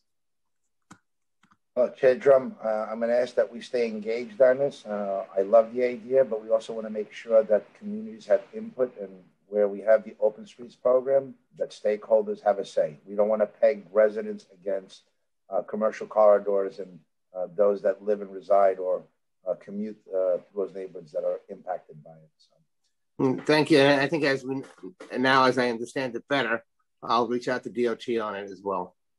Thank you, Chair. Uh, and like yourself, Chair, uh, and as the Commissioner has often spoken about, I am concerned about our rebound the 230,000 businesses in New York City that call New York City home. Uh, 20%, we've seen reports as high as 33, a third of these businesses will not survive uh, this pandemic. Um, our opening up these businesses is going to be the easier part. Making sure that they keep their doors open is going to be much more difficult. It's going to require more resources from us. And I can't think of a better platform or program uh, besides the grant program uh, to help stabilize our small businesses, Commissioner. Loans are great, but loans have to be repaid. And in this environment, those businesses taking on these loans, and most of these loans require personal guarantees, meaning that they're bringing in all of their assets, their private homes are on are, are at stake if those businesses fail. Commissioner, do we have any uh, plan, long-term plan to alleviate the personal guarantees on these loans that these businesses are taking today with the intention of reopening and weathering this storm, that they are not going to lose not only their livelihoods, but their homes and other assets. Well, thank you, uh, Mr. Chair, for that. And certainly you sort of mentioned and, and advocated, and we appreciate that av- advocacy pass and, and, on these programs. Um, you know, we uh, are in a process of uh, developing uh, this particular loan program um, with an investment from the city. And as you know, uh, a significant component, a majority of the component of these loan programs um, is uh, from the private sector. And so we will uh, certainly um, be championing that cause there and speaking directly to our private uh, partners about uh, some of those requirements uh, as much as we can. But as you as you can imagine, uh, we want to make sure that we leverage the city's dollars and stretch them as far as we possibly can. And so again, on on on our existing loan products, um, and we've surveyed our uh, recipients. We've heard from them. Um, they are being able to meet those obligations, and we certainly uh, want to make sure um, in the process that that continues. Uh, because we, like like you said, no one wants them to, uh, you know, to be a negative impact on them uh, for uh, receiving a particular loan from the city. That's why we do have a diversified approach uh, both loans and grants. Thank you, Commissioner. But these loans come with personal guarantees. They're risking their entire asset, including in many cases their homes, when they accept these loans. Why isn't the city doing more to perhaps take the responsibility of the personal guarantee of these loans on themselves? This should not be borne by those businesses. Our city has an obligation to making sure that we help these businesses survive. But ultimately, because of the change in the environment, whether it be consumer behavior changes, the internet, e-commerce, or other factors such as pandemic that forced them down, shut down, that we don't allow them to bury themselves further in a hole and then risk all of their assets. This is our responsibility. That's the minimum the city can do. Well, certainly, uh, Mr. Chair, you know, we we agree on on on making sure that small businesses uh, are surviving and that are coming back. It's uh, this infusion of cash into our budget. We're very excited about, and also gives us an opportunity uh, to uh, advocate for some of these uh, particular requirements, as you mentioned, uh, when it comes to guarantees or interest. As you know, um, most of our what we've put out has either been zero actually actually all of it has been zero interest uh, as well. So you know we are careful. We're thinking about that. That is on top of mind uh, as we design these programs uh, to make sure that uh, small businesses do have the opportunity to engage but there's not uh, a disparate impact on those businesses uh, going forward. So we certainly have taken all of this into consideration and and as we build these programs. Commissioner, thank you for that answer. They're taking on these loans uh, to survive. Uh, that loan has to be repaid. There's no guarantee that their businesses will bounce back, that they can afford to repay them. I'm afraid that we're spiraling in a downward uh, turn here, um, and we are further burying these very small businesses. But with that, I encourage you to continue to, to look at options to remove that personal guarantee, take on the liability. Uh, the city's the city should be taking on that liability so that we can ensure uh, that they survive and that they're not forced to lose their, their home as well as other assets in the process. Uh, and the best way we can do that is by continuing to market and educate New Yorkers. If you truly care and love the city of New York, shop local, support your mom and pop shops, stay off of Amazon. If you're going to purchase uh, supplies and uh, products, um, on the uh, internet, please do so through a local New York City store. That tax base is going to be important for our rebound as a city. Those jobs, the economy, the tax base that they are, need that helping hand. And we need to educate New Yorkers on that importance. And I hope that you can tell me more about what you will be doing uh, as an as SBS to educate New Yorkers on shopping locally? Absolutely. Uh, wow. You know, we have walked many corridors together and uh, knocked on many of our small businesses' doors, uh, Mr. Chair, and across the city. Uh, and I just want to say, you know, you know where our hearts is when it comes to uh, the prioritization of small businesses in the city. Uh, we've launched our Shop Your City campaign way back in November, encouraging folks even throughout the holiday season to shop locally We've done many variations of that uh, up to now, uh, and we will continue to do that. We invested in marketing campaign. We've pushed out uh, social media, um, you know, in in earned media, everything that we can possibly do uh, to let folks know that uh, we need them to shop at their local uh, stores, at their local um, restaurants, retail businesses, etc., and do stay out off of uh, you know, the big box stores and and and really support our community, and that's our small businesses. So I do agree with you 100%. We have already invested, I believe, of over a million dollars in this campaign. We have additional funding within this particular uh, uh, uh 22 budget, also for our Shop Your City campaign. So we are are geared up to continue to to invest and to let folks know and spread the word uh, that we ought to shop your city. Thank you, Commissioner. Uh, what measures is the agency taking to ensure there's an equitable distribution to small businesses in all five boroughs? We've seen early on that the grants and loans that were being uh, provided through the city, uh, either directly or through uh, federal state programs, did not make its way into every neighborhood equally. What are we going to do to ensure there's real checks and balances here moving forward? The money is already too limited. It doesn't go far enough. Uh, and that very, the, the low, the, the, minimal resources that we do have out there are not making it to those communities that need it most.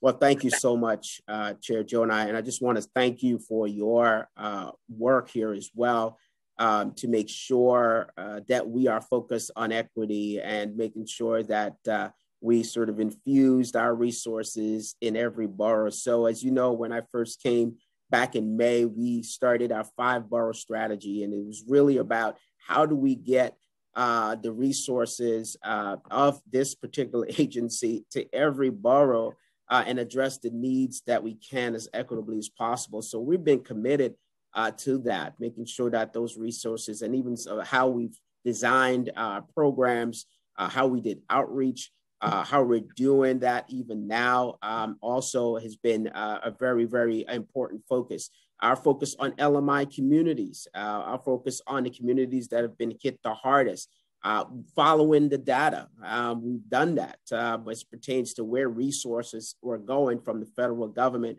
and making sure that our programs are responsive to where the gaps are. So that's why we launched our program specific around LMI communities, just as an example. 112,000 LMI businesses in the city. Only about 66,000 of them got some federal resources. So you're looking about 40, 45, 46,000 businesses who did not get anything. Um, so if you look at our programs now that we're about to launch and sort of the initial descriptions and understanding of what we're looking to do as we design them, they are focused on low to moderate income communities.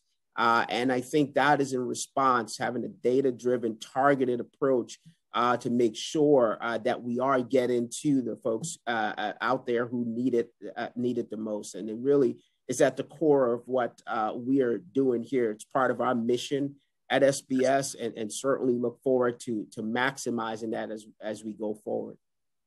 Thank you, Commissioner. I'm going to ask a few more questions and pass it back because many of my colleagues, I'm sure, have questions for you as well. But also when the city announces well-meaning programs to help small businesses, our businesses aren't even aware that the help exists or existed.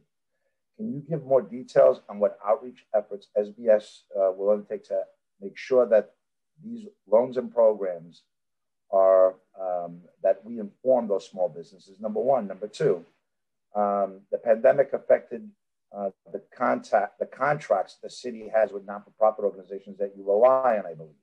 In particular, I believe in your opening statement, you mentioned Avenue NYC program. Here we are negotiating, hopefully we'll finalize this year's budget in the next month or so, those non-for-profits are still waiting for that funding from last year. So if you're going to say your educational components through your partnerships with uh, chambers and bids and other NGOs, they're still waiting for the funding from last budget. How are we going to expect them to take on this responsibility now when they haven't been paid for the work uh, or give, been given the resources to do the work last year? Thank you so much, Mr. Chair, for that. Um, on the outreach front, um, you know, we do partner with our non-profit, nonprofit uh, uh, partners, our bids, our chambers. Uh, we do uh, partners with our uh, NGOs and, and others um, in the uh, in the small business space, um, and we do partner with them to get the word out. Um, we have worked with over 100 organizations during the pandemic to make sure that they receive information and then carry out our resources. We also have our business solution centers in every uh, borough who also works uh, uh, along with those organizations and the community uh, to make sure uh, everyone is aware of our, our, resources. And of course, uh, you know, we've invested significant dollars in, in marketing so that, again, small businesses are aware of what we we are doing. And on certainly on, on the contracts, uh, look, I, I, think you you certainly are are hitting um, uh, a concern there, which I believe uh, is very very um, important. Um, you know, when we uh, first came, um, uh, you know, and uh, into the pandemic, uh, we had there was delays, as you can imagine, with some of the programs itself, and even getting the dollars uh, just allocated um, due to the fact of where the city was fiscally. So um, we have uh, since uh, spoke to and met with um, some of those uh, nonprofits you've talked, you're, you're mentioning here, talking about uh, who are having some difficulty uh, navigating the process. Um, our team, our neighborhood development team, work with those groups, particularly on our Avenue NYC program. Uh, we do uh, offer uh, some bridge loans as well. We offer uh, all types of resources to make sure that they're getting uh, the results that they need. But certainly uh, on these contracts, um, it is, you know, it's it's been difficult for some of our grantees, but we this is top of mind for us. We have already spoken internally. We've met with them. We, this came up, um, as you probably heard or know uh, on our, our weekly bid calls, uh, we do address these issues. Uh, and so um, this is top of mind. And uh, we want to make sure that if a if a, a NGO is, is struggling, a community-based organization is struggling, one of our partners struggling to to get the funding, uh, we're there to support them and make sure that their contracts are registered, make sure that they do get the funding. Um, and just to say, like you know, something that we did a bit differently uh, during the pandemic that I think you know we we sort of adjusted how we did our contract and um, did some contract innovations and where um, you know we in our SIG grants, our strategic impact grants, uh, COVID nineteen grants, um, we would pay the twenty thousand up front and not have to wait for the reimbursement uh, from some of those groups. So we've tried a few things to to make some adjustments, um, but we will continue to make sure that, and certainly if there uh, organizations who are uh, still having some difficulty. We're happy to, to work with them. Commissioner, there, this is widespread. This is in the pipeline. This is federal dollars that have been uh, issued that the city of New York has not gotten to the NGOs, uh, as you refer to them, to your own partners. Um, and I know of many of cases, and I know I'm sure you're aware of some as well, but this is across the board. You're, the city for I can't understand why has not streamlined that funding. It's 11 months later. We're finalizing this budget negotiation, and those NGOs have not received the funding promised last year through no fault of their own. They're being told to run through, you know, run in circles. It's all in a pipeline somewhere that no one understands. And I believe one of the quotes was, It's in some black box. We just can't find the box. That was an answer an NGO is given. Wow. Well, sir, I would love uh, that is not an appropriate answer. Um, so if that was given from our team, then I'd love to know what the uh, and who that NGO is, so we can help them. That community-based organization, so we can help them. Look, I've we've met again with our partners uh, across the city on this. Um, as I mentioned, um, just recently with our bids, uh, all 76 of them on a call. We did discuss the process. Uh, we are putting some new uh, procedures in place so that we can uh, further uh, tackle this up front. But look, it's an on, it is a challenge uh, for some of our, our, our community-based organizations who are helping us as well. So look, we, we're, we're working, uh, sure there's more that we can do there. Uh, but certainly, um, again, we've done some procurement innovations, some different contracting innovations uh, to speed up the process. They haven't um, sped up the process, Commissioner. I apologize. They've slowed it down. Uh, the system was bad before. We made it a lot worse, and this across the board. Um, I'm gonna because I have I see that there's others that have questions uh, uh, for you, Commissioner. Can you give us an outline of the loans and grant programs the dollar amounts that have been allocated, and how much has already gone through the system into the hands of our small businesses. And you, you mentioned a number of programs. Help us understand the dollar amounts and how much of those dollars have actually been distributed.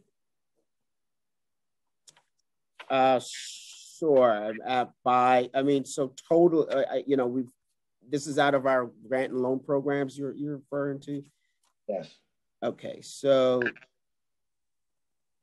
I just want to make sure I got the number here. So, you know, we've we've supported a total of about $63 million has been out the door to small businesses um, in those programs. Those um, how much? Uh, about I believe it's about to date. What I have here is about 63 million. $63 million in total has gone out the door for 230,000 businesses.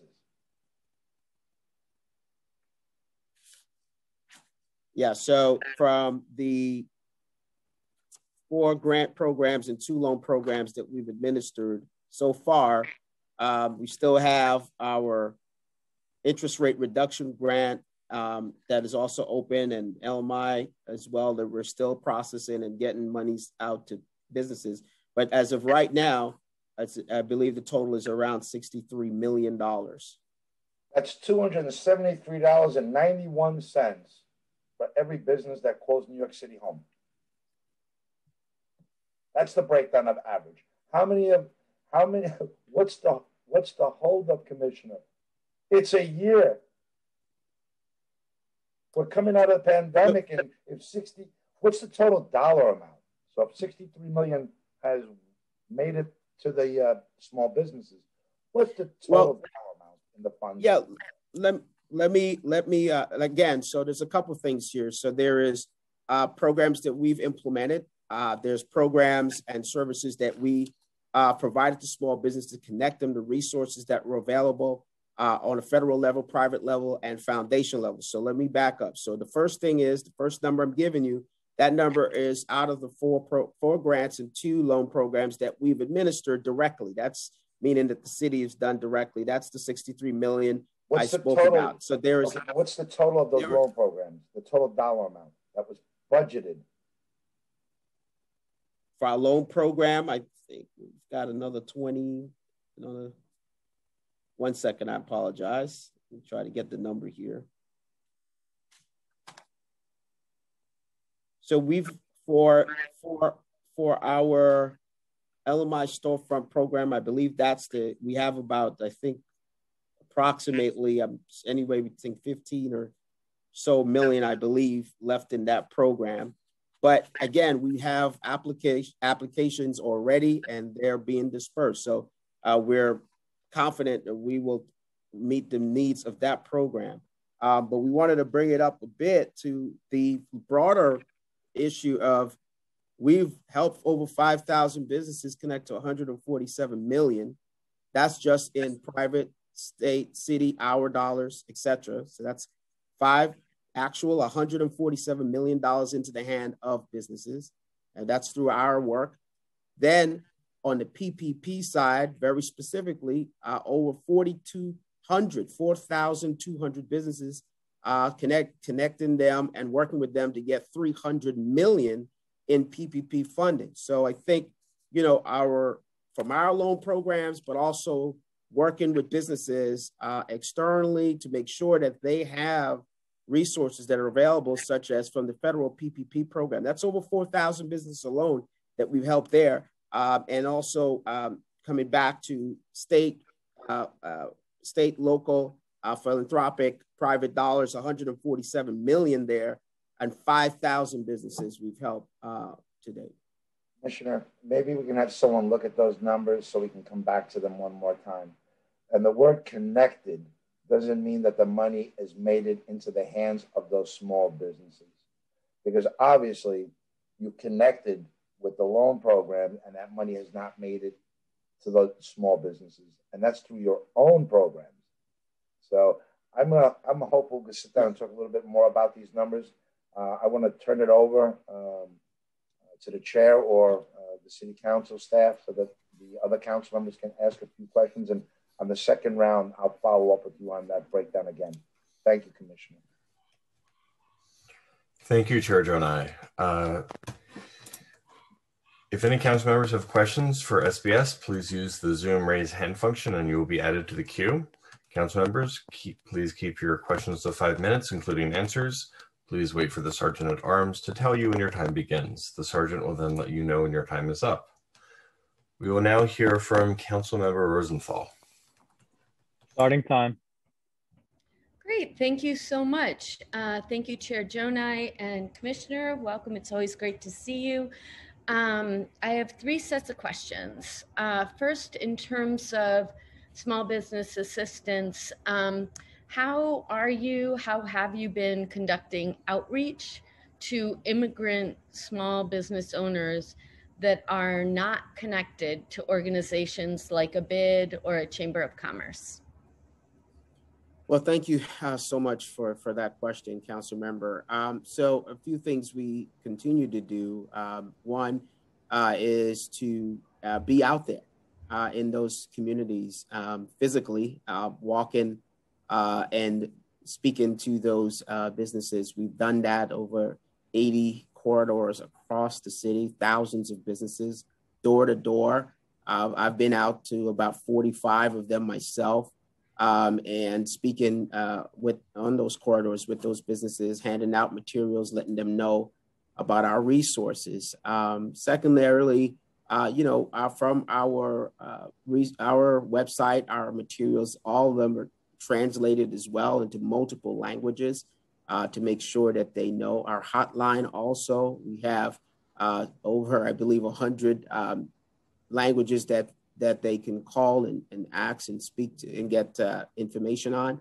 Um, and then our outreach team, um, our, you know, uh, again, uh, 94, I believe the numbers actually, uh, the corridors that we've walked in and several uh, this week. Um, going back out again, uh, you know, this week and next uh, to make I, sure that we can keep that work I up. So. Five minutes, and I'm sorry to interrupt, but just sure. I don't have a sense of scale. When you say 96 quarters, or I've visited 24 stores, what do you think the universe is of stores that where the owner is an immigrant owner, can't speak English, and is not part of a bid or you know, a chamber of commerce. I just want to get a sense of scale. Do you think you've hit 10% of those stores, 20, 80 percent? Well, I, I, we, I can't put a number on it. I, I would say that, you know, over about 50% or so of our uh, small business owners in the city are, are immigrant born, uh, but, you know, obviously and some speak English. stores do you think your SBS has hit? Well, we target LMI communities which overlap with communities that uh, do speak different languages and also our immigrant communities. So that's that is where we've been. Yeah. Yeah. So you did, uh, just to be clear for the record, you haven't answered my question. I hear you target them. I hear you've gone out. I, I was asking, and maybe you can give it another time, a sense of proportionality, right? So how, what percentage of those immigrant communities have has S been SBAS been able to reach? Well, so, I been okay. Should we We'll- move on, we'll- or do you have an answer? Only because I'm on a clock. Well, I believe I answered your question. I mean, we've targeted those communities um, that you and- say you do a lot, and I appreciate that. I'm just going to move on. I don't want to Sure. sort of wrangle over verbiage, but I wish you knew the answer. I guess I'll just leave it there. Um, what is the uh, next? I'd like to ask about commercial lease assistance. Um, do you have a sense what is the demographic and regional breakdown of the businesses who have been assisted through the CLA? Sure. Uh, the majority of the folks we've assisted in that program have been the minority or women-owned businesses. Um, we will, if you give me a second, we can get additional, uh, all the demographics for you. Um, we can pull it up. Uh, just need a minute to. Is to it on that for you. webs- a public website for me to look at, or do you want to send the spreadsheet over? You can just, Absolutely, we can do. We can get you that in- information. Absolutely. okay, is it public information? Uh, we've publicized this in press releases um, and um, and the like. You can Yes, send it over today. absolutely. Before the Where are the referrals coming from um, for people to get assistance? well, through our our vendor um, has a robust uh, operation where they do partner with uh, community groups to do outreach and get referrals. Uh, the referrals come through our hotline. Referrals come from elected officials. Referrals come from community partners. Time Um, expired. it's a it's a multiple source. Chair, I'm about halfway done. May I continue?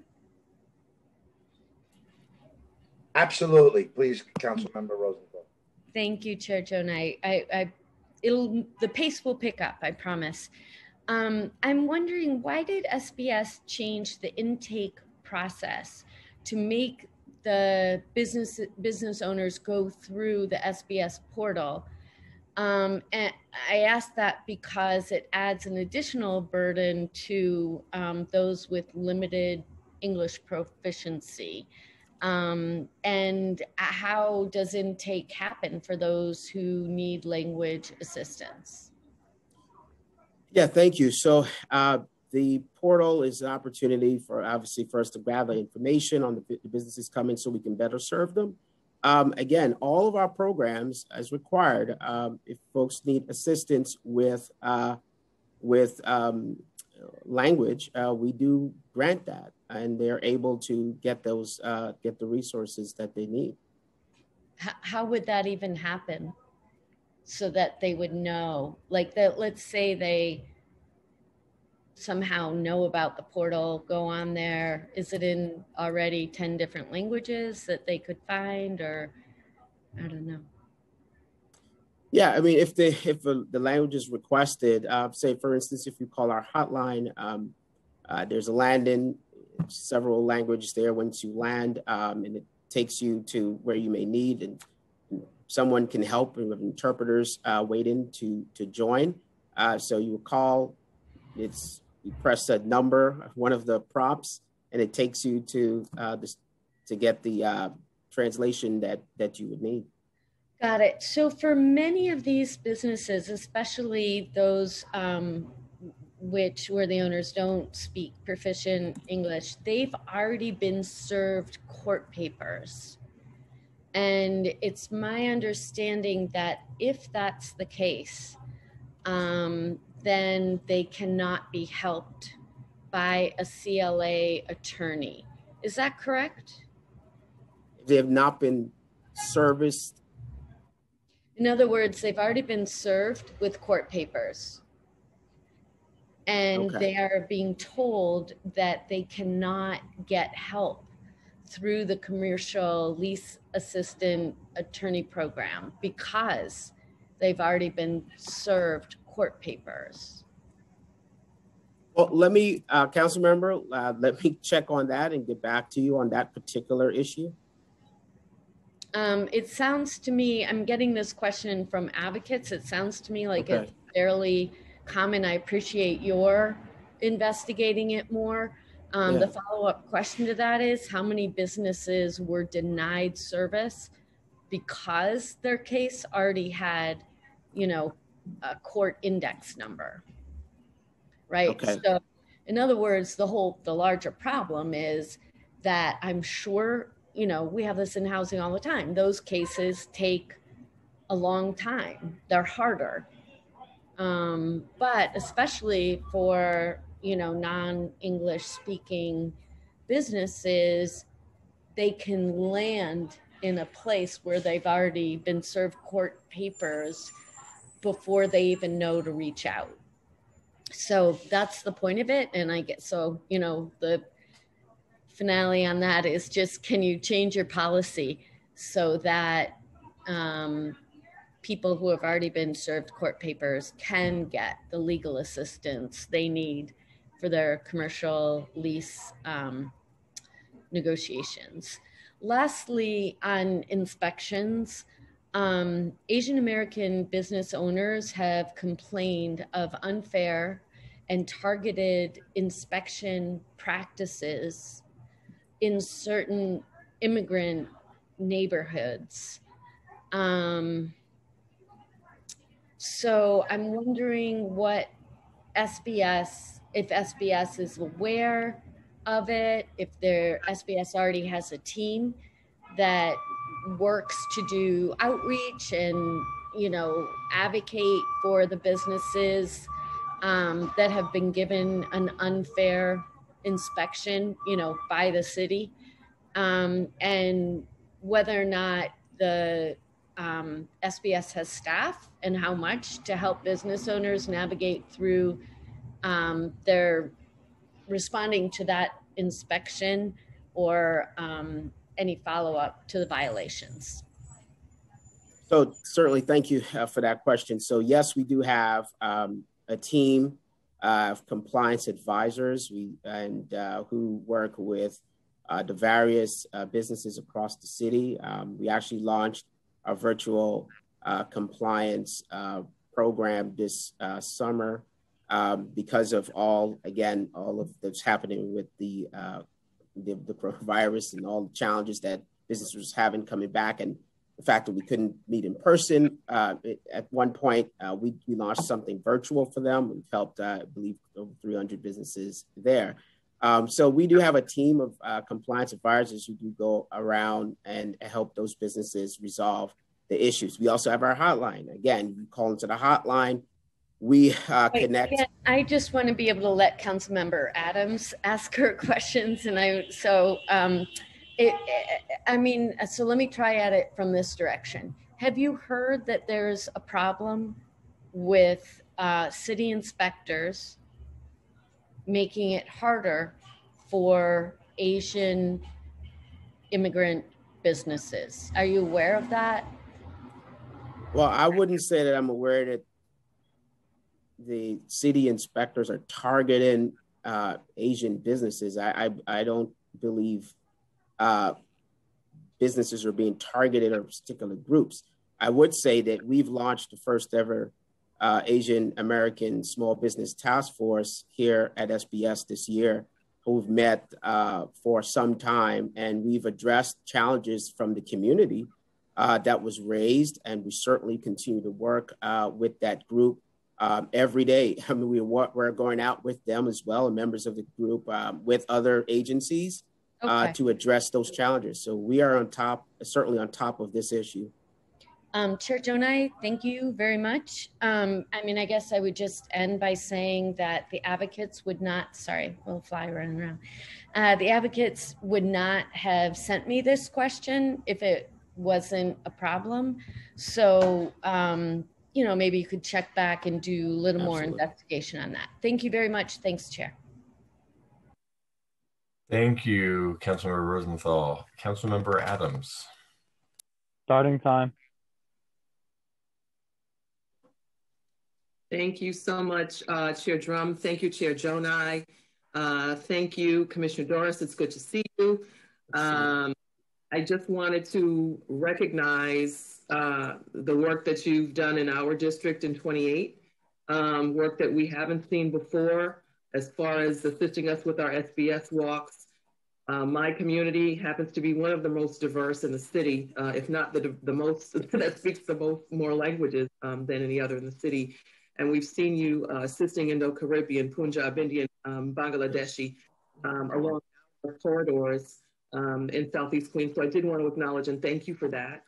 Um, to uh, Councilmember Rosenthal's point, uh, I am concerned, and you, uh, before you got to where you are as commissioner, you were uh, the king of MWBE uh, for us. And my concern is still, and I know yours as well, with the MWBE community, uh, how they will rebound after the pandemic. Some of the work that SBS uh, is doing for them to make sure that they remain alive and afloat.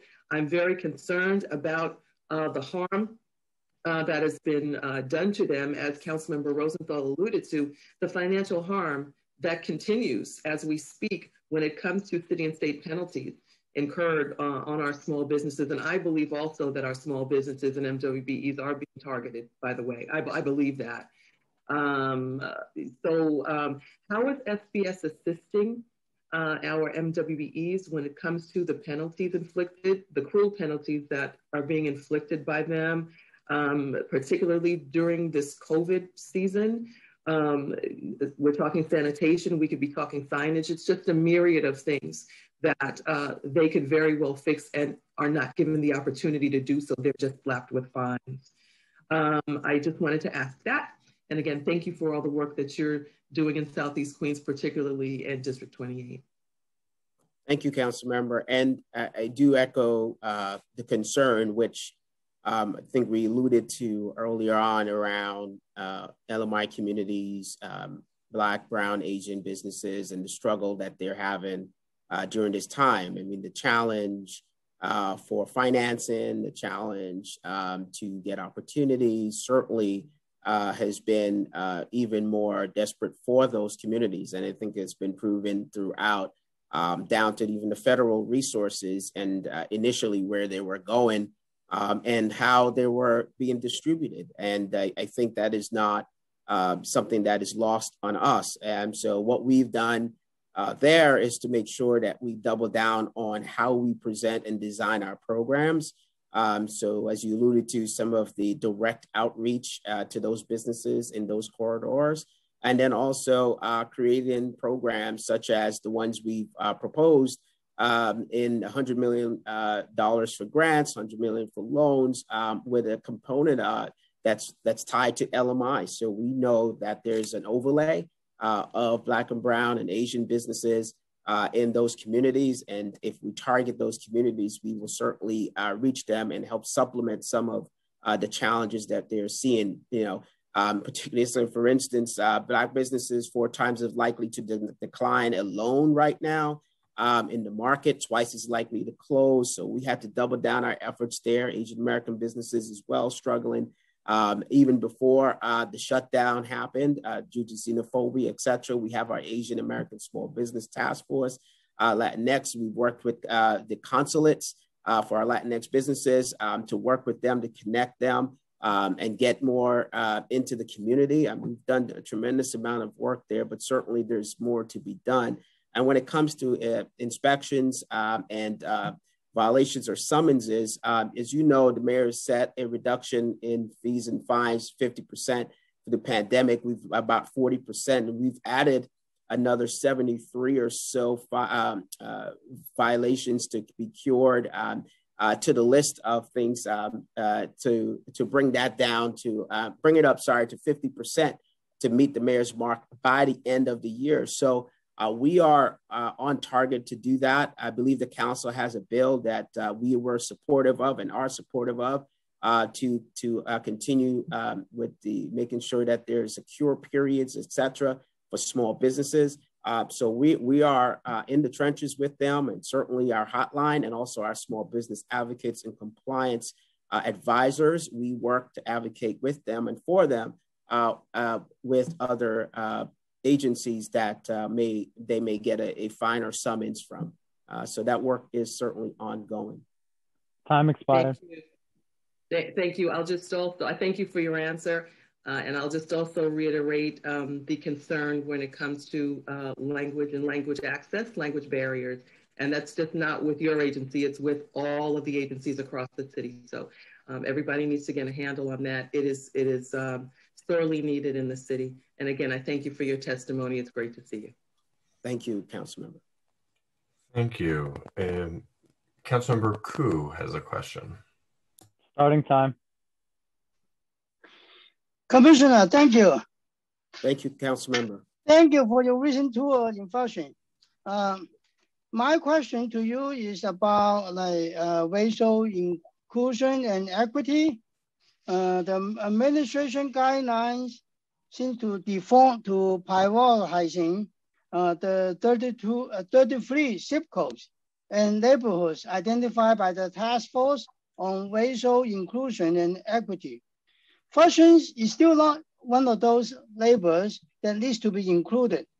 Uh, while you can say all, all those programs, um, I know that none of the funding is coming to my neighborhood uh, because we are not prioritized. Um, so my first question is, our businesses were uniquely impacted due to racism and fear. A high majority of our local businesses are mom and pop stores who are struggling to keep their doors open. They are immigrant and NWB owned. And if you break down our demographics, 11355 and 11354 um, are working class neighborhoods. Uh, in addition, for the past 10 weeks, uh, uh, uh our COVID rates are the highest or second highest you know, for the continuously for the last 10 weeks. So when will our community be included on the list of impacted zip codes? Well, uh, thank you for that question. Uh, council members, you know, uh, we, uh, I think I, I, I uh, mentioned when I was out there again uh, that Bloody Flushing is one of the communities I've been out uh, the most uh, during this pandemic uh, because of, as the situation as you stipulated there, um, we have had significant number of grants and loans in that, and we visited some of those businesses um, as well. Um, but certainly, uh, you know, we will certainly take that back. I mean, we don't set the uh, the neighborhoods, but but uh, certainly you've seen the emphasis we've put on on Flushing. Our, our partners at the Flushing Bid is also doing a fantastic and amazing job. Uh, we've worked with those businesses um, and uh, really a, a, significant portion of SBS resources have uh, been deployed to, to that area. Um, I started even Small Business Saturday out there, first stop. Uh, many times also going speaking back again to businesses who received our LMI storefront uh, program um, as well. And so really across, uh, you know, uh, Chinatown uh, neighborhoods across the city, both in Flushing, Sunset Park, Homecrest, Bensonhurst, uh, Chinatown, Manhattan, Forest Hills, etc. Um, you know, we've uh, given out about 763 loans uh, and grants and awards, over $10 million, I believe, to those areas um, and counting. And so, um, you know, just wanted to make sure, um, you know, we uh, we continue to do work there. I think we also expanded the Flushing bid uh, as you know, um, and uh, really doubled their assessment as well. So we're committed to that community uh, and we'll continue to do more. Yeah, but I want you to include Flushing uh, as uh, in one of the zip codes, you know, because there are 33 areas uh, the city prioritized, but you didn't tar- you didn't target Flushing at all. And and another thing is, I was told that at the fashion South, which I have never heard before, is, is included. However, the, uh, the zip code for Fashion South is actually Jamaica. So can you fix that on the city's website? There, there's no such thing as Fashion South. It's Jamaica. And they, they include that as fashion. You know. So I, I want you to prioritize, make sure like 11355, 11354 uh, are in your areas. No. Um. Well, sir, also, I'm sorry. Yeah. No, come out. I was just going to say I will take it back to, to the folks yeah. who will be seeing that. Also, this is the first time I heard you have an Asian business task force. Uh, can you share some information on it? Oh yeah, that's the task force that Michael Fong uh, runs for us. So, so, that's the same one we're talking about. Yeah. So you you they've been out there with you as well, and me. You know, uh, that's the task force I'm speaking of.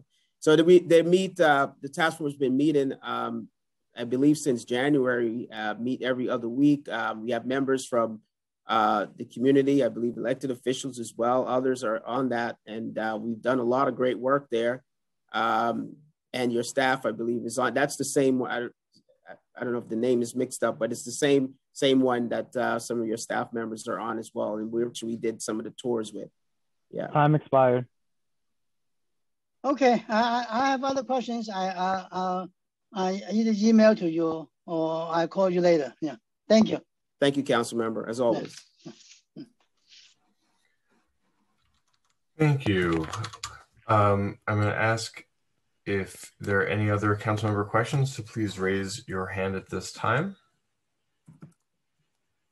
I see no further hands, uh, Chairs Dromm and Gjonaj.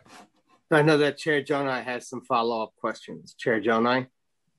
Thank you, Chair Dromm. Um, rather than take up uh, the questions regarding the dollar amounts that were allocated, how much more, Commissioner, perhaps I can follow up with you at a later date um, as we go through those numbers together and evaluate. I just see we can't get out of our own way. I, I receive phone calls, and just like you do, day in and day out from small businesses saying, please help me. Where can I get a loan or a grant? And when I hear there's money still stuck in the pipeline, that it's not making it out to those small businesses, it really uh, gets to me because I feel their pain. And I know that they really need the help more now than ever before.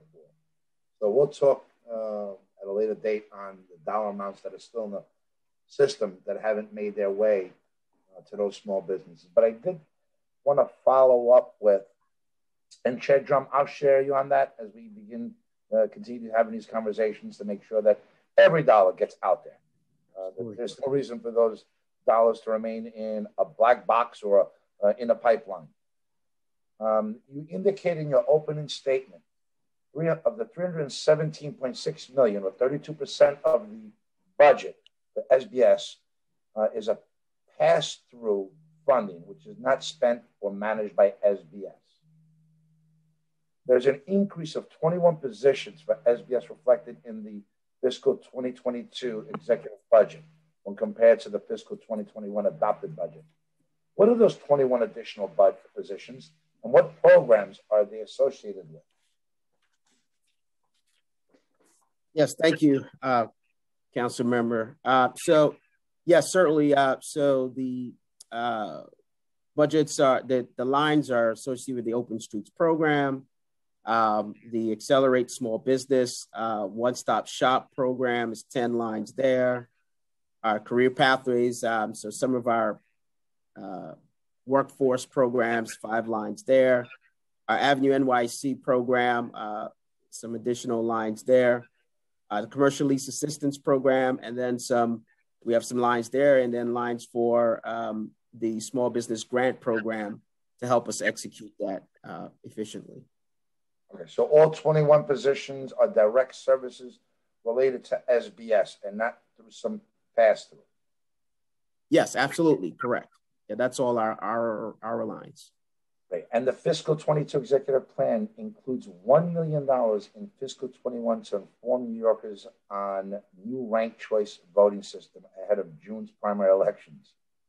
Why is this, while this is very important, uh, an initiative that we need to educate New Yorkers on uh, ranked choice voting, um, I'm not sure how this relates to SBS primary responsibilities of helping small business. Can you clarify how SBS is a pass through for voting media campaign.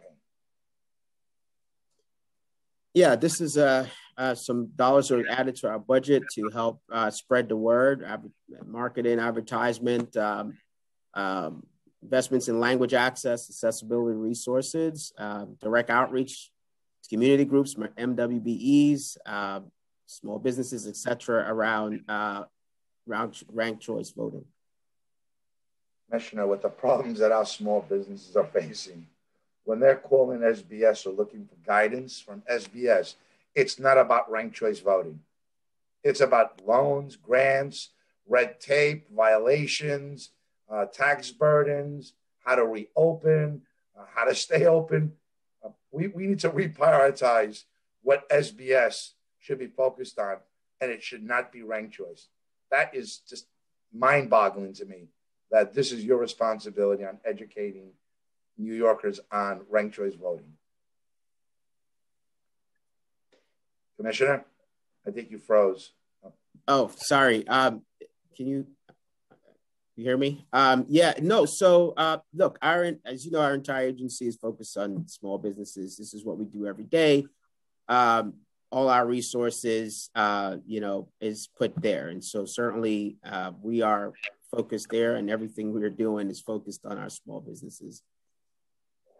But yet, one million dollars rank choice, the limited resources. I don't.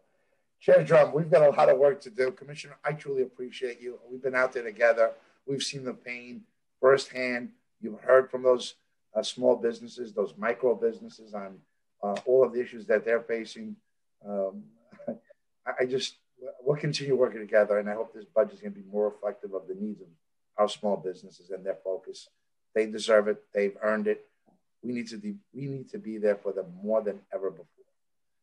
I am Absolutely. fearful of the city's future. I don't know what this new world is going to look like, but I do know this much. Our small businesses were in trouble before the pandemic. During the pandemic, uh, through no fault of their own, they were shuttered closed. They had to reinvent themselves. We know that 20 to 30% of our businesses will not reopen. The only reason some of these businesses currently are open is because they're not paying rent and the eviction moratorium. When that rent is due, when those loans are due and the business is not there, our commercial corridors will be changed forever. We need to invest in those businesses today. We need to educate New Yorkers on shopping local, not ranked choice. That's not your expertise. Chair Dromm, I pass it back to you. And we need to make sure that every dollar that we have in this limited loans and grants makes it to those small businesses sooner than later, not holding on to it for or finding ways not to get it to them. Um, thank you. Uh, Chair Dromm, Councilmember Powers Brooks has her hand up. I don't know if she's currently available. Let's give her a second to see if she can come back to her computer. Oh, here she is. Sorry about that. Um, and good afternoon, everyone, and good afternoon, Commissioner. Um, just wanting to echo the sentiments of my colleague, um, Councilmember Adams. I first would like to say thank you so much for the time and attention you have paid to the Southeast Queens community. Um, and in fact, you've toured the 31st Council District several times over the course of the pandemic, and it is much appreciated. And I'm looking forward to continuing to build on those conversations um, I just wanted to um, emphasize and underscore the need for, especially um, communities that have been hit hardest from the COVID 19 pandemic, to ensure that we um, are paying a special attention in terms of the recovery um, to them. And so I'm interested in understanding what um, grants can be made available um, to the uh, businesses that are located in, um, for example, communities that have been most impacted by the COVID 19 pandemic. We know at the beginning the PPP 66% went into Manhattan, and I know you've been intentional in trying to correct that. Um, but as we go into fiscal year 22, I'm especially interested in understanding what the course of action is to prioritize those communities? And Council Member, thank you for, for that question. Certainly, it's uh, with uh, a pleasure to to be out there um, in the trenches and walking those corridors with you and and Council Member Adams and Councilmember Council Member Gjonaj and all, all the council members that I had a chance to do that with throughout the pandemic. Um, look, we we understand the need there, and again, as I mentioned, um, in the with the hundred million dollars in grants Um, we are prioritizing small businesses, micro businesses. We are also um, targeting LMI communities, um, low to moderate income communities, uh, communities also uh, that were hardest hit uh, with the loan program. We're going to be reaching out to uh, businesses that uh, we know, as I mentioned before, 44,000 46,000 uh, LMI businesses not receive any federal funding and support. all those, those sort of layered um, and, and geographically, if I may, uh, in, in some of the, your districts and, and, and, and some other council members' districts. So we want to make sure that we prioritize that. Uh, certainly want to make sure that they get those resources. Uh, and that's why we're designing these programs the way, the way we are.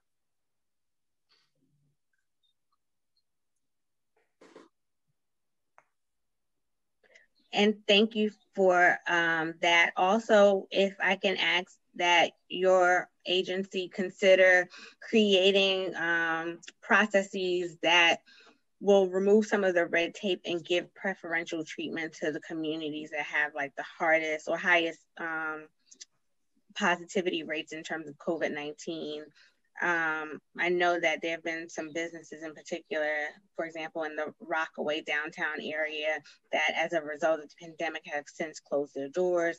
Some are struggling to keep them open, but if there could be like a specific effort around that, um, that would be much appreciated. Thank you, Council Member. And you know, look, we've uh, we have um, through our hotline, through our our, our um, uh, our uh, outreach. Uh, we've heard from uh, businesses. You know, I've walked that corridor many times uh, during this pandemic as well, uh, and and I've seen uh, absolute struggle that those small businesses are having, and spoke to them directly right there um, in the community. And you know, look, I think we are have additional funding in our budget for our one-stop shop cut red tape initiative uh, that we are going to be building on as, as, as we get the resources in. And certainly we, we will make sure um, that we do target uh, those communities to make sure to let them know uh, that there are these massive changes coming, that the resources are going to be there.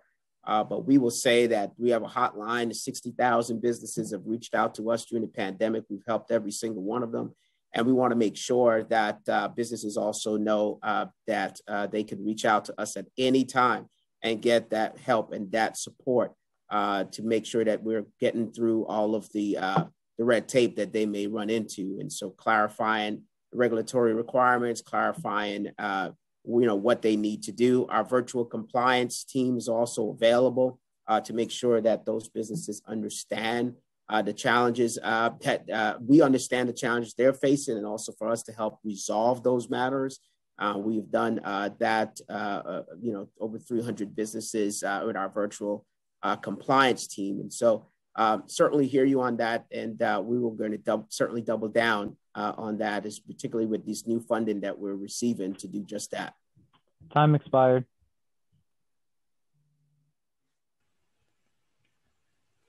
Okay, thank you. Is that if the Councilwoman Brooks Powers? Yes, thank you so much, Chair, and thank you so much, Commissioner. Thank you.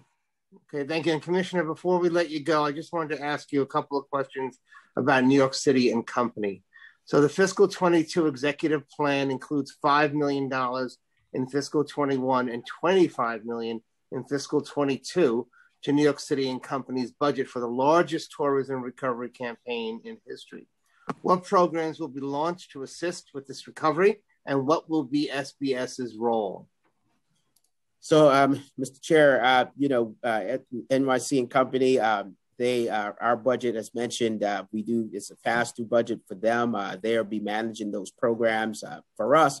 We've worked with them on several programs such as Restaurant Week and and also um, you know specific marketing to different communities, our neighborhood getaways, etc. We are partnering cons- con- consistently with them uh, but when it comes to management and how it's sort of uh, formulated and the programs themselves, uh, they they will manage that. But look, I'm excited uh, that we have an unprecedented amount of dollars going to uh, telling the world that New York City is back and uh, was a recovery for all of us. So we're excited for our small business because this means a lot to them. got over 280,000 workers that are impacted by tourism. And as you know, as the workforce uh, agency of the city, we're excited for that. And so the more, uh, you know, we spend and promote and uh, let folks know New York City is back, I think it's going to be great for small businesses and be great for our workers uh, in that particular industry. Good. And I hope that you'll work with me or at least agree with me that uh, it should be a five borough response in terms of the bringing back of tourism to all different communities, not just centered in Manhattan. Absolutely. I'm a Queen. I'm a Queens, uh, you know, resident. I, I grew up in Brooklyn, sir. Uh, we are very excited about the outer boroughs, and uh, we want to make sure uh, that that recovery is a five borough strategy. That's that's we have embedded into our work here. So thank you so much for that, Chairman. I agree with you 100. percent Thank you. You know, I see these uh, before COVID. Uh, the tour buses used to come out to Jackson Heights, and uh, people get off the bus from foreign countries, and they would say, "This is what diversity looks like." Yeah. so we have a lot to teach them in the outer boroughs as well. So glad to hear you're a Queens guy too. Yeah, Dromm, can I just add to that? Because sure. I'm going to remind the commissioner that in the borough of the Bronx, we have the New York Yankees, the Botanical Gardens, the Bronx Zoo. Zoo, that's right. It should be on that radar. No, absolutely. We, we, got the Mets though, uh, Chair Joe and I. Nobody's perfect. It's okay. I understand, but they're not the Yankees. Commissioner, Commissioner, did you want to say something?